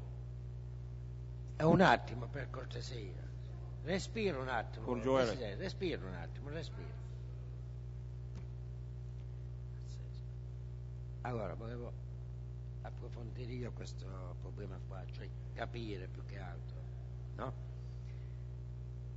Allora, c'è la possibilità eventualmente di un sito oppure non c'è perché non, non è stato destinato niente? Perché da una parte sento non esiste più l'assessore che dice no c'è quello che c'era precedentemente però sulla delibera non lo riporta allora vorrei capire se c'è o non c'è Furgiuele, questa non è la dichiarazione di voto. chi ti ha detto che faccio la dichiarazione di voto? Sono finiti gli interventi, chi si l'ha passa alla detto? dichiarazione di dici voto. te. Se vuoi Ma modificare chi il lo- Consiglio ma chi l'ha Comunale e il l'ha regolamento, detto? Ma chi vieni l'ha in- detto? nella conferenza dei capigruppo e porta le modifiche. allora, non ho Presidente, capito. fare una cortesia Ci sono altre dichiarazioni di voto? a dichiarazione di voto? Segretario, per cortesia può intervenire? Eh, porti pazienza. Maspoli. No, eh, un, un minimo di, di cose ci vuole, eh?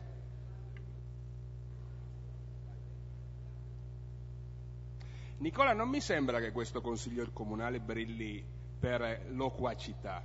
Allora, se per un cavolo di punto si vuole parlare, ci vuoi lasciare parlare? Cioè, abbiamo o volete terrazzare completamente, annullare completamente qualsiasi tipo di discussione, ma qualsiasi tipo. Volete che ci arrendiamo completamente alla- al piattume, per non dire altro. E ci arrenderemo e sarete contenti, vi prenderete la responsabilità di quello che state facendo. Io devo dire che siete veramente deboli, perché non siete capaci neanche di ascoltare. La vostra discussione interna in, in Consiglio Comunale non viene fuori, non so se c'è da qualche altra parte una discussione tra di voi interna, francamente non mi interessa, ma non viene fuori. Allora, almeno ci potete lasciare discutere un pochettino noi, questa cosa qua non è chiara. Per te è chiara, Nicola. È chiaro quello che ha detto l'assessore, a te è chiaro. Se non c'era, se non c'era, posso fare la domanda all'assessore, se non c'era la possibilità di costruire, qual è la differenza adesso tra identificare e non identificare? Non è che dopodomani poi su quel, su quel terreno che era identificato prima ci andiamo a fare qualcos'altro? Ci fate un'altra alchimia? Allora, visto che non c'era, che, che problema c'era? Lo si rifaceva, si ridentificava, lo stesso posto, e aspettavamo tempi migliori, cambierà il governo, cambierà qualcosa in questo benedetto paese. O no? Dov'è il problema? Perché era necessario non identificarlo più? Questo io non l'ho capito. Non so, mi sembra che anche altri colleghi non l'abbiano capito e mi sembra che forse un pochettino, quando almeno non capiamo, si possa discutere. Presidente, visto che la tua funzione, Presidente, non dovrebbe essere quella di annullare la discussione, dovrebbe essere quella di fare in modo che questo Consiglio Comunale possa esprimersi, perché ha delle prerogative, che mi sembra che non siano delle prerogative che in questo momento stiano brillando. Io mi sto addormentando, il mio dito fa così, il vostro dito Eh. fa così, io vengo qui a fare così, ok? Maspoli, io mi devo a tenere il regolamento. Se, Mentre che se chiedo tu scusa, dici ci sono altri inter... Chiedo scusa, se io non vedo nessuna prenotazione devo andare avanti. Chi vuole parlare, fare gli interventi anche fino a domani, si prenota. Se io non vedo prenotazione devo andare avanti. Ma ve lo sto dicendo in tutti i consigli comunali di prenotarvi, anche se poi rifiutate di parlare, ma vi prenotate. Se io non vedo prenotazioni vado avanti, devo andare avanti.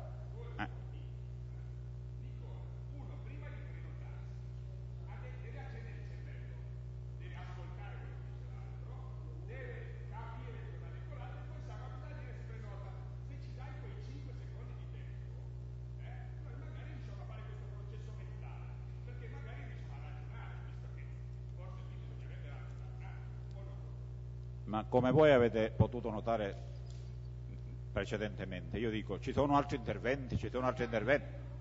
Non ci sono, se non ci sono vado avanti.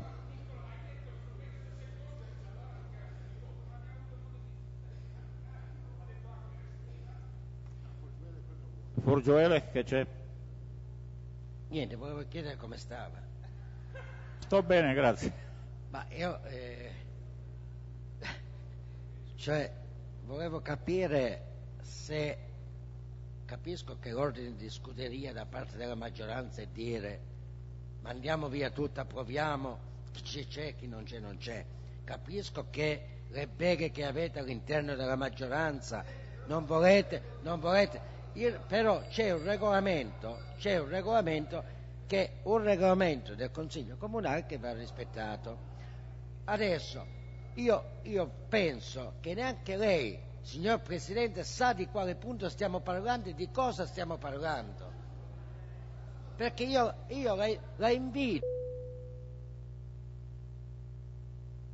Furgioele, eh, sei alla dichiarazione di voto, la vuoi fare? Vuoi fare la dichiarazione di voto? Ci sono dichiarazioni di voto? Olia. Voglio essere chiarissima. Alla domanda, se domani ci fosse un finanziamento regionale per un housing sociale, noi, città di Chieri, sappiamo dove metterlo? Allora, per l'anno 2013 no, il che non significa che nel 2014 non si possa riproporla. ok?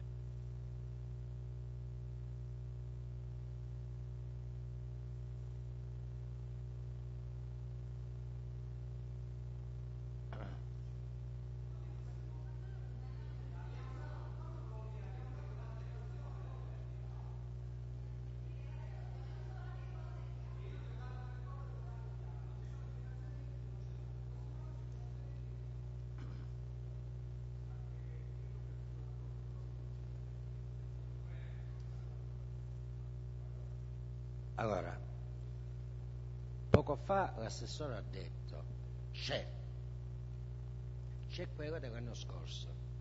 Dopo due minuti dice non c'è, ci sarà nel 2014. Ma lei, assessore, nel du- 2014 ci sarà? Eh, no, eh, perché io a, a sto- a questo punto qua mi preoccupo.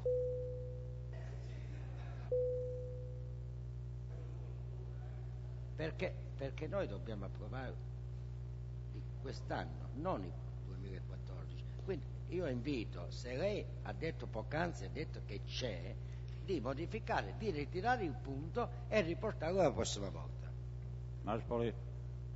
Eh, a me continua a non essere chiaro il motivo per cui non si poteva continuare a fare come negli anni scorsi, aspettando tempi migliori, in modo che comunque quelle aree rimanevano destinate, ok? Visto che a meno che uno non abbia un'idea diversa di destinarle ad altro uso, io questo non lo so ed è la domanda che mi piacerebbe fosse chiarita, cioè la risposta che fosse data. E quindi non capisco il motivo per cui dopo tre anni in cui abbiamo continuato a fare in un certo modo, adesso invece facciamo diverso. Speriamo che cambi qualcosa, giusto? Tu lo spererai, vorrai fare. Bene, allora continuiamo a stare su, quel- su quella posizione e poi quando arriveranno, noi, a meno che non abbiamo idea di destinare le aree ad altro uso.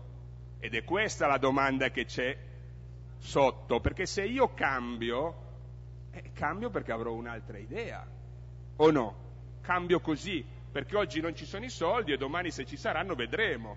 E questa è la programmazione territoriale di questo territorio. Beh, l'assessore ha detto, eh, appunto, ma allora o chiarite l'esigenza che c'è, però chiaritela in maniera, come dire, esplicita. Avete un'altra idea di questa cosa? Avete un'altra idea? Ditelo. Invece così dici, adesso non ci sono i soldi, non lo facciamo, domani ci saranno i soldi, lo facciamo. E facciamo una programmazione ogni anno così diversa, no? Tanto qua, eh? poi facciamo una piccola variante, avanti, così? No, spiegamelo perché io non lo capisco. Benedicente. Ma provo fare leggermente un po' di chiarezza, se riesco, senza pens- pensare che ci sia che ci sia, no, io lo faccio come magari presidente della terza commissione in cui ne abbiamo parlato, poi stato, ne, se ne è parlato anche in prima perché questo implica anche dei soldi, per cui viene parlato lì.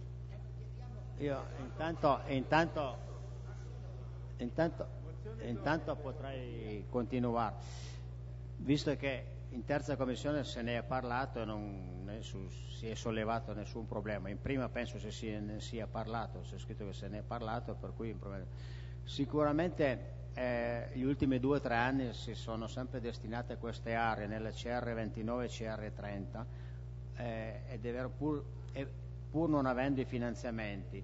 Adesso però per destinare alle aree bisogna anche eh, mettere a bilancio dei soldi perché se uno arrivasse con i finanziamenti devi per, la, per le aree, no? per cui devi eh, avere questi soldi a disposizione.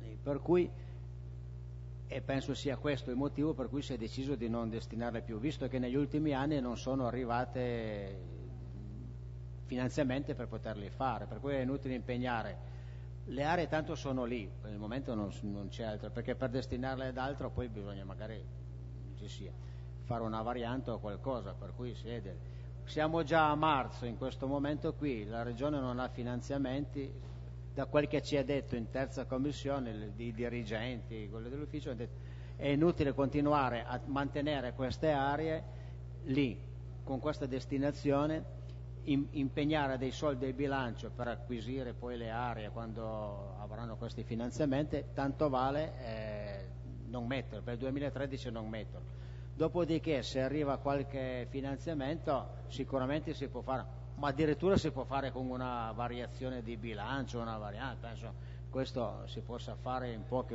per cui, eh, per cui non, io penso in buona fede che non ci siano secondi fini o terzi fini o roba del genere. Boh.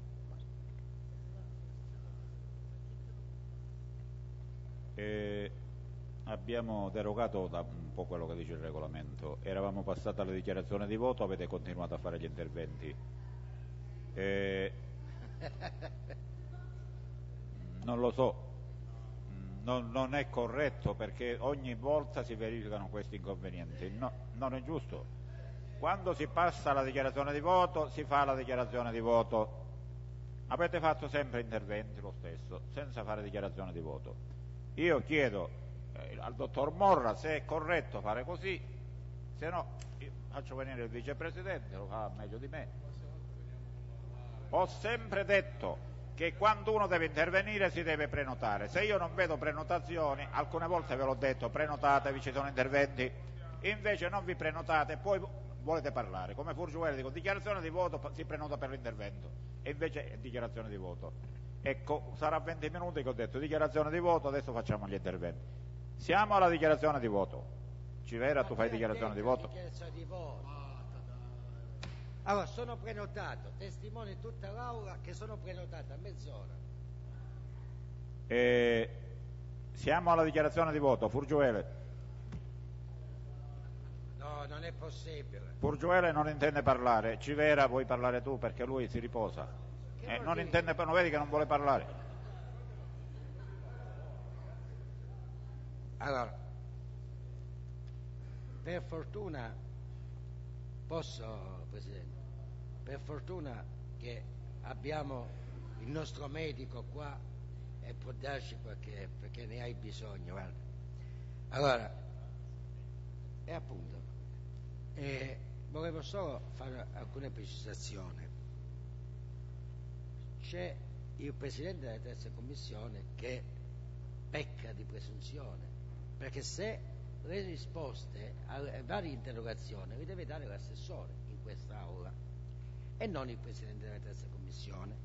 Ricordo che è vero, se ne è parlato in terza commissione, ma le commissioni non sono deliberative, è stato licenziato, però si può parlare benissimo in Consiglio Comunale. Dopodiché, dopodiché, dopodiché eh, poi ci sono i gruppi, i gruppetti, quelli che funzionano, quelli che... Per cortesia, Presidente, dichiarazione per cortesia, di voto. Per cortesia, per cortesia, voi...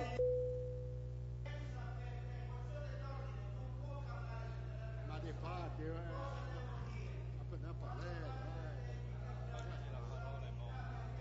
E gliel'ho tolto, lo parlo. Eh. Furgioele,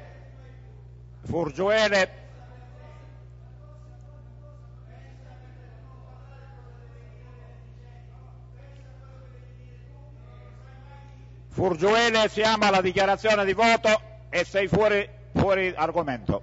Fai la tua dichiarazione di voto.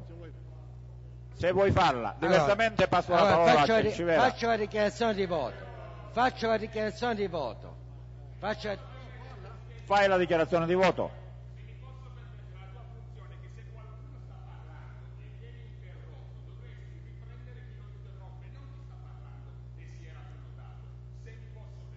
Il problema è che qualcuno sta parlando ed è fuori argomento, è fuori del- di quello che dovrebbe dire.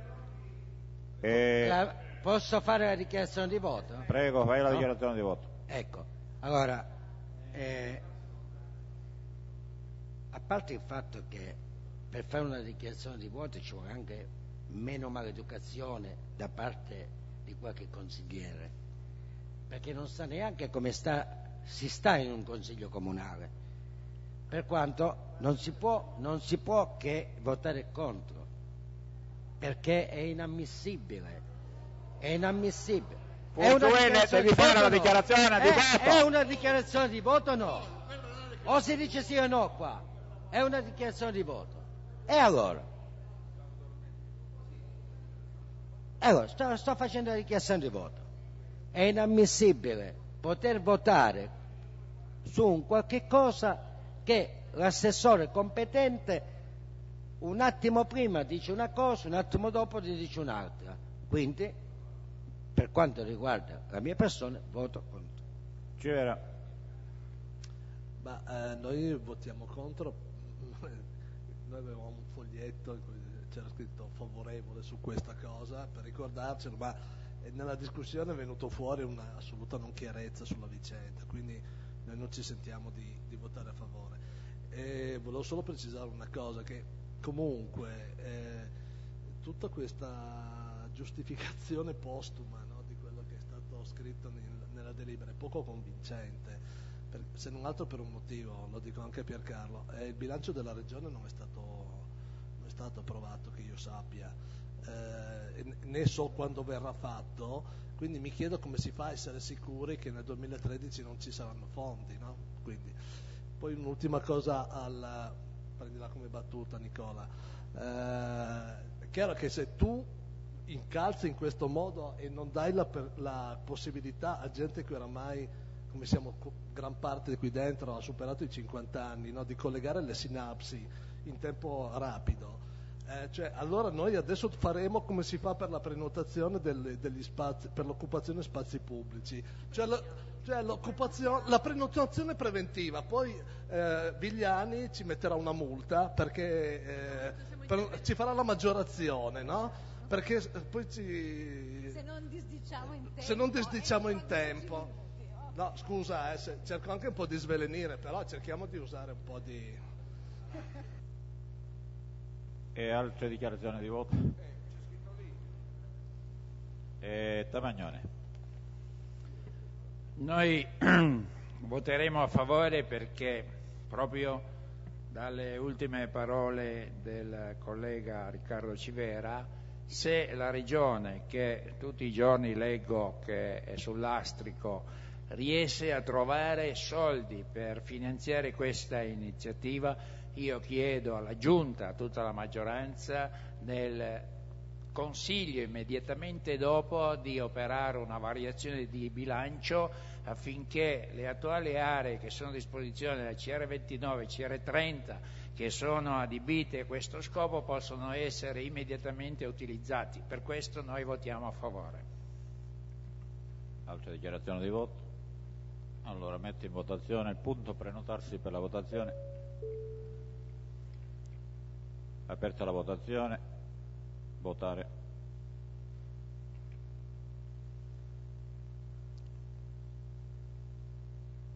Chiusa la votazione.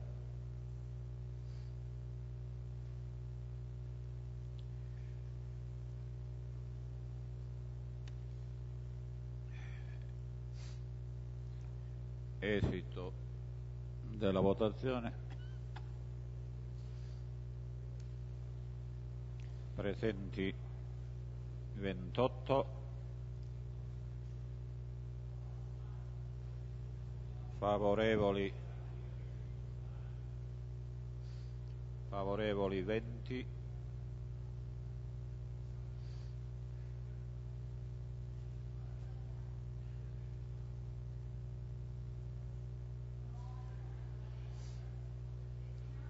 favorevoli 20 Vasino, Emma Fasano. Rappazzo, Tamagnone, Stellato, Burgarello, Mercurio, Olia, Benedicenti, Cucci, Triola. Passarello, Rubatto, Arduino, Ronco, Caivano, Sideri, Bozzalla Grossa, Castello Lancioni. Contrari. 7 Bagna, Civera, Biglia, Maspoli, Marinari, Furgiuele, Foglio astenuto Fasano. Il punto passa. Ultimo punto all'ordine del giorno che possiamo discutere stasera è il numero 19.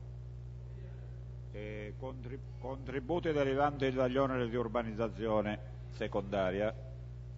La parola. Allora, stiamo parlando degli edifici di culto di cui annualmente l'amministrazione riserva nell'ambito delle opere di urbanizzazione secondaria una quota di proventi per gli interventi.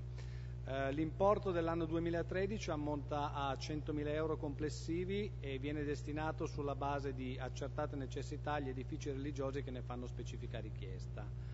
Eh, nell'anno 2012 sono pervenute richieste di contributo da eh, cinque confessioni religiose che sono la parrocchia di Airali e parrocchia San Vittore Corona di Montaldo Torinese, la parrocchia San Luigi Gonzaga, la parrocchia San Giorgio, la Santa Famiglia di Nazareth e l'Istituto Salesiano Cristo Re. Di fatto, in base alle accertate appunto, necessità degli interventi proposti, si propone il seguente programma di ripartizione.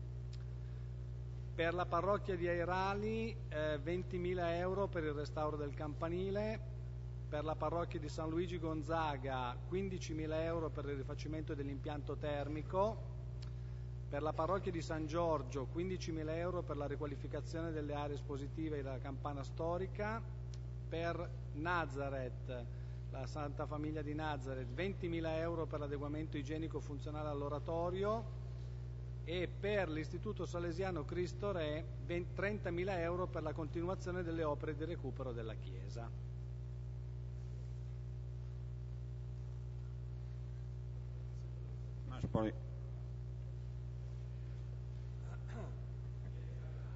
Allora, prima di, tutto, prima di tutto ti ringrazio perché adesso sappiamo che ci sono almeno cinque confessioni religiose a Chieri, magari se ogni parrocchia ha la sua confessione religiosa diventiamo veramente molto ecumenici.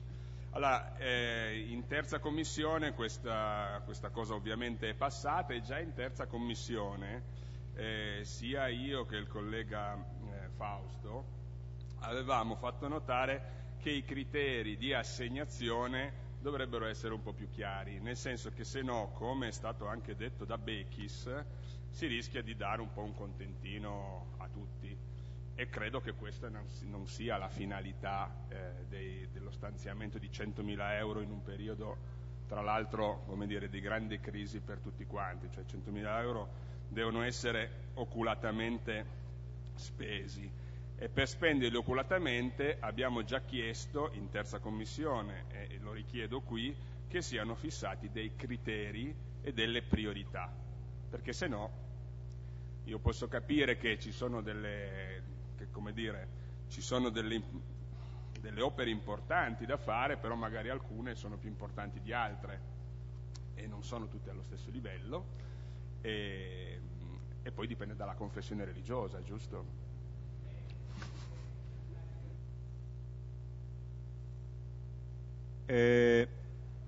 Volevo farvi presente che è con noi stasera il, il, nuovo presidente del collegio dei revisori, la dottoressa Scarsello Mariella, che salutiamo cordialmente. Buonasera. Ci dispiace per questa sera, deve tornare anche domani sera perché eh, eh, è così. Eh, ha chiesto la parola la collega Olia, prego.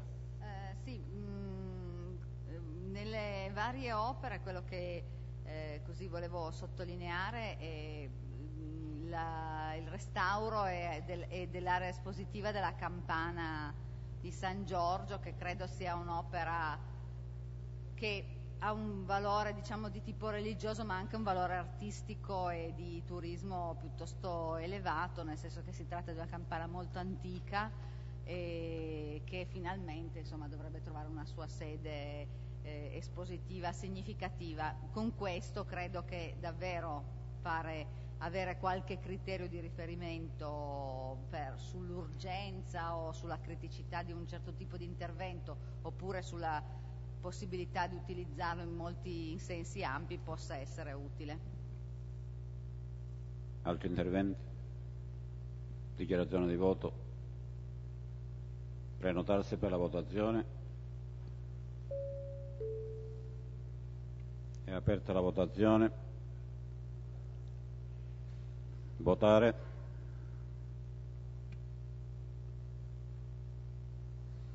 Chiusa la votazione.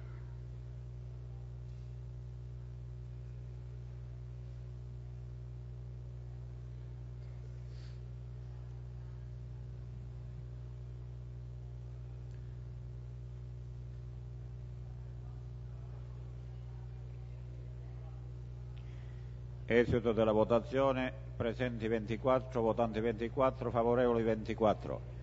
E ricordo la seduta è tolta, ci vediamo domani sera alle 19.30. Buonanotte a tutti.